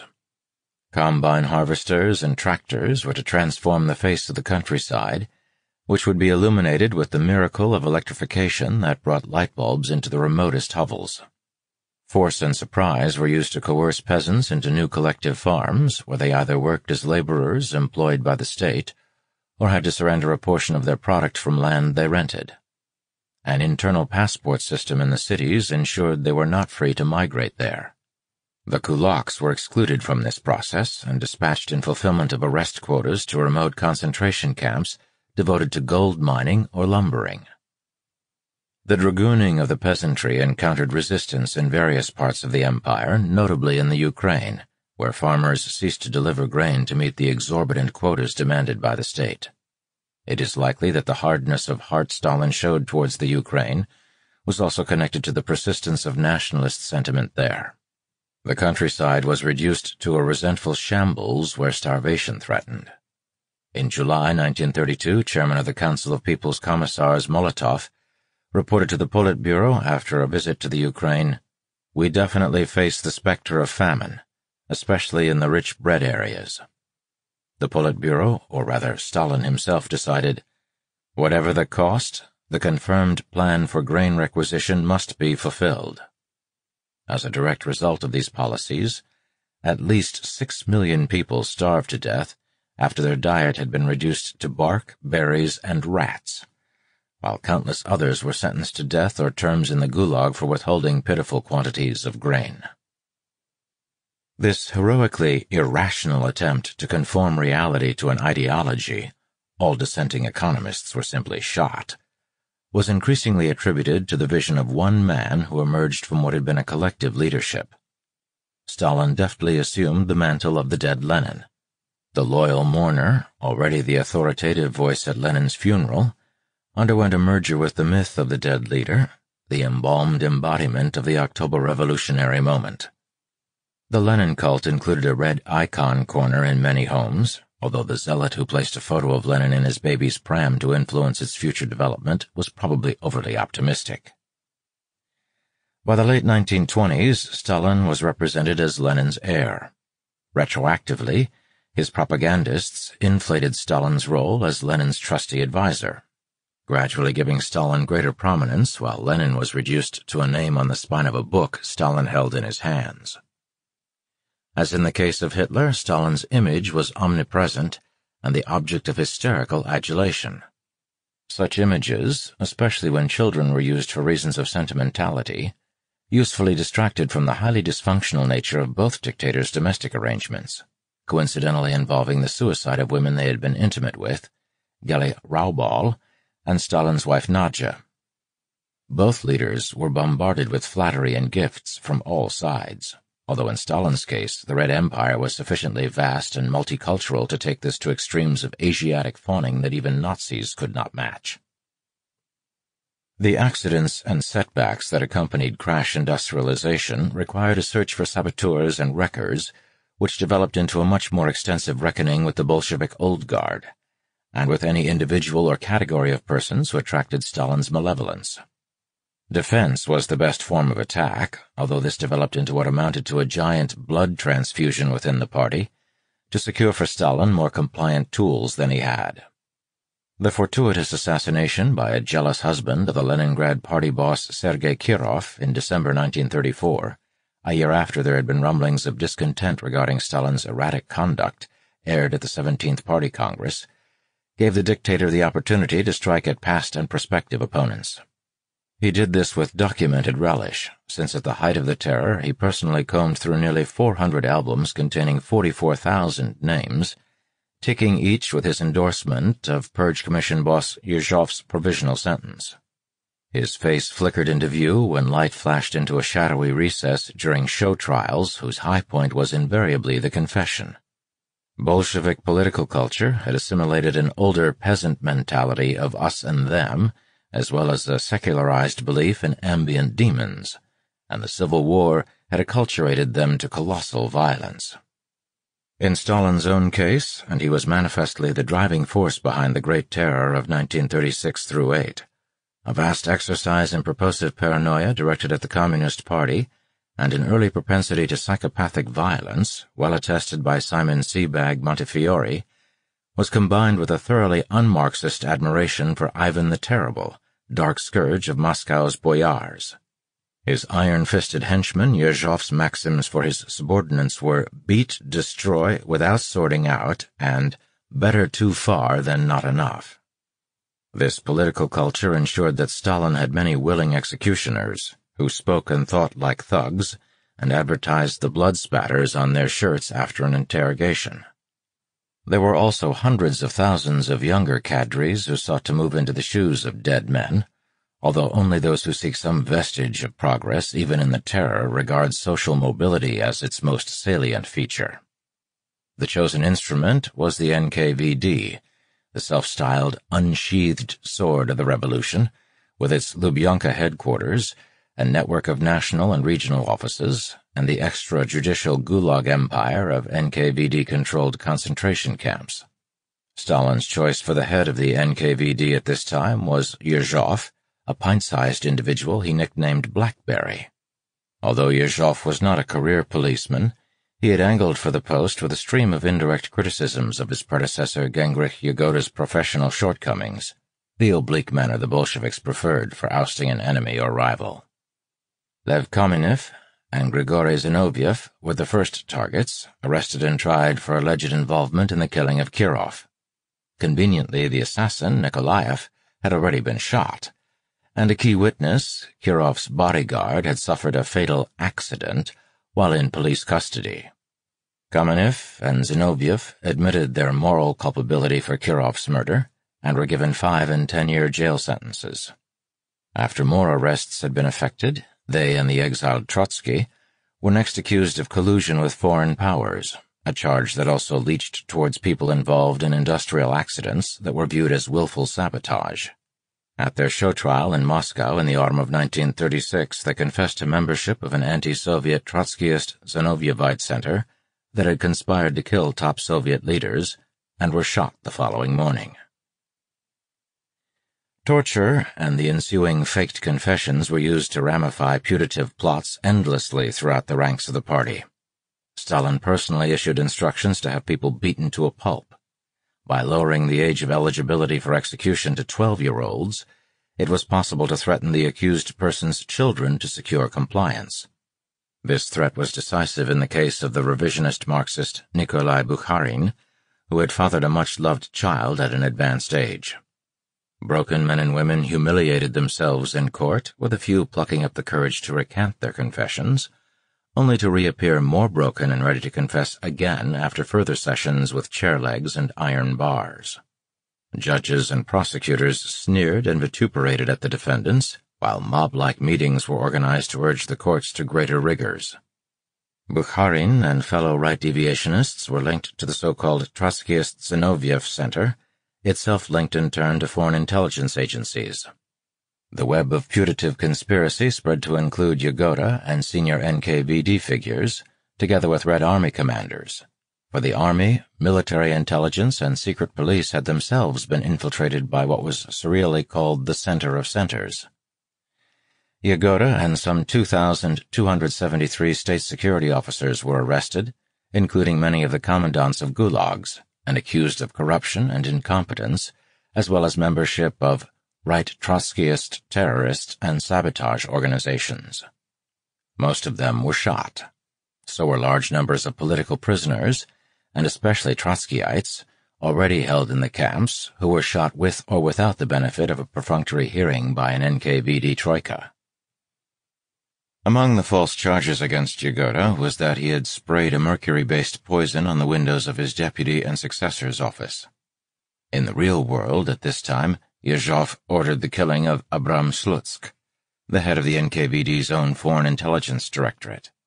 He was lured to an appointment, subdued with chloroform, and injected with lethal poison in his right arm. The death certificate claimed he had had a heart attack. In July 1937, the focus on high-profile individuals was replaced by blanket categories of suspects. Under the so-called Kulak order, 268,500 people were slated for arrest, of whom 75,000 were to be shot, and 194,000 sent to camps. By the time Yezhov had finished, 385,000 had been shot, and 316,000 sent to the camps. Entire ethnic groups were falsely accused of anti-Soviet activity, to which the only response was a series of national operations that resulted in the murder of 42,000 ethnic Germans and the arrest of 112,000 Poles, of whom half were shot. Even the citizens of Outer Mongolia were not safe, with 11,000 arrested and 6,000 shot.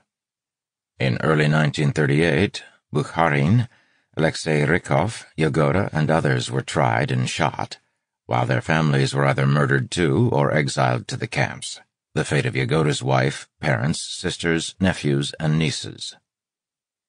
As Yagoda's example suggests, leadership of the NKVD was a dangerous occupation, giving a new meaning to the metaphor of knowing where the bodies were buried. Despite Yezhov's abject prostration before him, Stalin suspected that his NKVD chief reserved special information for himself. In April 1938, Yezhov was made Commissar of Water Transport, a post Yagoda had also held, as convict-built canals were part of the NKVD's remit. In August, one of his key aides in the Far East fled to Japanese-controlled Manchuria. Stalin moved Lavrenti Beria from Georgia to act as Yezhov's deputy, just as Yezhov had been brought in to shadow Yagoda. In a characteristic ploy that Stalin used to distance himself from what he had instigated, the NKVD was corporately accused of excesses in the previous two years, in which 750,000 people had been shot and buried in mass pits surrounding the big cities. A further 750,000 were deported to the gulags in slow trains that clanked to the frozen peripheries of empire. Yezhov knew the signs and started drinking more heavily than he habitually did, and failing to turn up for duty with his customary zeal. Beria began arresting Yezhov's subordinates and sent the interrogation protocols to Stalin. Yezhov's second wife, Evgenia, committed suicide after she had been unsettled by arrests of those near to her. Two days before she killed herself, with Veronal tablets supplied by her husband, she wrote a desperate plea to Stalin, which went unanswered. In November 1938, Yezhov resigned as head of the NKVD.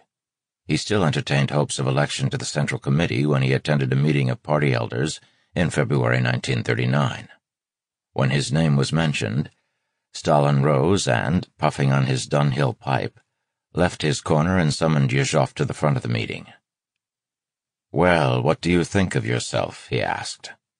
Yezhov desperately pleaded his loyalty to Stalin and the party, only to be cut off with sharp questions about his associates, men whom Yezhov had already reported for conspiracy. Stalin again interjected, Yes, yes, yes. When you felt you were about to be caught, then you came in a hurry. But what about before that? Were you organizing a conspiracy?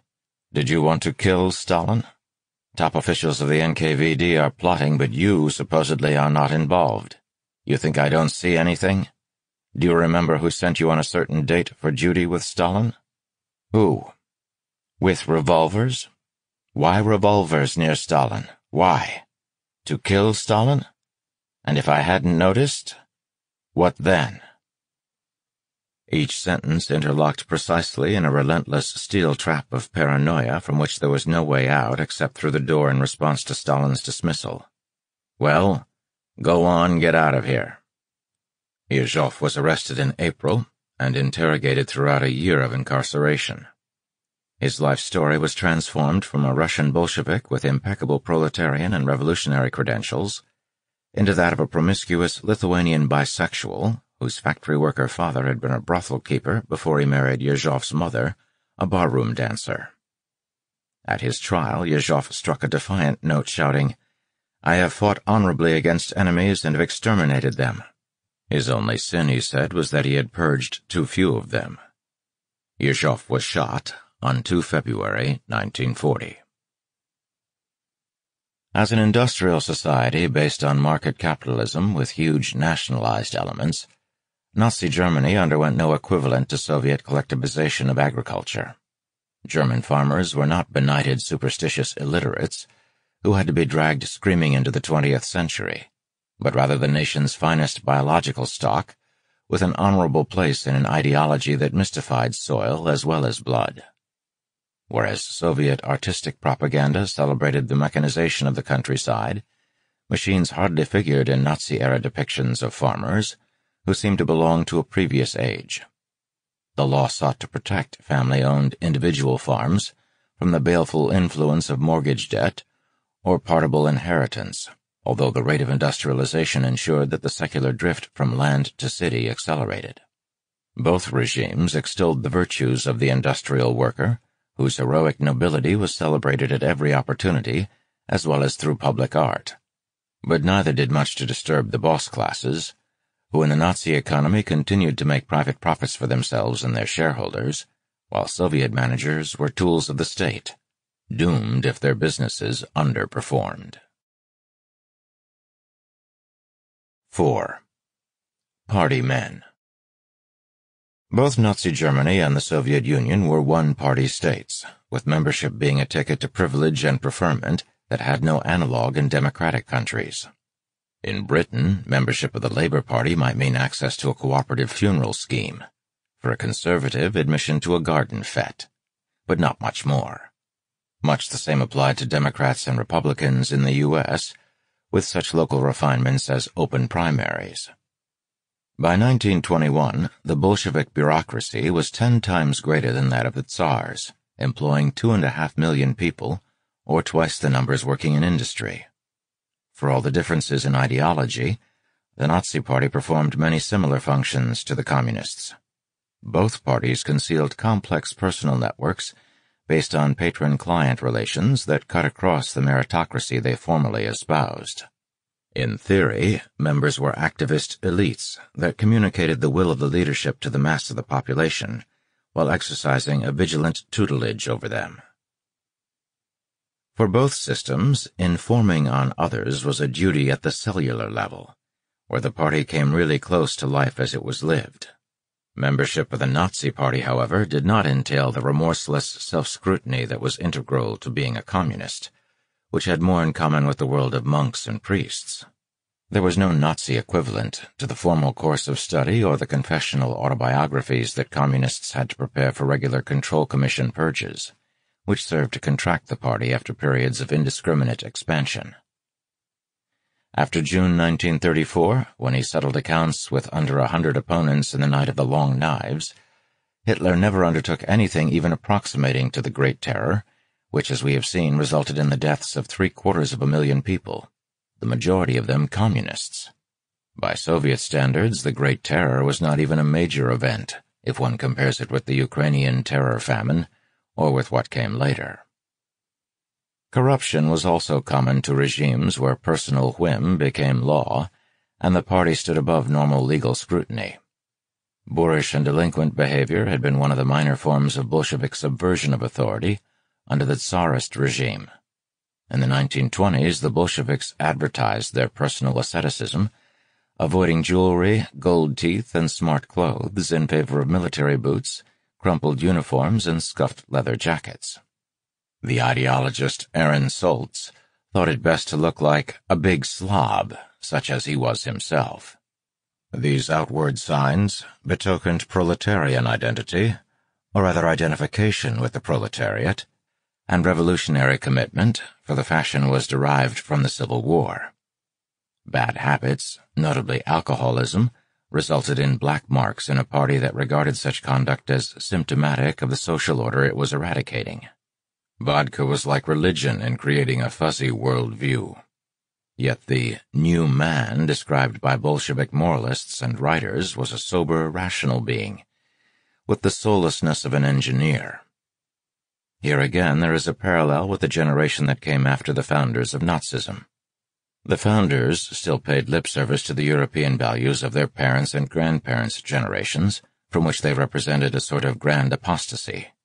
These self-styled revolutionaries were conspirators and buccaneers who knew enough about great paintings to want to steal them. The next generation, the one that Nazism forged, was described by the exiled Sebastian Haffner in the following terms. What inspires and excites them is the vision, already quite undisguised, of the vast uniform establishment for work, procreation, and recreation to which they will shape the conquered world. The dream of tabula rasa. The intelligent among them read Junger and Niekisch, and the saying of Soviet Marshal Tukhachevsky that the world must become naked again draws forth a deep response from them. To them, murder, torture, and destruction are no more a voluptuous disorder, but the new order. Haffner called them prize scholars of inhumanity or what a contemporary historian calls the generation of the unbounded.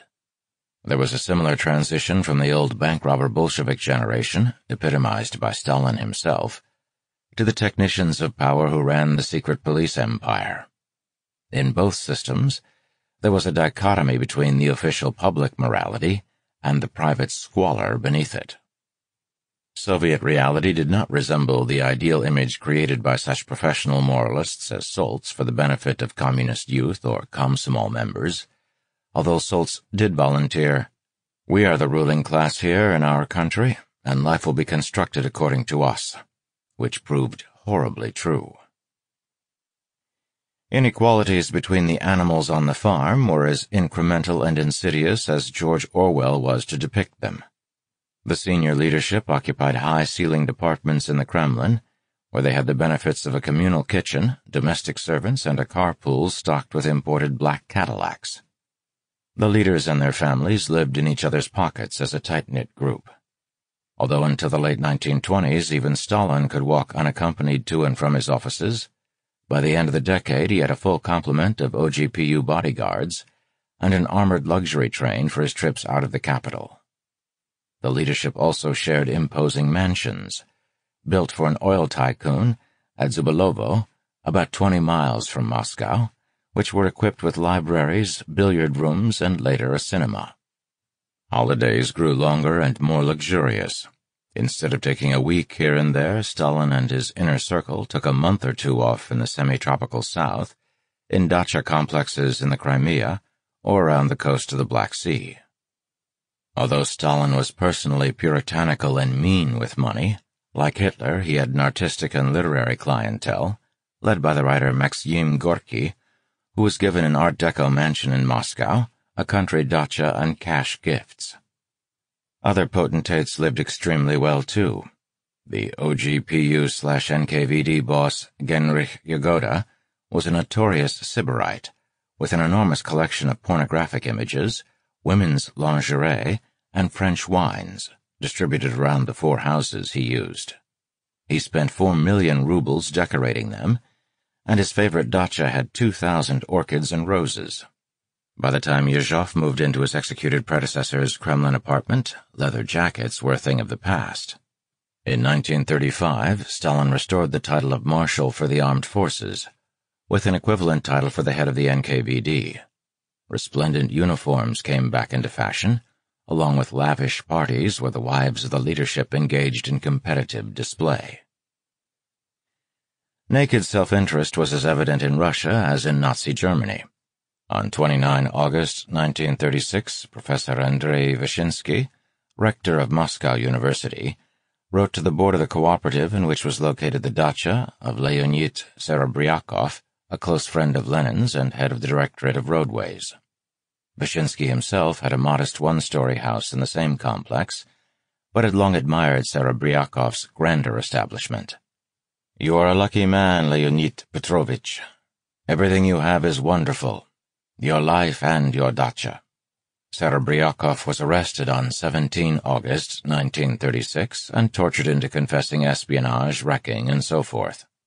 As prosecutor general rather than professor, Vyshinsky had a very personal interest in the outcome of the trial. By October, he had obtained the house while receiving 38,990 rubles for the one he vacated, together with a 20,000 ruble grant to obliterate every trace of Serebryakov from the new residence. Even as Vyshinsky rose in court to ask of Serebryakov, Please tell me when it was that you renewed your anti-Soviet criminal activity, he was engaged in appropriating, as state property, the latter's home, which passed out of the hands of the cooperative thanks to Vyshinsky's lawyerly cunning.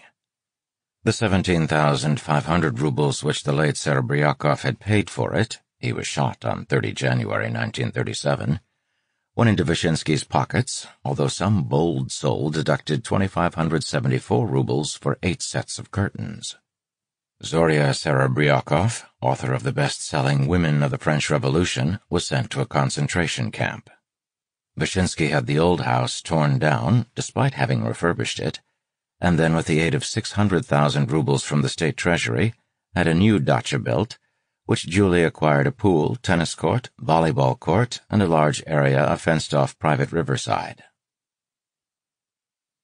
Although the Nazis had spent a decade denouncing the snouts in the troughs, Bonzenwirtschaft, bossocracy, of the Weimar Republic, they made the maxim enrichissez-vous the cardinal rule of political life.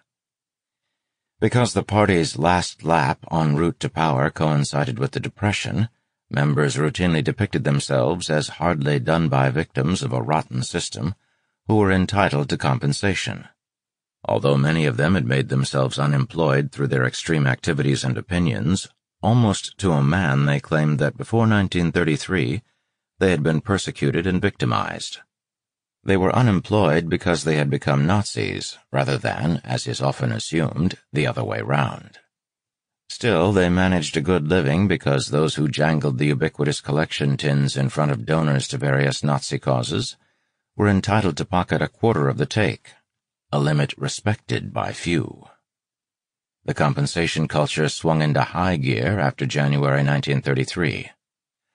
A law was passed to waive all fines and penalties imposed on Nazis convicted of assault, theft, or vandalism, with the time limit brought forward to August 1934 to cover crimes committed against opponents after Hitler had come to power. An SS man even had his teeth fixed at public expense after he had lost a few brawling with communists. Nazis who lived in public housing found that the rent was significantly reduced, while there were one-off annual payments to help them celebrate a happy Christmas. Since so many Nazi rank and file were unemployed, strenuous efforts were made to find them decent jobs in either the public or private sectors. The Postal Service, for example, took on more than 30,000 deserving National Socialists between 1933 and 1937. Some private firms had to employ so many needy old fighters that they faced bankruptcy. Other firms with Nazi owners got the lion's share of publicly awarded contracts, regardless of whether they had put in the most competitive bid. Opportunities for this sort of corruption multiplied with the exponential growth of huge Nazi sectoral formations such as the German Labor Front or German Womanhood, which in turn awarded lucrative private sector contracts. In addition to the prodigious membership dues these vast organizations accrued, they also benefited from the property and equipment they purloined from prohibited political rivals and trades unions. Many of the benefits they offered ordinary working-class Germans, such as strength through joy cruises to Madeira, were disproportionately occupied by party fat cats and their families. Meanwhile, the head of the Labor Front's contracts department used bribery to secure building contracts for its construction arm. In 1936 through 7, he handed out some 580,000 Reichsmarks for this purpose. He went to some lengths to cultivate Sepp Dietrich, the head of SS Leibstandarte Adolf Hitler, the dictator's personal bodyguards. Dietrich received gold cigarette cases, hunting rifles, paintings, silk shirts and ties, while he and his SS men enjoyed lavish Labor Front hospitality. Each Christmas, Labor Front chief Robert Ley also gave Dietrich a gratuity of 20,000 Reichsmarks. In 1934, Dietrich received a 50,000 Reichsmarks loan from the Labor Front's own bank, which he used to purchase a villa. Two years later, he sold the house back to the bank for twice its purchase price. In return for such generosity, the Labor Front was awarded the contract to remodel Leibstandarte's barracks at Berlin-Lichterfelde. The ostentation of these political nouveau riches, with their Mercedes and fur-coated wives, grated on the moral sense of many ordinary Germans who doubtless had frowned at overdressed Jews. Paradoxically, none of this opprobrium attached to the ascetic bachelor Fuhrer, brooding for Germany on his mountaintop eyrie. In fact, he benefited through the widespread belief that, if only the Fuhrer knew, he would descend on the culprits like Christ among the money changers in the temple. Jobbing old fighters into posts with the municipal gas or waterworks was not the only form of political patronage. Starting at the top, Nazi paladins disposed of huge secret funds from which they dispensed largesse to their clients. Although he made much of taking no salary, Hitler's private expenses were defrayed by the state, while he had first options at art sales, building up a personal collection of 5,000 works. He could also dip into a personal fund, through which the enormous sum of 700 million Reichsmarks had passed by 1945. This was partly made up of royalties from Mein Kampf, a copy of which was presented to every married couple, while revenues from stamps bearing his portrait yielded 52 million Reichsmarks. Legacies to the Fuhrer from supporters were exempt from inheritance tax. Hitler used this largesse to buy loyalty or reward those he took an interest in.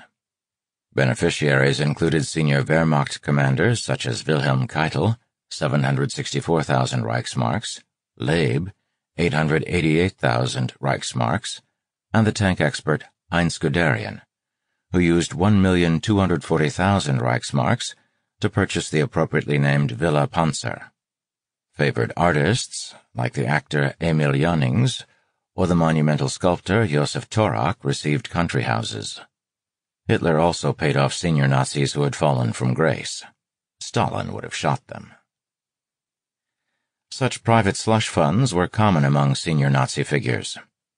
Reichsfuhrer SS Heinrich Himmler had two special accounts with the Dresdner and Stein banks called Special Accounts S and R primarily used to pay off the debts of favored SS subordinates, or as subventions towards their holidays and house purchases.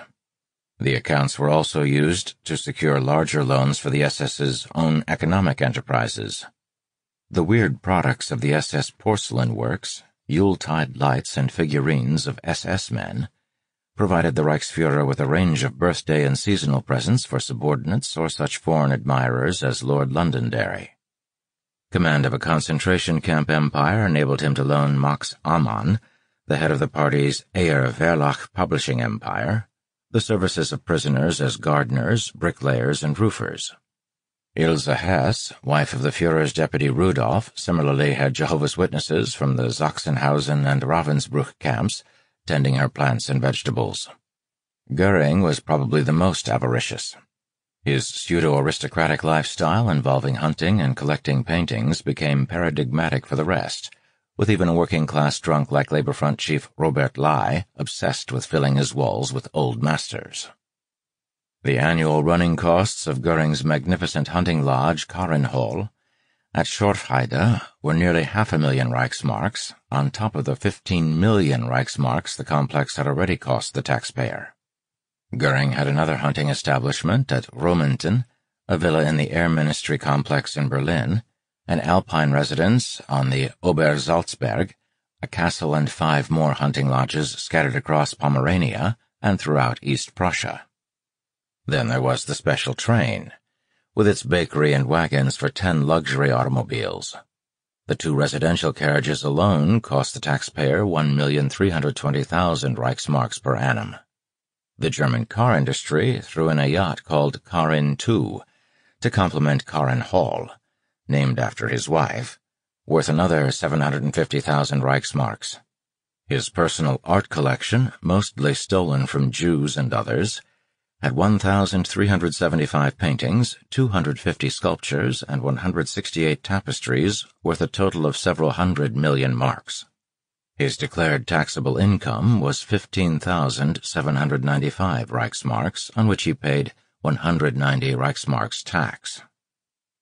Compared to Goering, propaganda minister Joseph Goebbels was austere. In 1932, his income as Berlin's Gauleiter was a modest 619 Reichsmarks. A year later, he was receiving an annual ministerial salary of 38,000 Reichsmarks still fairly modest, but supplemented by another 300,000 Reichsmarks in fees for his weekly editorial in Das Reich, his own ministry's newspaper. In 1936, he acquired a villa on the exclusive island of Schwanenwerder in the lakeside Wannsee suburb of Berlin. It had been compulsorily purchased for 117,500 Reichsmarks from a Jewish doctor. In 1939, Goebbels sold it to an industrialist but continued to live there rent-free. The Berlin municipality also gave him usufruct of a piece of land on Bogensee, where he spent 2,200,000 Reichsmarks building a splendid house. Later it would gift him a neighboring 500 acres of woods where he could frolic with his many mistresses. The party's regional bosses, the Gauleiters, were supposed to epitomize the genial populist face of the movement, but were known as golden pheasants or pashas. They created their own foundations with which they built up major industrial operations and rewarded their clientels. The initial capital came from the revenue of regional party newspapers, money diverted from public drives to help the unemployed, or commercial enterprises expropriated from Jews. These black accounts, as they were collectively known, were not audited by the Nazi Party's Reich Treasurer who was powerless to intervene in what was seen as a matter of political patronage. The tax affairs of senior Nazis were also deemed so sensitive that they all had to be centrally filed at an office in Berlin, where all the obvious instances of tax evasion and fraud went unnoticed. 5.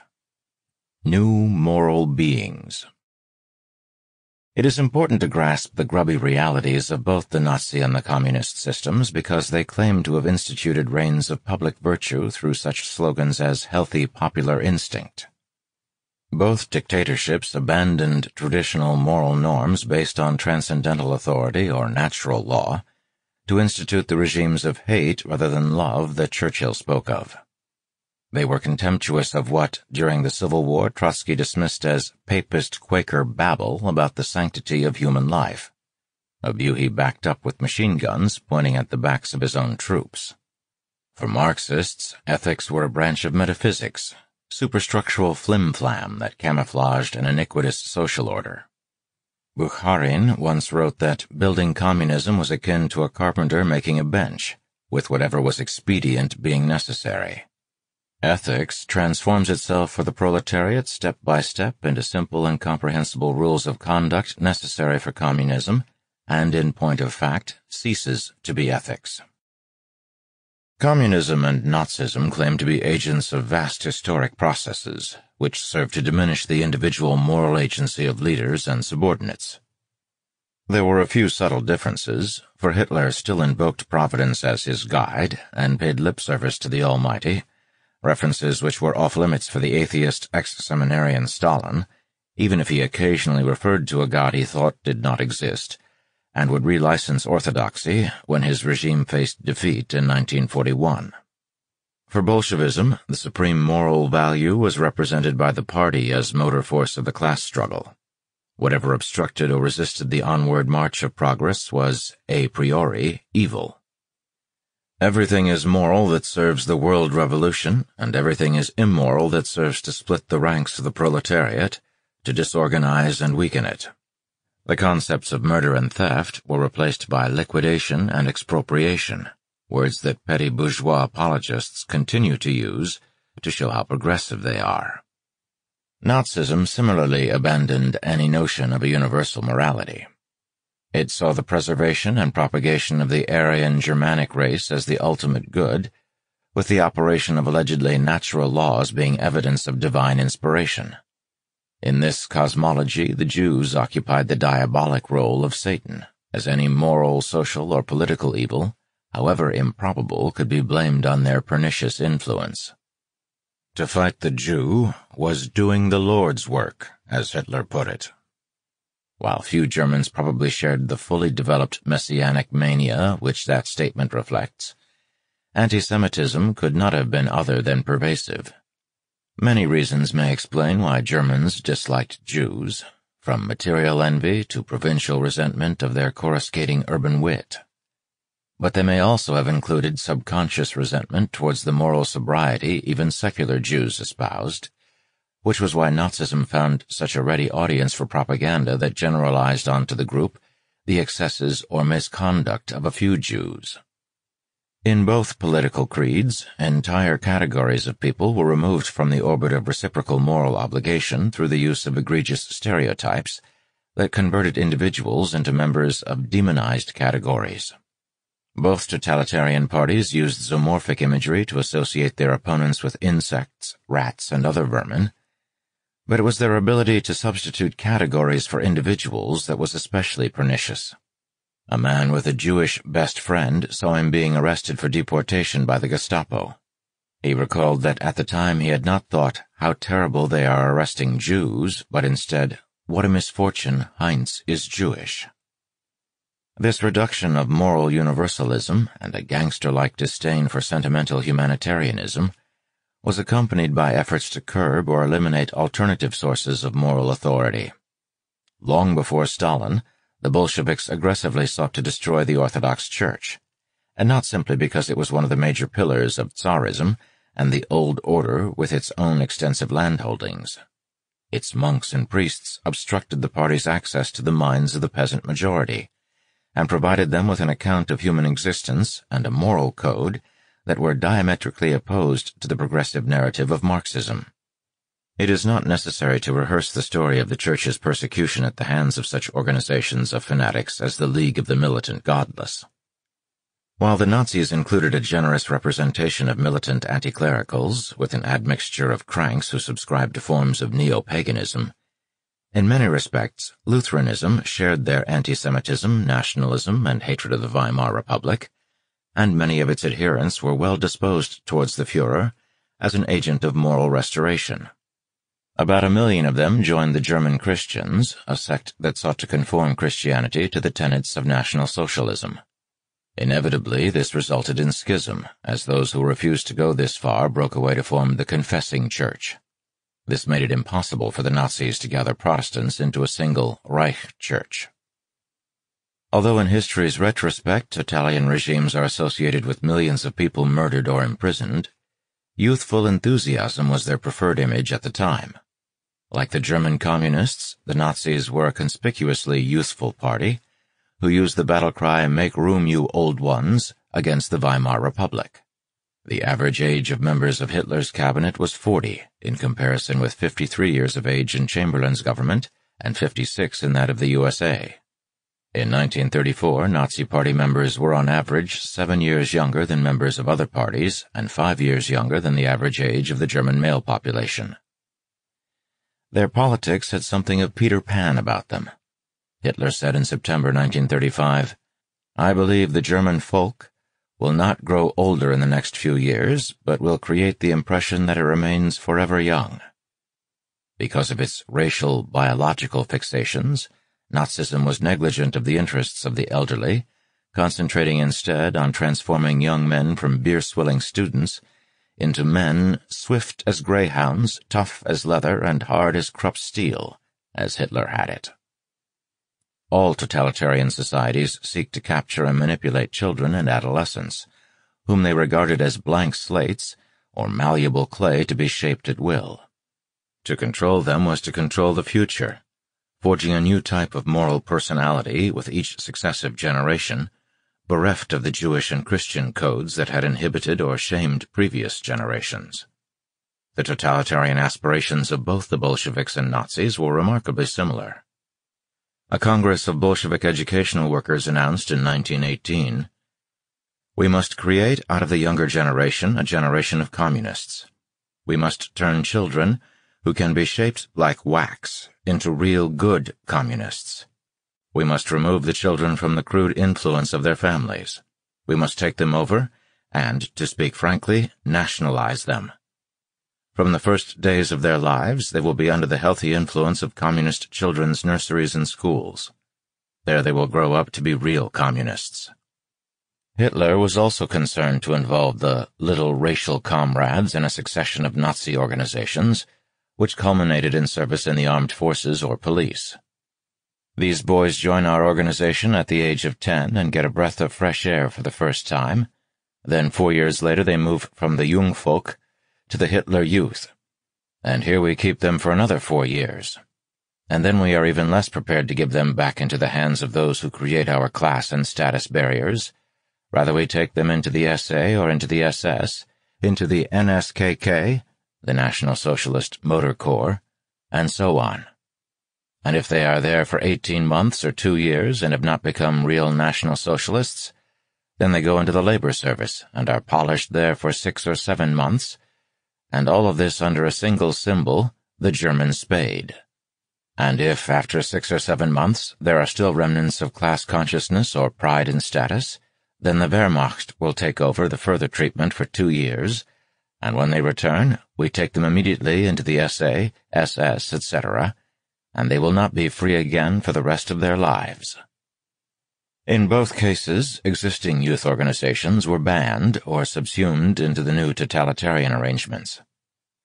In Russia, this meant that the imperialist Boy Scouts, whose founder was British, were suppressed to give a monopoly to the party's Komsomol organization for 15 to 21 year olds, which in 1922 spawned the Young Pioneers for those aged 10 to 15. By 1925, a million young men and women were Komsomol members. In Germany, the rude arrival of the Hitler Youth for Boys and the League of German Maidens for Girls signified the end of a rich heritage of voluntary associations of young people connected with the churches and political parties. Those devoted to fresh air and nature were readily subsumed by Nazism. These organizations were designed to fashion new moral personalities and future party cadres.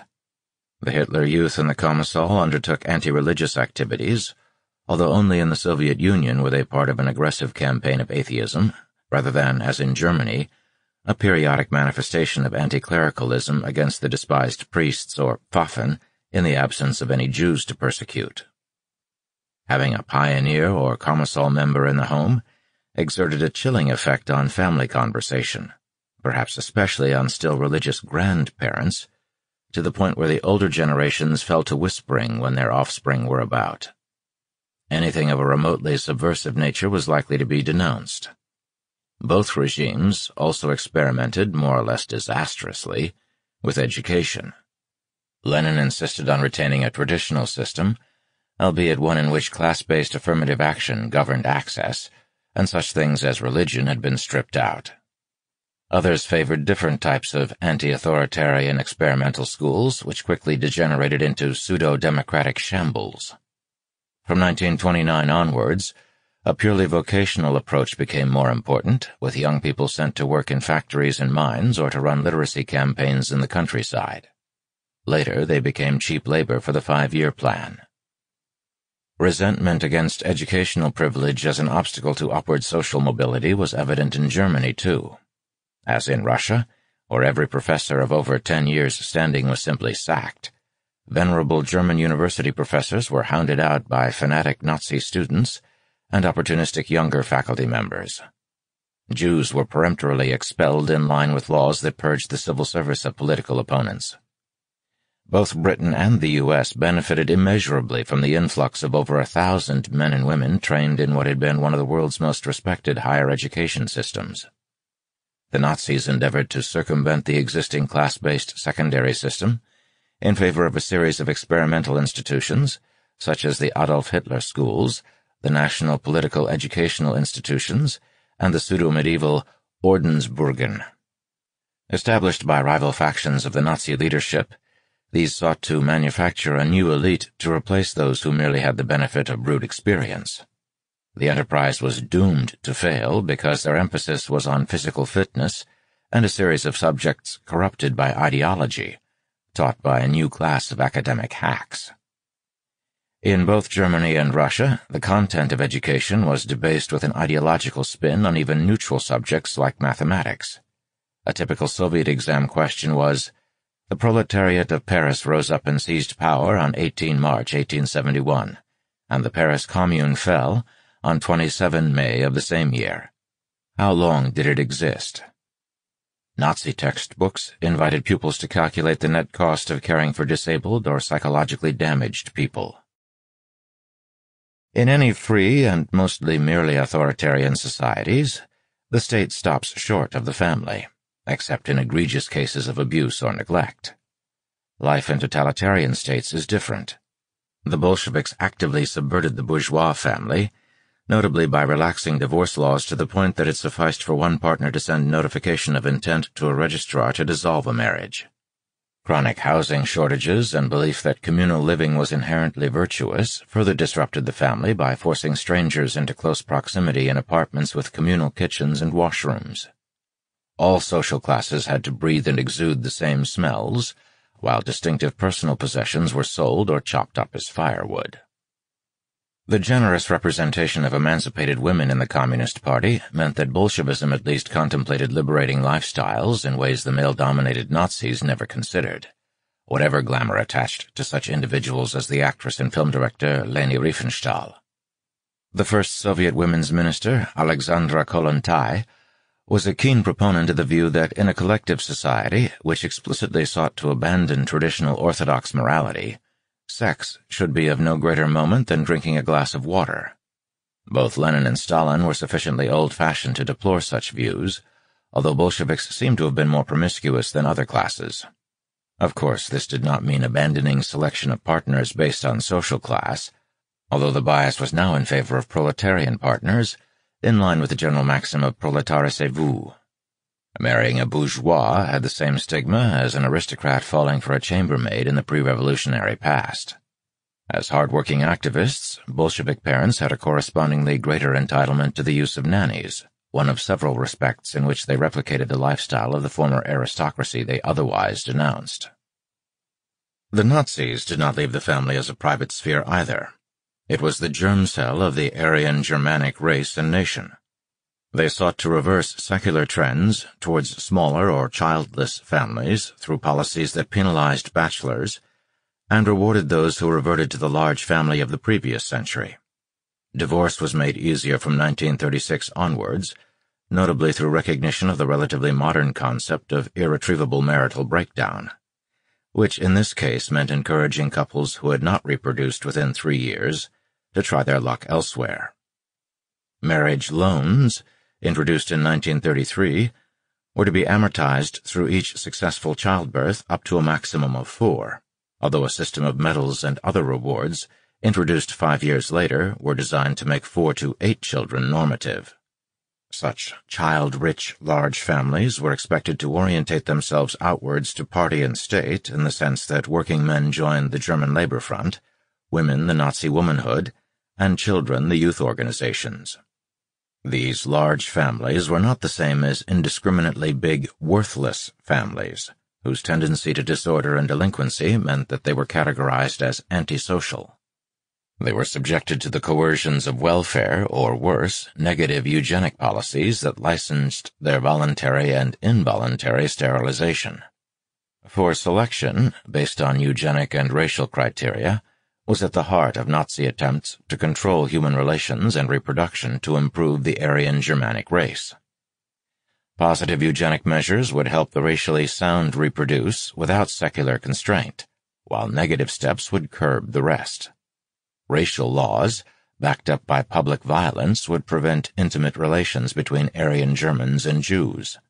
The more advanced-minded Nazis, including Heinrich Himmler and Martin Bormann, regarded polygamy favorably to enable eugenically exceptional men, including themselves, to breed at an enhanced rate. Their furtive infidelities were as nothing compared with the sexual athleticism of their colleague Josef Goebbels, on the Babelsberg casting couches with would-be starlets. Both dictatorships lauded the sacrifices of such emblematic youths as Herbert Norkus, killed in a brawl with communists, or Pavel Morozov, the prototypical Soviet enthusiastic narc. They were key figures in their respective parties' martyrologies, stars on the honor roll of those who sacrificed their lives for ideological ends. The Hitler Youth from 1931 onwards, under Baldur von Schirach, was intended to inculcate unswerving devotion to the man whose name it bore, while training the bodies and minds that Germany needed to wage war.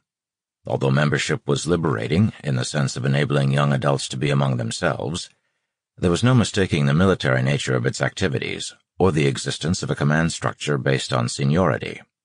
Camping trips were replete with bugle calls and flag parades, and frequently involved war games with rival units from other regions or towns. Orienteering hikes often led to the borders of countries that Hitler subsequently invaded. Practice with air guns gave way to the use of small caliber rifles, while specialist courses were available in piloting gliders, sailing, truck driving, Morse code, and operating radios. Less athletic types could beat and blast out martial music on drums and trumpets. The attractions of membership were obvious, even to critics.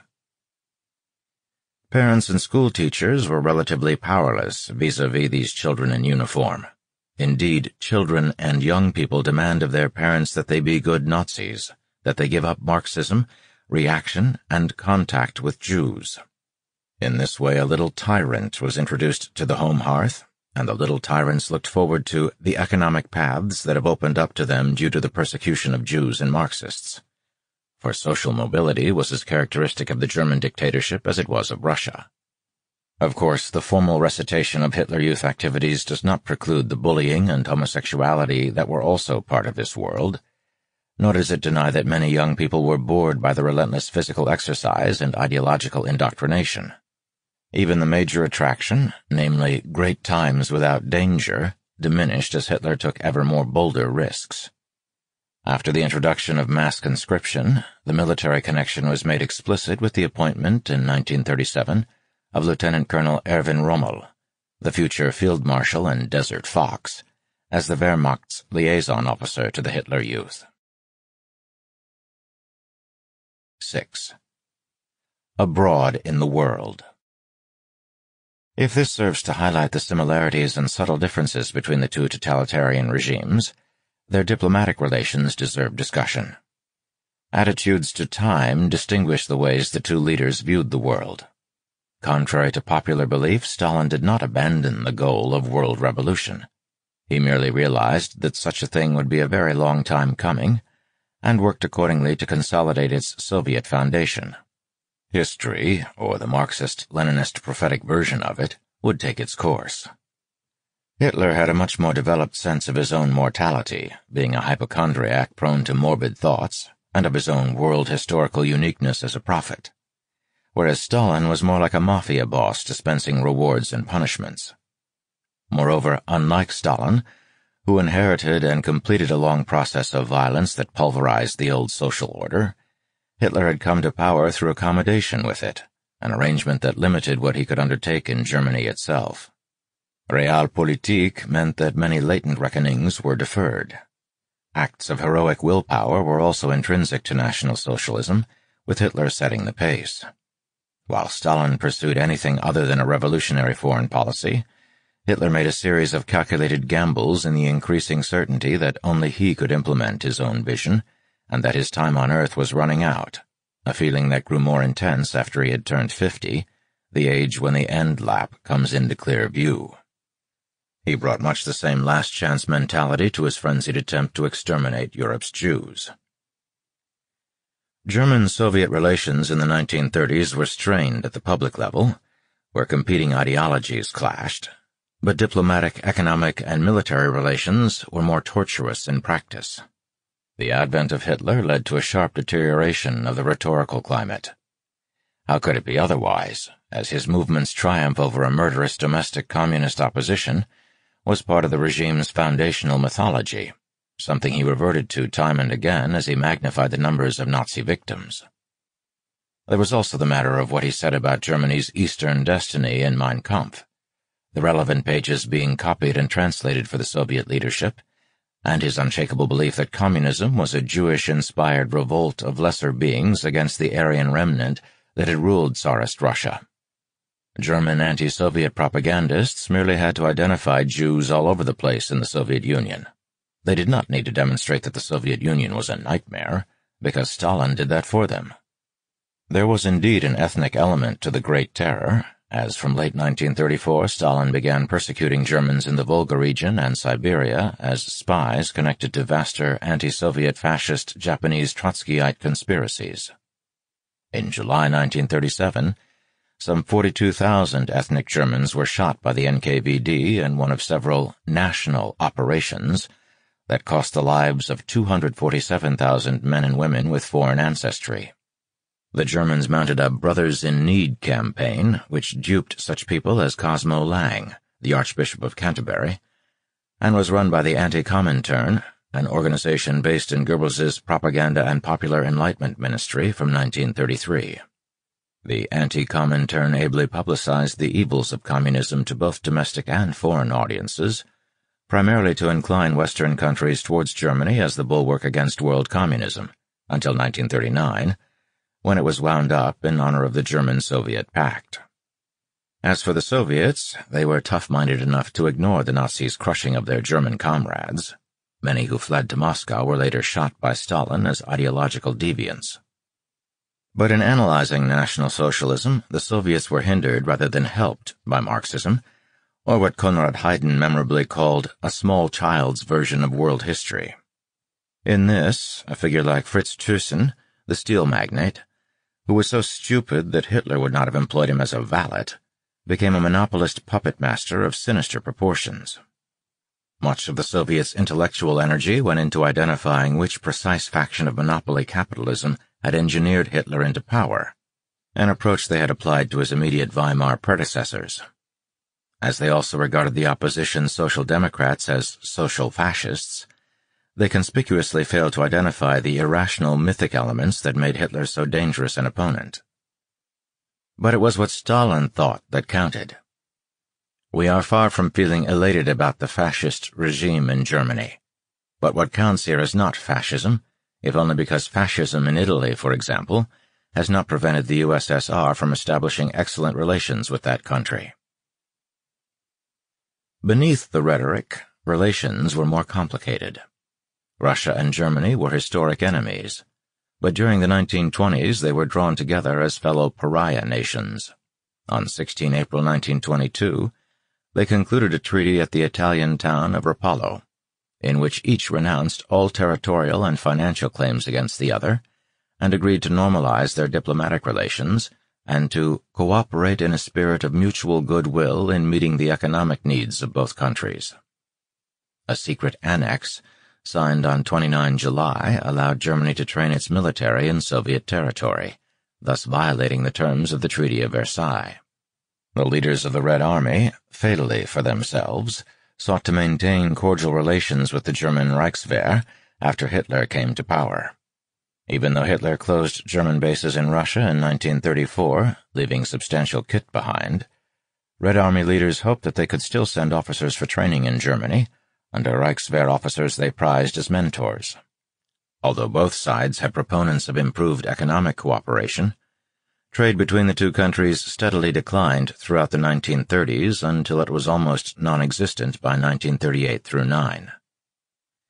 In the mid-1930s, there was a minor attempt to translate trade talks into broader political discussions, but Stalin was more focused on the pursuit of collective security and wiping out his own putative enemies at home, while Hitler's attention was absorbed by rearmament and the Rhineland, and used strident anti-communism to reassure Germany's western neighbors. In his New Year address in January 1936, Hitler defined Nazi Germany as a bulwark of national European discipline and culture against the Bolshevist enemy to mankind. Then Stalin struck at the Red Army Officer Corps, perhaps the single greatest supporters of a rapprochement with Germany. Using documents planted by German intelligence, Yezhov's NKVD claimed that Marshal Tukhachevsky and other senior commanders were engaged in a Trotskyite conspiracy against Soviet authority, financed and instigated by German fascists and the Reichswehr, which had actually been renamed Wehrmacht in 1935. Some 34,301 officers were arrested by the NKVD, and 22,705 of them were shot or disappeared. They included 91 of the 101 members of the top military leadership, of whom 80 were shot. Tukhachevsky, who had criticized Stalin during the Russo-Polish War nearly two decades before, was tortured and shot, along with his wife, daughter, and other family members. The purges wiped out the main Russian advocates of German-Soviet cooperation, but greatly lessened the potential value of Russia in any military alliance that might be contemplated by Western powers. Munich transformed the situation. After the dismemberment of Czechoslovakia, Hitler regained the Memel land from Lithuania in March 1939, the last bloodless conquest he made. German military planners turned their attention to Poland, notwithstanding a ten-year non-aggression pact, and the complicity of the military regime in Warsaw in the destruction of Czechoslovakia. German rhetoric about the plight of ethnic Germans in Poland was ratcheted up, although Hitler's object was not merely to retrieve Danzig, Posen, Poznan, Upper Silesia, and West Prussia, but to liquidate the Polish state for all time. As he said, this is not about Danzig.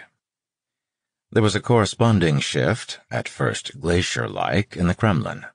On 10 March 1939, Stalin gave a wide-ranging speech which reflected his dismay at appeasement. He claimed that Britain and France had adopted a position of neutrality or non-intervention towards fascist aggression. He said they were encouraging Japanese ambitions in China and those of Germany and Japan against the Soviet Union. Cautioning them that Germany might turn on the West instead, Stalin used the homely metaphor that they should not seek to rake over the fire with someone else's hands, to warn them not to rely on Soviet support. Some historians claim that this speech was a signal to Germany from Stalin that he wanted to talk. If so, few in Berlin noticed. What was about to happen mightily contributed to the notion that beneath the skin, the two totalitarian regimes were like twin brothers, lining up for aggression and violence, regardless of their superficial ideological dissimilarities. On 3 May 1939, Stalin replaced Maxim Litvinov, his Jewish foreign minister, with the ethnically Russian Vyacheslav Molotov, a nom de guerre meaning hammer, since 1930 the chairman of the Council of People's Commissars, entrusted by Stalin with the task of removing all the Jews in the commissariat. Litvinov was allegedly dismissed for failing to report unauthorized talks held by Ivan Maisky, the Soviet ambassador to Britain, with the Finnish foreign minister. Whether the dismissal was part of a decision to downgrade the pursuit of collective security is disputed. Hitler certainly regarded the dismissal of Litvinov as a decisive signal, since he attached such inordinate importance to Jews everywhere.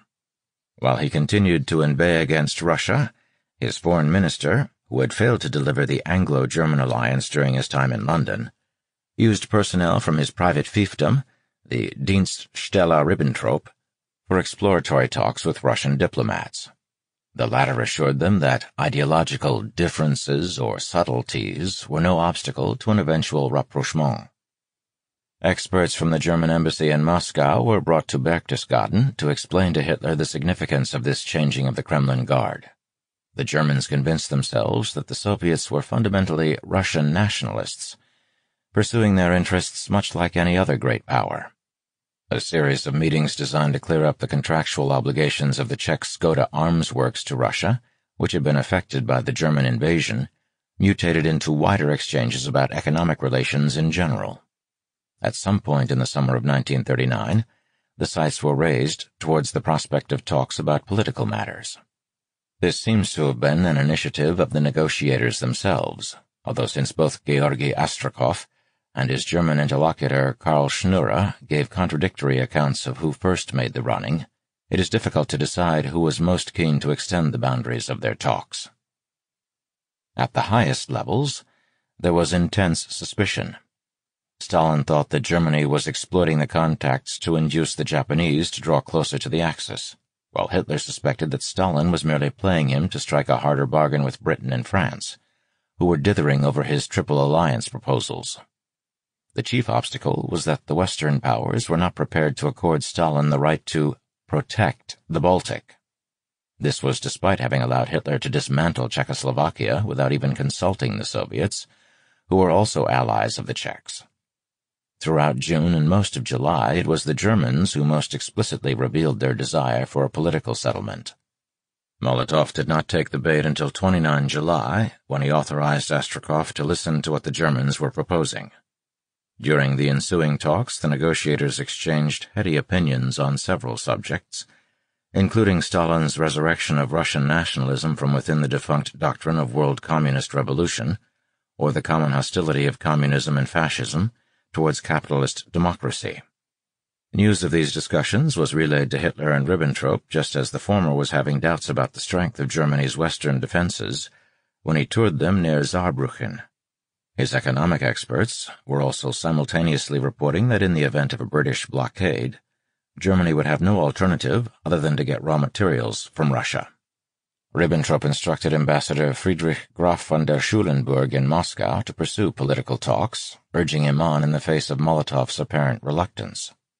By contrast, the British and French were almost nonchalant in their approach to talks with the Russians, taking weeks to respond to each communication.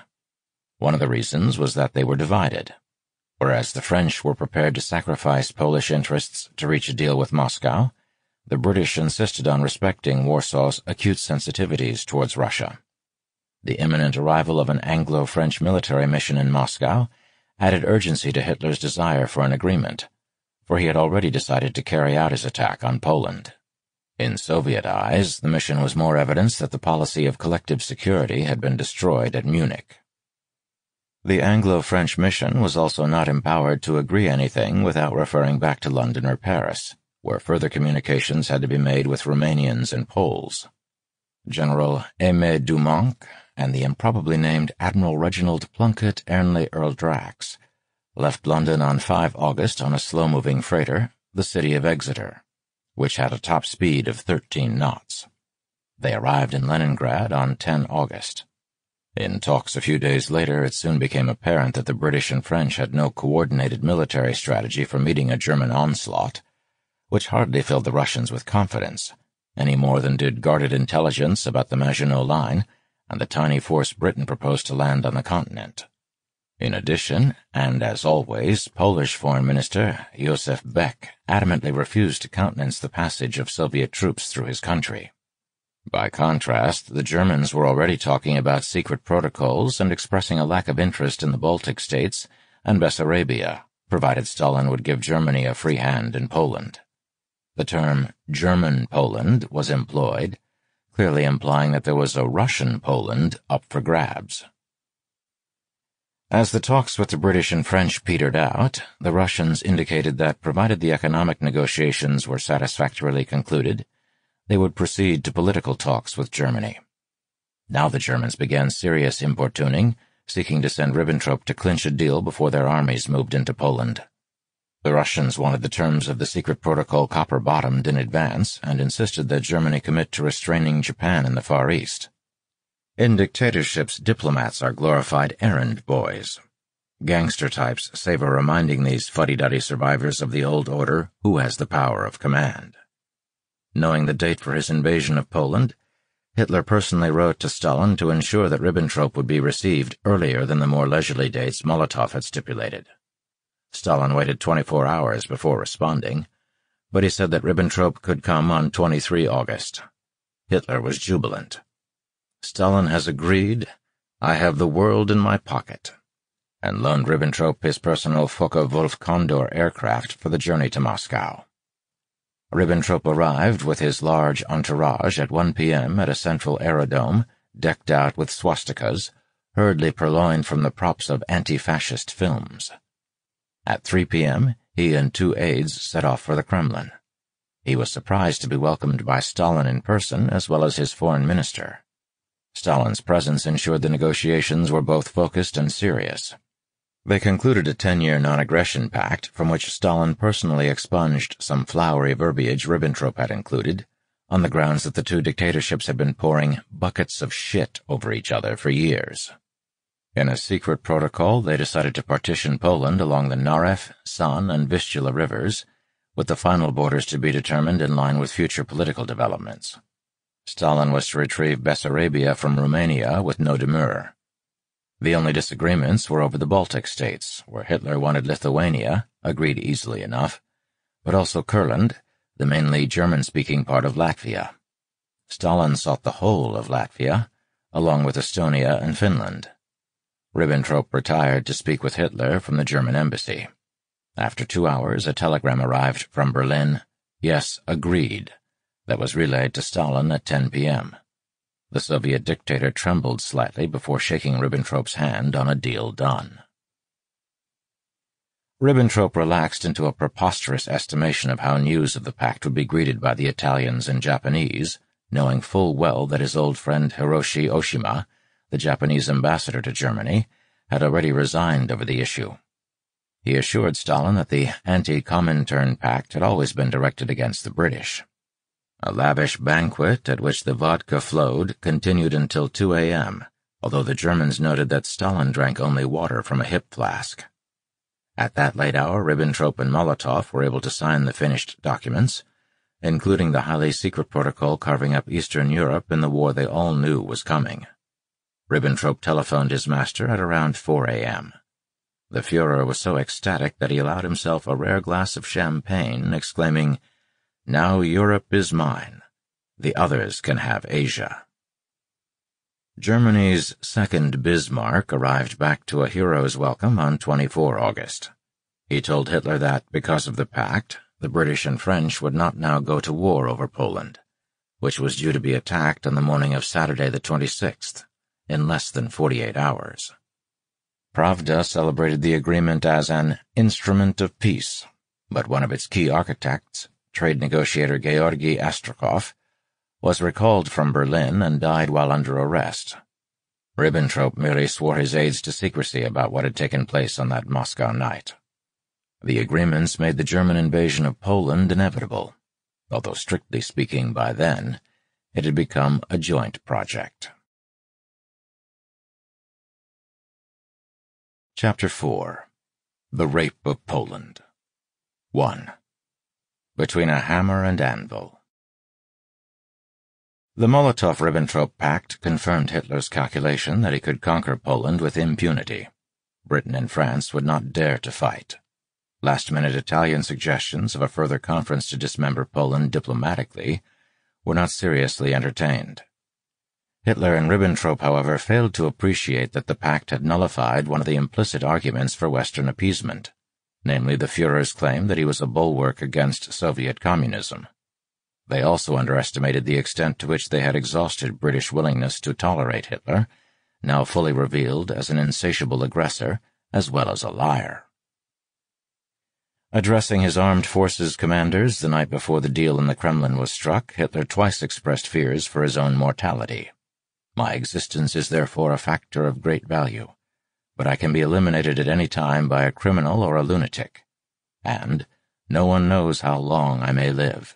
Therefore, better a conflict now. Everything revolved around personalities. His, Mussolini's, Stalin's, even the Spaniard Franco's. There were no personalities, in the sense of great men, on the Anglo-French side, merely little worms. He made the object of the forthcoming life-and-death struggle explicit. Annihilation of Poland in foreground. Goal is elimination of vital forces, not the attainment of a specific line. His mind was locked on war, and his staccato peroration was grim. Close your hearts to pity. Act brutally. Eighty million people must obtain what is their right. Their existence must be made secure. The stronger man is right. The greatest harshness. British and French attempts to mediate between Germany and Poland were stymied by outrageous German demands, which the Poles rejected. A last-minute intervention by Mussolini was brushed aside. Josef Lipski, Poland's ambassador in Berlin, commenced closing down his legation. German troops moved eastwards from June 1939, ostensibly to participate in defensive maneuvers, including the strengthening of frontier fortifications they had no intention of using. The Reich Party Day of Peace was used to cover substantially increased domestic rail traffic, although the assembly had been cancelled on 15 August 1939. Two waves of troops were successively put in place so that by the final days of August they were no more than a day's journey from the Polish border. There was no formal declaration of war. At 5.45 a.m. on 1 September, German radio broadcast a proclamation by Hitler to the German armed forces. Ethnic Germans in Poland had been persecuted by bloody terror and are being driven from their homesteads. To put an end to this lunacy, there remains no other recourse for me but to meet force with force. Hostilities had commenced an hour earlier, with salvos from a German cruiser stationed off Danzig's Westerplatte, although terrorist and border incidents, notably at Tarnów railway station and the Gleiwitz radio station, had been fabricated by the SS to give substance to Hitler's outrage over alleged Polish violations of German territorial sovereignty. On 28 August, two suitcase bombs planted by German agents exploded in Tarnów railway station, killing 22 people and wounding 35 more. On the 31st, the head of the SS security police, Reinhard Heydrich, telephoned a code message, Grandmother has died, which resulted in SS men disguised in Polish uniforms storming a radio transmission room near the tall Larchwood antenna at Gleiwitz, four miles inside the German-Polish border. They brought along the war's first casualty, Franciszek Honiok, an ethnic German tractor salesman known for his pro-Polish sympathies, who had been abducted the previous day. He was drugged and then shot after the SS had broadcast inflammatory statements in Polish to the accompaniment of their own gunfire. The key line was, Uwaga, tu Gliwice, rozgłośnie znajduje się w rękach polskich, or, Attention, this is Gliwice, the broadcasting station is in Polish hands. This message was in turn relayed by the BBC, as the Germans hoped it would be, as Western decision-makers grappled with the odd idea of Poland attacking Germany. Elsewhere, more SS men dressed as Poles stormed a German customs post at Hochlinden, shouting, Long live Poland and Down with the Teutons in Polish. After the gunfire had died down, the frightened customs men stumbled out and tripped over six corpses dressed in Polish uniforms. They noted their shaven heads, actually acquired in Dachau rather than the Polish army, for these were tin cans, as the code dismissively dubbed them, killed to order. The corpses were quickly photographed and then buried. To dramatize these incidents for the world's press, the SS had a model made on which the location of alleged instances of Polish aggression were lit up by touching a button. Heydrich loved this toy, repeatedly pressing the button and exclaiming, This is how the war started. On the morning of the invasion, the Chief of Staff of the Luftwaffe telegraphed the Soviet Telecommunications Commissariat to request that Radio Minsk punctuate its broadcasts with the call sign Richard Wilhelm 1.0 as well as taking every opportunity to announce Minsk. The Soviets refused to broadcast the call sign, but they obliged with the repeated Minsks, which were used by German pilots for navigational purposes as they bombed Poland. At 10 a.m. on 1 September, Hitler was driven through Berlin's sparsely populated streets to the Reichstag, which since being destroyed by fire in 1933 had convened in the Kroll Opera. About 100 deputies failed to appear because transport was disrupted by troop movements. Their places were taken by unelected Nazi functionaries bussed in by Goering. Someone forgot to install loudspeakers outside and to shut down a noisy construction site, while throughout the capital bars continued to serve customers, with Hitler's broadcast voice competing with barroom chat and chinking glasses. Dressed in simple field gray with his lone iron cross, Hitler wallowed in the alleged persecutions visited by the Poles upon ethnic Germans, who had allegedly been sadistically and bestially tortured, only to be murdered in the end. This was followed by his now standard attempt at damage limitation in the form of assurances to Britain and France that he harbored no aggressive intentions toward the West. Italy was politely informed that its offer of assistance was unnecessary. He said his war aims were modest, to resolve the status of Danzig and the Pomeranian corridor, which separated West from East Prussia, and a change of tone in German-Polish relations to warrant peaceful coexistence. This was a lie, as he wished to erase Poland from the map. So too was his expressed desire to limit the damage bombing might inflict on civilians. The night before, 1,200 Poles had died in a single raid on one town but still he threatened that if unlawful weapons like poison gas were used, he would respond in kind. All of this was the prelude to a series of solipsistic remarks that seemed to imply the war was about Hitler himself. I am asking of no German man more than I was ready to do through four years. I now wish to be nothing other than the first soldier of the German Reich. Therefore I have put on that tunic which has always been the most holy and dear to me, I shall not take it off again until victory is ours, or I shall not live to see the day. He mused, plangently, about a possible successor, and compared himself with Frederick the Great, the warrior Prussian king. Vehement exhortatory slogans ensued. No surrender, no more November 1918s, iron discipline, strong will. Deutschland, Sieg Heil.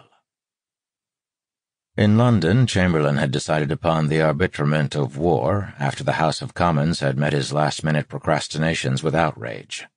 At 9 a.m. on Sunday, 3 September, Henderson went to the German Foreign Ministry and handed over a British ultimatum that would expire two hours later. Hitler's interpreter, Paul Schmidt, took it to the Chancellery where, after pushing his way through the bustling throng, he reached the calm of Hitler's office. When he had finished translating this communication, he studied the reactions of Hitler and of Ribbentrop.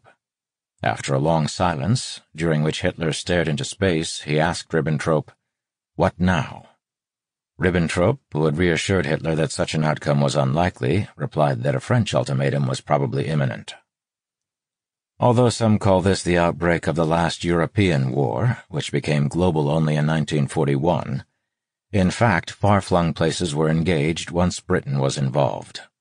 It is still moving to recall the process 70 years later.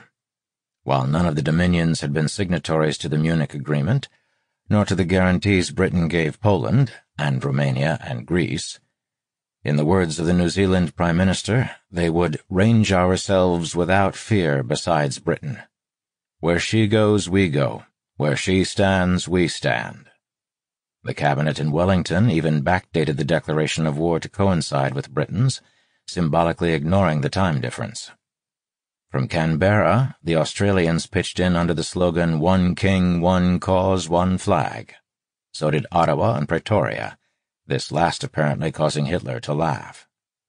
In Britain itself, only a few communist intellectuals, like the historian Eric Hobsbawm, would go into print supporting the Stalinist line that Anglo-French imperialism was a greater menace than the fascists who were now allied with Moscow. 2. The First Blitzkrieg The German invasion of Poland had land, sea, and air superiority underpinning it and came from almost every point of the compass, with the Soviets invading from the east once the German incursion was a fortnight underway. Case White, the invasion plan, committed 60 German divisions against Poland, or about one and a half million troops, leaving only a token screening force in the west. Although the German army depended heavily on 40,000 horses, the spearhead of the invasion force were five tank divisions, consisting of about 300 panzers each, with eight more lightly armored but fully motorized formations. It also used artillery to devastating effect. With 1,500 aircraft versus 400, the Luftwaffe quickly gained air superiority over Poland's generally obsolete machines, which, contrary to myth, were mainly destroyed in aerial combat rather than on the ground. German aircraft bombed and strafed concentrations of Polish troops, interdicted road and rail transport, and used dive bombers to terrify the inhabitants of Warsaw and other cities.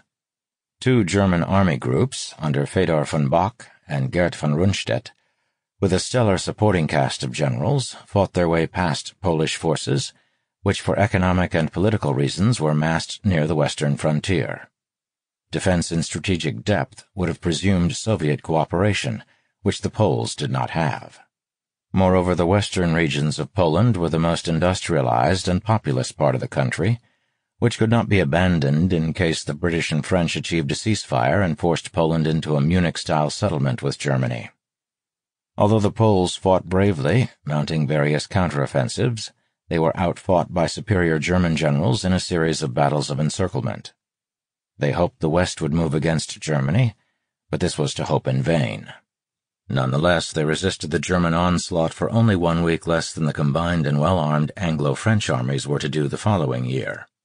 Any hope of tactical retreat eastwards was abandoned when, on 17 September, the Red Army invaded eastern Poland, allegedly to protect ethnic Ruthenians and Ukrainians from the ambient chaos after the collapse of Poland's government, which fled to Romania the following day. This line had been worked out in repeated discussions between Stalin, Molotov, and the German ambassador, Schulenburg. Negotiations that eventually involved Ribbentrop in a further flying visit to Moscow.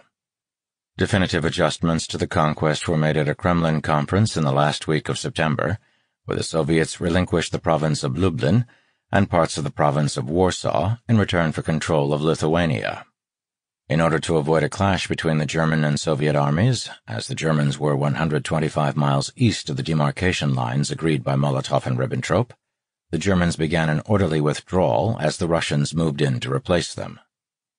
Meanwhile, artillery and air bombardment crushed the last major centers of Polish resistance around Modlin and Warsaw.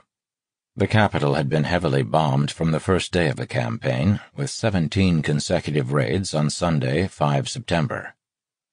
Soviet Foreign Minister Molotov sent the German government a congratulatory telegram when German forces reached Warsaw's suburbs. Armored assaults through the suburbs on the 8th were twice repulsed by anti-tank guns and by such tactics as emptying the stock of a turpentine factory over the streets and igniting it as the tanks crossed. A major counter-thrust, which resulted in the Battle of Bzura, also delayed the German advance. From 15 September onwards, Warsaw was besieged, with 175,000 German troops ranged against 120,000 Polish defenders. The Germans brought up massive railway-mounted artillery and sent in waves of bombers. The destruction of the city's main waterworks meant that there was no potable water, nor anything to extinguish the extensive fires caused by German use of incendiary bombs, showered from transport planes as well as bombers. Hospitals and Red Cross stations were also hit, regardless of any identifying symbols. Warsaw capitulated on 27 September.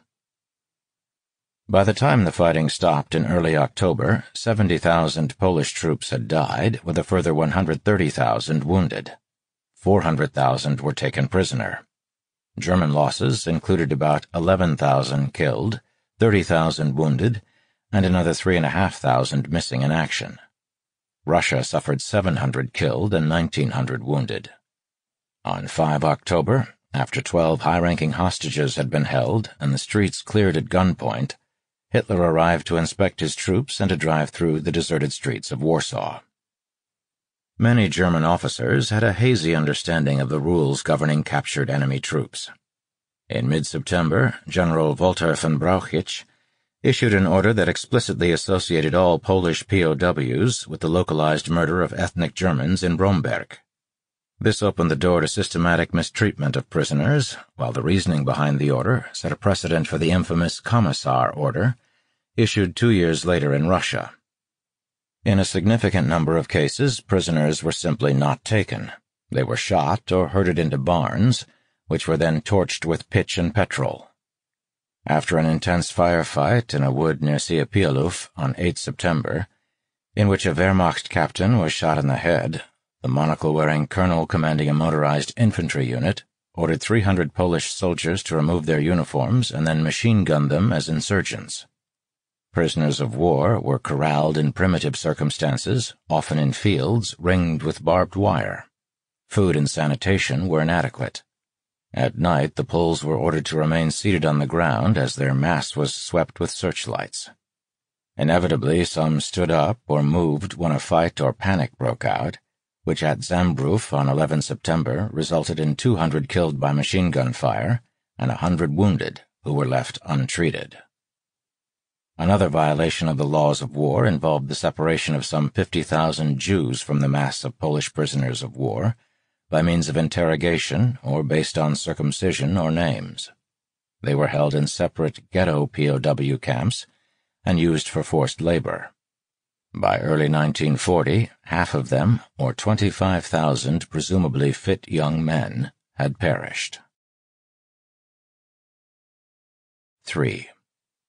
No civilized restraint.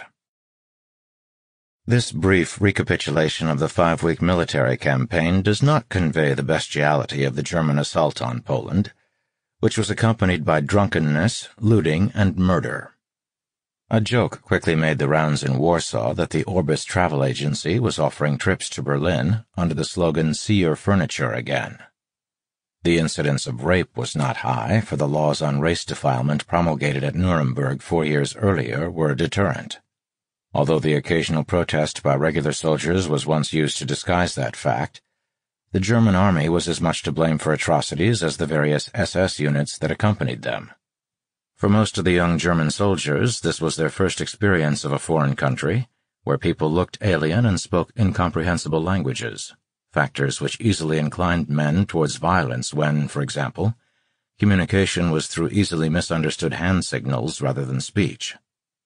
But it was what these troops had in their heads, from their time in the Hitler Youth or in the Reich Labor Service, that partly explains why they disregarded war's important moral aspect namely not to squander whatever moral capital one's own side possesses through gratuitous violence.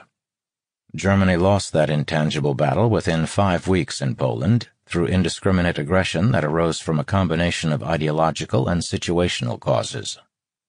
The ideological precipitators are easily stated. Prussia-Germany harbored a superiority complex towards the Poles, who were a byword for feckless muddle, or Polnische Wirtschaft, as Germans contemptuously called it. They believed in the existence of a west-east cultural gradient, in which the supposedly ideal orderliness of rural Germany itself abruptly tapered off into a chaos of dingy, straw-covered hovels, ambient squalor, and ill-tended livestock that allegedly characterized the Polish countryside. The only orderly exceptions were places inhabited by ethnic Germans, for Kultur had indelibly racist accents.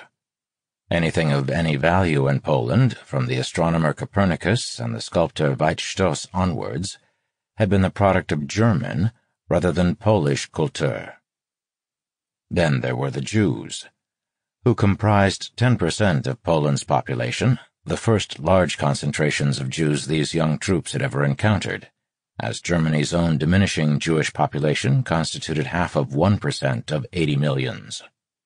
Letters written by German soldiers serving in Poland again and again reported that these Jews were worse than even those crudely caricatured in Der Stürmer, the most prurient and viciously anti-Semitic Nazi publication, where all the Jewish noses resembled number six as they lasciviously ogled innocent-looking blonde Aryan girls. These were Jews unlike the assimilated Jews that German troops may have encountered at home, and readily identifiable as such by dress, names, or beards. Their poverty seems to have incited as much animosity as the alleged wealth of the German Jews.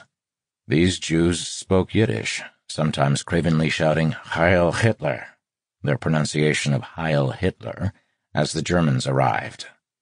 These terrified people were subjected to public torments such as having their beards burned, cut, or tugged off, scenes captured in countless photos that show them surrounded by jeering German soldiers.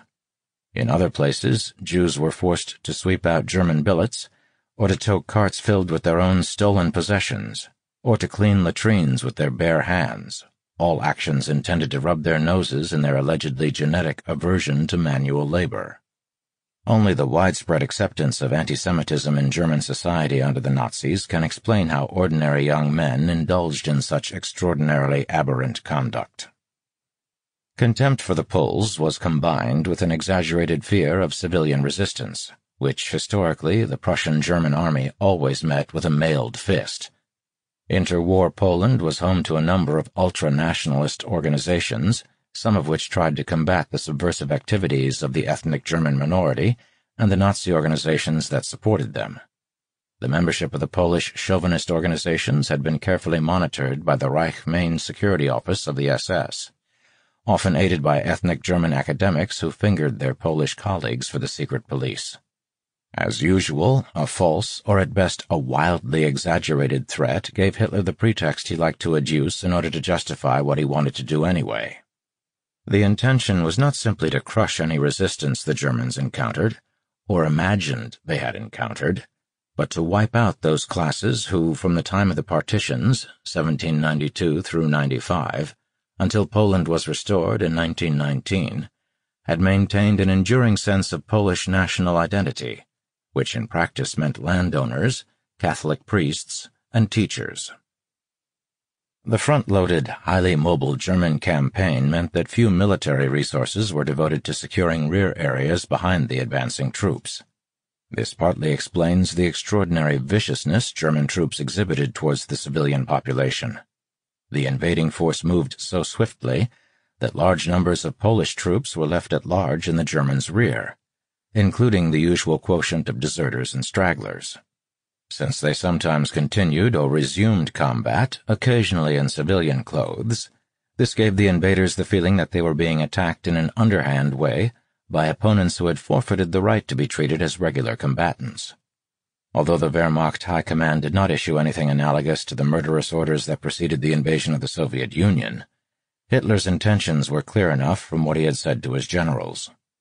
During a conference at the Berghof, with senior army commanders on 22 August, he assigned the task of pacification and policing behind German lines to the SS. According to some of the generals present, including Bock and Franz Halder, the chief of the General Staff, Hitler spoke of his desire to depopulate parts of Poland to resettle them with Germans, and expressed his intention of eliminating Poland's elites to make Poland disappear. 4. The False SS Army Dichotomy The decision to deploy the SS had been taken in April. SS and Gestapo personnel had accompanied German troops into Austria, the Sudetenland, and Bohemia-Moravia, under orders restricting them to arresting rather than shooting political opponents during the period before fixed Gestapo posts were established. In May, the head of the SS security police, Reinhard Heydrich, was given responsibility for forming four task forces, or Einsatzgruppen, for the Polish campaign, a role he devolved upon Werner Best, a 36-year-old lawyer who was both a senior security police and Gestapo officer. Best had to select and deliver 2,000 officers and men suited to the tasks Hitler envisaged. All but four of the commanding officers of these task forces and their 13 subsidiary Einsatzkommandos were also graduate lawyers in their 30s. By July, these units had grown to seven, augmented by 2,250 order police to bring the total available manpower to 4,250. This included a large special purpose task force under SS Obergruppenführer Udo von Woyrsch, a Silesian aristocrat who had served on Himmler's personal staff. Three battalions of the SS Death's Head Division, which guarded concentration camps and was utterly wedded to the necessity of annihilating Germany's enemies come what may, along with Hitler's bodyguard, the Leibstandarte SS, were also deployed to Poland. Their signature approach to pacification was to hang people from lamp posts. Finally, within a week of the invasion, Himmler's adjutant, Ludolf Hermann von Alvensleben, assumed SS responsibility for ad hoc ethnic German self-defense forces, numbering about 18,000 men, who it is estimated were responsible for killing between 20 and 30,000 Polish civilians during this campaign. Personnel for the SS task forces were selected because of their prior experience of Poland or its border regions, so that they knew the lie of the land and had views about the inhabitants. Many of them were veterans of the ferocious intercommunal strife that had characterized ethnic German-Polish relations in the aftermath of the Great War, when the Poles had risen to overturn the results of a plebiscite in Upper Silesia. While the categories were not mutually exclusive, Eleven of the 28 officers were veterans of the Great War, who had sufficient military credibility to interact with the regular army units they were attached to. Lastly, the troopers' SS personnel records testified to their unconditional ideological commitment. Although only Dr. Hans Trommler was formally described by his superiors as a psychopath, albeit one with the erect bearing of a Prussian officer, the common denominator for selection was evidence of involvement in extreme right-wing paramilitary organizations before joining the SS, police, or Gestapo, where in turn they had demonstrated ideological soundness and steadiness. These were the missionary elite of National Socialism, with a dualistic view of the world and no vestiges of the Christian upbringing or humanistic education many of them had passed through, before acquiring a more compelling and narrower set of values. In June, the leaders of these groups underwent a two-week training period at the SD or SS Security Service School at Bernau, near Berlin. The instructors included Hauptsturmführer Herbert Hagen, chief of the SD's Jewish desk, who talked about Jewry as a universal political opponent and its significance in Poland. At a meeting held at the Berlin Gestapo headquarters on 18 August, these leaders were told that their mission was to combat saboteurs, partisans, Jews, and the Polish intelligentsia, and to mete out punishment for the persecution of ethnic Germans. Then there were bonding sessions, usually involving much alcohol, exercise, and swimming, as well as group cinema visits. On 27 August, they saw a sentimental piece set in Hungary. In this film, a Teutonic wanderer was stabbed in the back by a treacherous gypsy and then nursed back to health by simple Hungarian fisherfolk. The wanderer then got his revenge on the gypsy by killing him. A week later, members of that audience shot their first victims, three cutthroat razor heroes, in Lublinitz, as Lubliniec became in Poland, although for all one knows, they may have still been in an imaginary Hungary. By the end of August, these task forces had been given special wanted persons lists which had been compiled jointly by the security police and the Abwehr, German military counterintelligence. These lists consisted of ten ledgers containing over 60,000 names, who were the targets of Operation Tannenberg. Tannenberg being the name of a famous defeat the Teutonic Knights suffered in 1410 at the hands of the Poles, as well as the location of General Paul von Hindenburg's victory over the Russians in 1914, for the liquidation of Poland's elites. There was no doubt from where the order came. Writing to a colleague, Heydrich said that Hitler had given him the extraordinarily radical order for the liquidation of various circles of the Polish leadership, killings that ran into the thousands. These particular orders were not shared with the Army Command, whose view of the role in theater of these SS formations was confined to rear area pacification and did not include liquidating Poland's elites or, as it transpired, killing 7,000 Jews before the year was out. Army officers, coming as they did from a culture based on hierarchy, were naturally obsessed with the question of who was in charge. They assumed that the Nazi formations would be under the authority of army field commanders, but in practice, they took their orders from Himmler and Heydrich, invariably backed by Hitler in the event of conflict. Judging from their pre-invasion briefings to their troops, the army leadership fully anticipated guerrilla-type resistance from a population they regarded as cruel, hostile, and sneaky by nature. German intelligence assumed there were 12,000 members of Polish paramilitary organizations in the corridor alone, simply by extrapolating fighters from membership rolls of ultranationalist organizations. Individual army commanders issued orders that were plainly illegal under treaties to which Germany was a signatory. On 4 September, 8th Army decreed that civilians who were suspected of having shot at German troops, or who were inside buildings from which fire had come, or who had weapons at home, were to be summarily shot without any legal proceedings. Walter von Reichenau, the commander of 10th Army, issued similar orders the same day, augmented by instructions to shoot three hostages for every German soldier killed. On 10 September, Fedor von Bock decreed that in the event of his troops taking fire from a house, it was to be burned down. If no specific house could be located, then the entire village should be burned down. Further orders lowered the age at which captured resistors could be shot to cover those younger than 18, although in practice such orders were academic, as the entire campaign was characterized by massive violence that only firm and repeated intervention by officers at all levels could have stopped.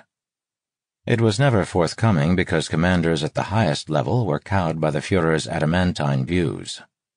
Military violence is usually kept in check by military policemen, but in Poland, the army's own police forces, including the secret field police, were unlikely to prevent atrocities as they were busy carrying them out themselves. A typical incident occurred on 2 September in the village of Wieszanów. The day before, German troops had rounded up a few Polish army stragglers and had taken them away. On the second, newly arriving German troops who had run into desultory sniper fire demanded that the villagers should give up any Polish soldiers they were harboring. On being told truthfully that there were none, they set up firing positions and started shooting into the village, setting part of it aflame. While mopping up, the German troops encountered villagers hiding in cellars. One cellar held 21 people, including eight women and 13 children. Ignoring the sounds of crying children, the soldiers dropped three hand grenades into the cellar, which killed all but three of the villagers.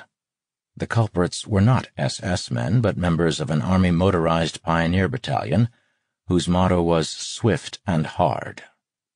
Army commanders had no objections to nipping the operations of active Polish insurgents in the bud by arresting and shooting them, especially when they were caught gun in hand. Although the practice was forbidden by the Hague laws of land warfare, they also resorted to seizing and shooting civilian hostages to deter others, as their predecessors had during the Franco-Prussian War and in France and Belgium during the Great War, whenever civilian resistance had been encountered. By the conclusion of the Polish campaign in early October, the army had summarily executed 16,000 Poles, sometimes by firing squad, but more often by less formal executions. Since the hostages were usually selected from local worthies, the practice did part of the SS's work for them in the liquidation of the country's elite. It may be useful to look a little closer at how specific incidents evolved within the fluid and foggy chaos of battle and its tense aftermath. Some German officers had fought in the Great War and some troops were veterans of interracial struggle. Volkstumskampf against Poles in the early 1920s. But the majority had never been in combat before. Consequently, they were extremely jittery, imagining that any noise was gunfire directed at them, even weapons they themselves had discharged. It was rather telling that one German commander ensured that his troops had no ammunition when they marched into the town of Chenstokhova, lest they react to some minor event by shooting down curious bystanders. German army training included neither fighting in the dimness of forests and woods, of which there were many in northern Poland, nor, more importantly, close quarter combat in urban centers where fighting could come from any alleyway or window. In addition, the Germans had been told to expect the enemy to use underhand, irregular tactics, and so every incident was seen through that conceptual prism, even if the bang they heard was a car backfiring. But there was something more, born of the contempt they felt toward the Poles. Letters from German soldiers reveled in the power to destroy, with almost lyrical accounts of the burning sails of a windmill turning like the Germanic sun wheel in the dark sky. 5. Bromberg Scenes that were perhaps inevitable in a handful of places where there was bad blood between Poles and ethnic Germans were deliberately generalized and used to legitimize the wholesale commission of atrocities that served a wider agenda. Bromberg, or Bydgoszcz, was a particular flashpoint used for this purpose. Between 1 and 5 September, Polish troops killed about 1,100 ethnic Germans in the city, figures multiplied fivefold on Hitler's insistence, before they were published in the German press under the headline Bromberg's Bloody Sunday. As the Polish troops retreated, order was maintained by a civil defense committee consisting of local worthies, while about 2,200 Boy Scouts, laborers, Railwaymen and students joined an urban militia which set up defensive positions at the city hall and in a neighborhood called Schwedenhöhe. Barricades and firing positions in apartment blocks were set up in anticipation of the German arrival. Gun battles erupted between these militias and soldiers of the 122nd and 123rd Infantry Regiments of the regular army. Superior German firepower soon prevailed, and after the defenders had surrendered, they were kicked and battered with rifle butts. Sporadic sniper fire throughout the city led the local German commander to order searches for weapons and the arrest of anyone fingered by the ethnic Germans who had attached themselves to the army as local guides. Those found in possession of weapons, even antiquated muskets inoffensively displayed on a sitting room wall, or accused of killing ethnic Germans, were led away and shot, as were civil servants, lawyers, teachers, and priests. When the sniping continued, Fourth Army Command ordered the taking of civilian hostages, who were paraded on the old market square.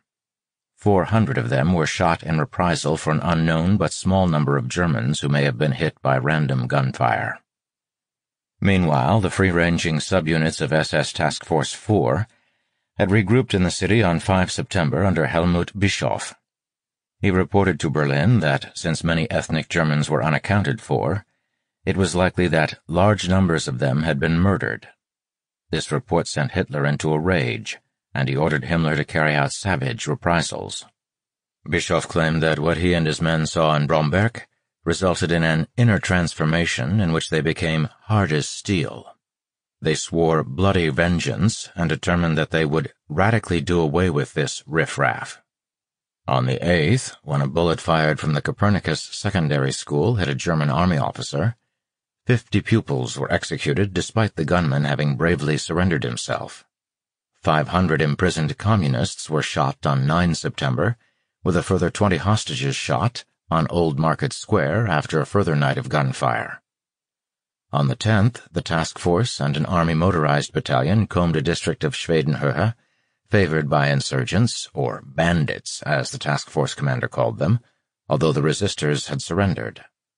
Brandishing lurid German newspaper accounts of Bloody Sunday, he told his men to shoot anyone who even looked suspicious. The units went from door to door, driving out the inhabitants and shooting sixty men in the street as they fled. Another 900 were taken prisoner, and 120 of them, identified as hostile by ethnic German informers, were shot in a field. Those on the special wanted persons list were taken away and killed in a forest outside Bromberg. Far from protesting about these massacres, the army helped organize them and welcomed them as reprisals for crimes committed against ethnic Germans and as part of the general pacification of the city. An Einsatzgruppen report dated 14 November declared that there is no longer a Jewish problem in Bromberg, as the town is entirely free of Jews. In the course of the cleansing measures, all those Jews who did not have the foresight to flee have been eliminated. The Sicherheitspolizei, security police, known as Sipo, reported three days later that there are no longer any Polish intellectuals present in Bromberg. Fierce Polish resistance in the industrial cities of Upper Silesia, which revived memories of fierce intercommunal violence in the early 1920s, resulted in a similar pattern of hostage-taking and summary executions. Army commanders suspended the rule under which captured snipers were to be court-martialed. Instead, they were to be shot on the spot. SS Task Force 1-I arrived to contribute its own higher level of brutality. Splitting up into smaller teams, its members combed Katowice street by street, either killing suspected insurgents on the spot or taking them to a series of courtyards behind factories.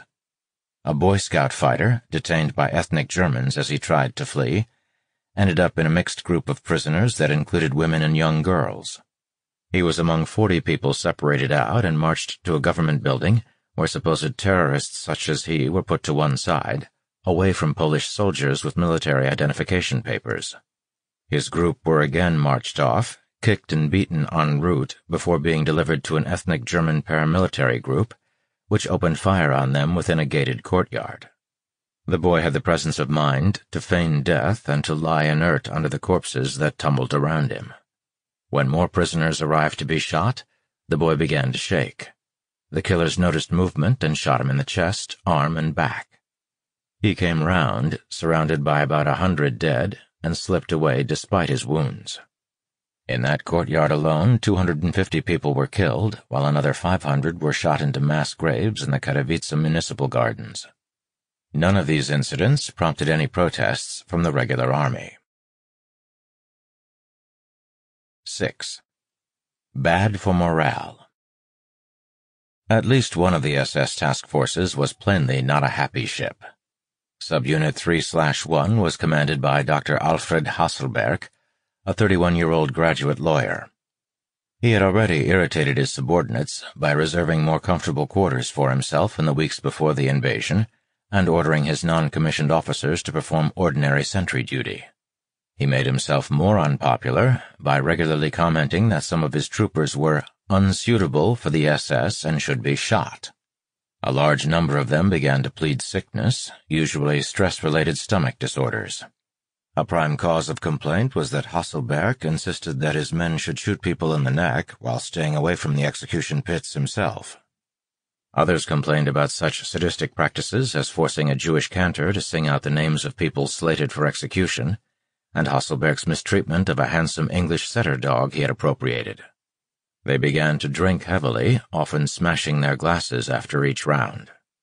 Although Heydrich had recommended Hasselberg as Sipo chief in Krakow, within a few months his staff were sniffing around in SS records in search of a mentally defective Hasselberg forebear, before the problem of his poor leadership was solved by accepting his request for transfer to the regular army.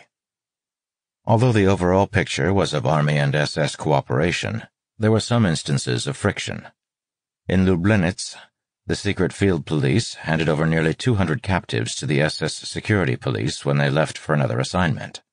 Before leaving, they reported their opinion that these people would be shot in defiance of Army Group South's intelligence officers, who wished to hold them for questioning. A Major Rudolf Langhäuser had a row with Emanuel Schaefer, the SS task force commander, when he demanded that the prisoners be transferred to Chenstokhova for safekeeping. The reason for his intervention was that 80 of the prisoners were Polish reservists, surrendered to Langhäuser by the town mayor to prevent violence erupting as the Germans entered. Langhäuser had given his word that they would be unharmed, but Schaefer referred him to orders from Himmler that insurgents should be shot, although these men had not been insurgents at all. General von Rundstedt The group commander insisted on confirmation that such a directive existed. Senior police figures in Berlin reported to Army High Command that the instructions had come directly from the Fuhrer's campaign train, and Rundstedt pursued the matter no further. All the reservists were shot.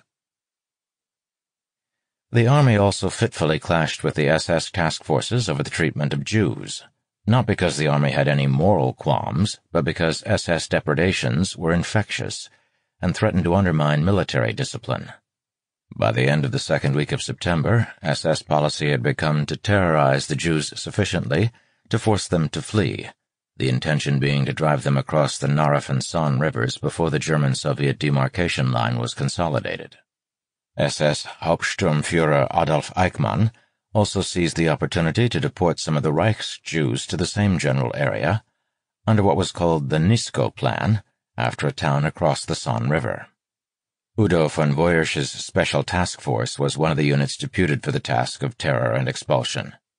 He used flamethrowers to murder Jews in Będzin before moving on to Przemyśl on 16 September, murdering between five and six hundred Jews within days of his arrival. Some regular soldiers joined in the shootings, but others scorned Woyrsch's men, jeering that they should be fighting at the front rather than massacring old men and women. Next, Woyrsch's unit moved to the Jewish quarters of towns in the Lublin area to ferret out valuables before their owners were herded eastwards. Brutal scenes followed, with SS men bursting into homes barking, Your gold or your life, while carrying out strip searches and cavity inspections of Jewish women, some of whom had their fingers smashed when they refused to surrender wedding rings. The appalled army commander at Kelm protested, and some senior officers tried to get Woyrsch's men withdrawn, but others of equal seniority insisted that Woyrsch was doing a vital job in crushing Polish insurgents. German soldiers were joined by Russian soldiers on the other side in shooting at the Jewish men who were obliged to ford or swim the San River, while their women and children crossed over bridges. Further north, trouble erupted between General Georg von Küchler, commander of Third Army, and marauding SS units, intent on burning synagogues and murdering helpless and totally unthreatening Jews. A Waffen-SS, or militarized SS artillery regiment, ran amok after a member of the Reich Labor Service was shot in Goworowo, killing 50 Jews and herding the rest into a synagogue which they sprayed with petrol. At that point they were stopped by a passing army officer who insisted the survivors be released. When reports of such incidents reached Küchler, he protested forcefully to the SS, employing words like beastly, barbaric, dishonorable, and wicked.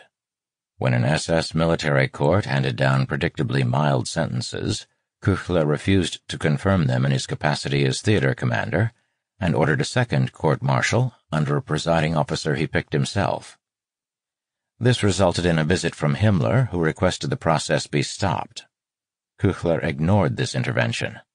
The proceedings were rendered moot after Hitler issued a general amnesty. There was a large element of personal animus in Küchler's stand, for he had been a protege of General Werner von Fritsch, victim of an SS smear campaign in February 1938, who had been killed in the front line outside Warsaw. Küchler had delivered Fritsch's funeral oration. Yet it was this same General von Küchler who instructed his officers in July 1940 to stop criticizing the ethnic struggle being waged in occupied Poland, specifically the treatment of the Polish minority, the Jews, and church things. In such a centuries-old conflict between races, Küchler explained, sharp interventions were necessary. Soldiers should not intervene or criticize those organs of state and party responsible for carrying out these tasks. 7. Vestiges of Shame Unease about these atrocities in Poland was evident among the German elite. In October 1939, the conservative diplomat Ulrich von Hassell wrote in his diary of the feeling of being led by criminal adventurers and the disgrace that has sullied the German name through the conduct of the war in Poland. Namely, the brutal use of air power and the shocking bestialities of the SS, especially towards the Jews. The cruelties of the Poles against the German minority are a fact, too, but somehow excusable psychologically. When people use their revolvers to shoot down a group of Jews herded into a synagogue, one is filled with shame. Another complainant was the Abwehr Supremo Admiral Wilhelm Canaris, who had returned from Warsaw a shaken man after seeing the shattered city. He relayed the concerns of several generals about SS atrocities to Wilhelm Keitel, the head of the Wehrmacht High Command. Keitel replied that because the army had turned down such tasks, Hitler had decreed that the SS should do them. Ideally, such activities would be postponed until the army had relinquished power in Poland to civil administrators. In the meantime, while military commanders were to be kept informed about such actions, the responsible authorities were Himmler and Heydrich. The army also relinquished the right to hear appeals from SS court-martial proceedings against Polish civilians. A cryptic communication to senior field commanders from the High Command explained that the SS task forces were carrying out special projects for the Fuhrer, which were exclusively the concern of the SS. In other words, the army was fully aware of what Hitler and the SS were doing, but sought to abdicate moral responsibility as rapidly as possible. On 4 October 1939, Hitler issued a general amnesty for any German army or SS personnel convicted of offenses against civilians in Poland. Three days later, he recognized Himmler's claim to be the Reich Commissar for the strengthening of ethnic Germandom, confirming SS responsibility for the vast processes of expulsion and repatriation that Himmler and Hitler envisaged. On 17 October, Hitler decreed that the SS and police were no longer subject to military jurisdiction when engaged in special tasks. The same day, he held a conference at which Keitel represented the army during which the Fuhrer used broad brush strokes to outline Poland's future. An autonomous rump state was to be ruled by Germans but without being integrated into the administration of the Reich. Unlike any other administration, the object was to retard the country culturally, economically, and financially, so that it was merely a source of cheap labor. There were to be no Polish political parties and no independent high culture. Polish muddle was to be encouraged. It was to become a dumping ground for Jews and Polacks from the Reich itself. Hard ethnic struggle would entail methods which will be incompatible with the principles which we otherwise adhere to. An interesting insight into Hitler's undemanding scale of values. In a parting shot to Keitel, Hitler said the army should welcome offloading the administration of Poland onto others. Chapter 5 Trampling the Remains 1. The King and Queen of Poland Although formal hostilities with Poland ended on 6 October 1939, there was an increase in violence against civilians in the lawless vacuum between the army's relinquishing of authority and the establishment of civilian administrations in the areas annexed to the Reich. Or worse, in the legal indeterminacy of the general government which encompassed what was left. The last three months of 1939 were especially grim. October proved a bloody month for Poland's elites, as the SS task forces pressed ahead with carrying out their orders to liquidate them. In that month, Polish teachers in West Prussian towns were arrested and imprisoned in Deutsch Krone. It was not necessary to shoot many more priests, since the survivors of the initial massacre of clergy were too cowed to resist. Other shootings took place throughout the wooded lowlands of the newly created Warthegau, where the head of the forestry administration was disturbed to learn that the SS intended to kill all Polish forestry officials. In Königsberg, in early November, SS Brigadefuhrer Dr. Otto Rasch took captive Polish intellectuals out to a wood where they were shot after signing a paper saying they did not object to their relocation to the general government.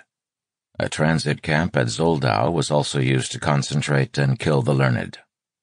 North of Warsaw in November, a police regiment staged a show trial of Jews for arson, after which 159 Jewish men and 196 women and children were shot. Although the SS task forces did not keep the sort of precise records they would maintain after the invasion of the Soviet Union, it has been estimated that they murdered 47,000 Poles, of whom 7,000 were Polish Jews, before the year ended.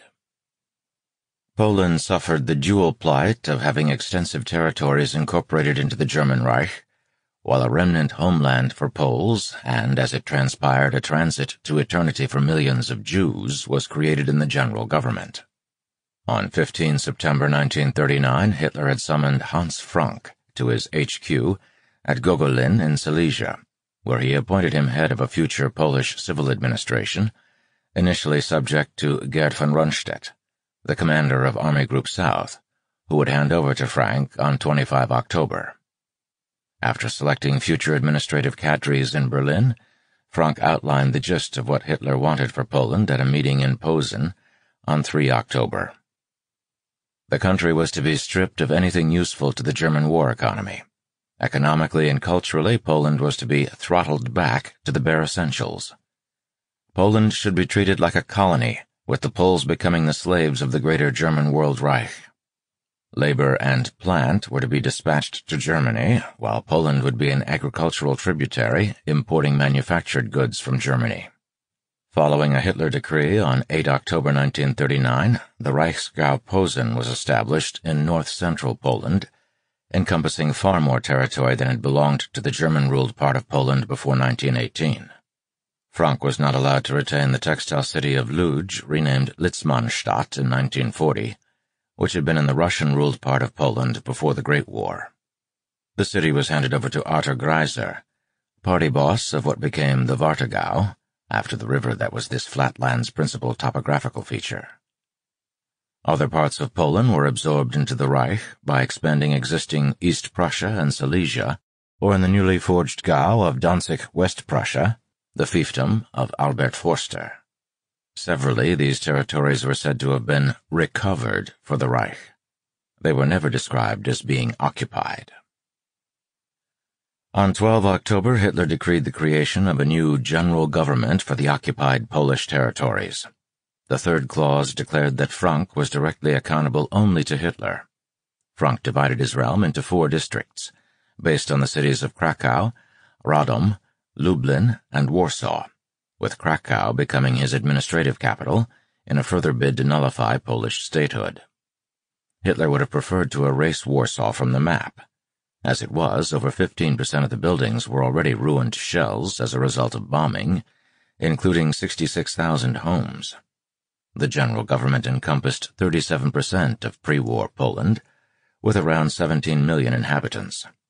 In August 1941, following the invasion of the Soviet Union, it acquired a fifth district, Galicia, with 300,000 people in the city of Lemberg, Lvov, and a further 6 million in the surrounding countryside. At its maximum extent, the general government was roughly the size of Belgium.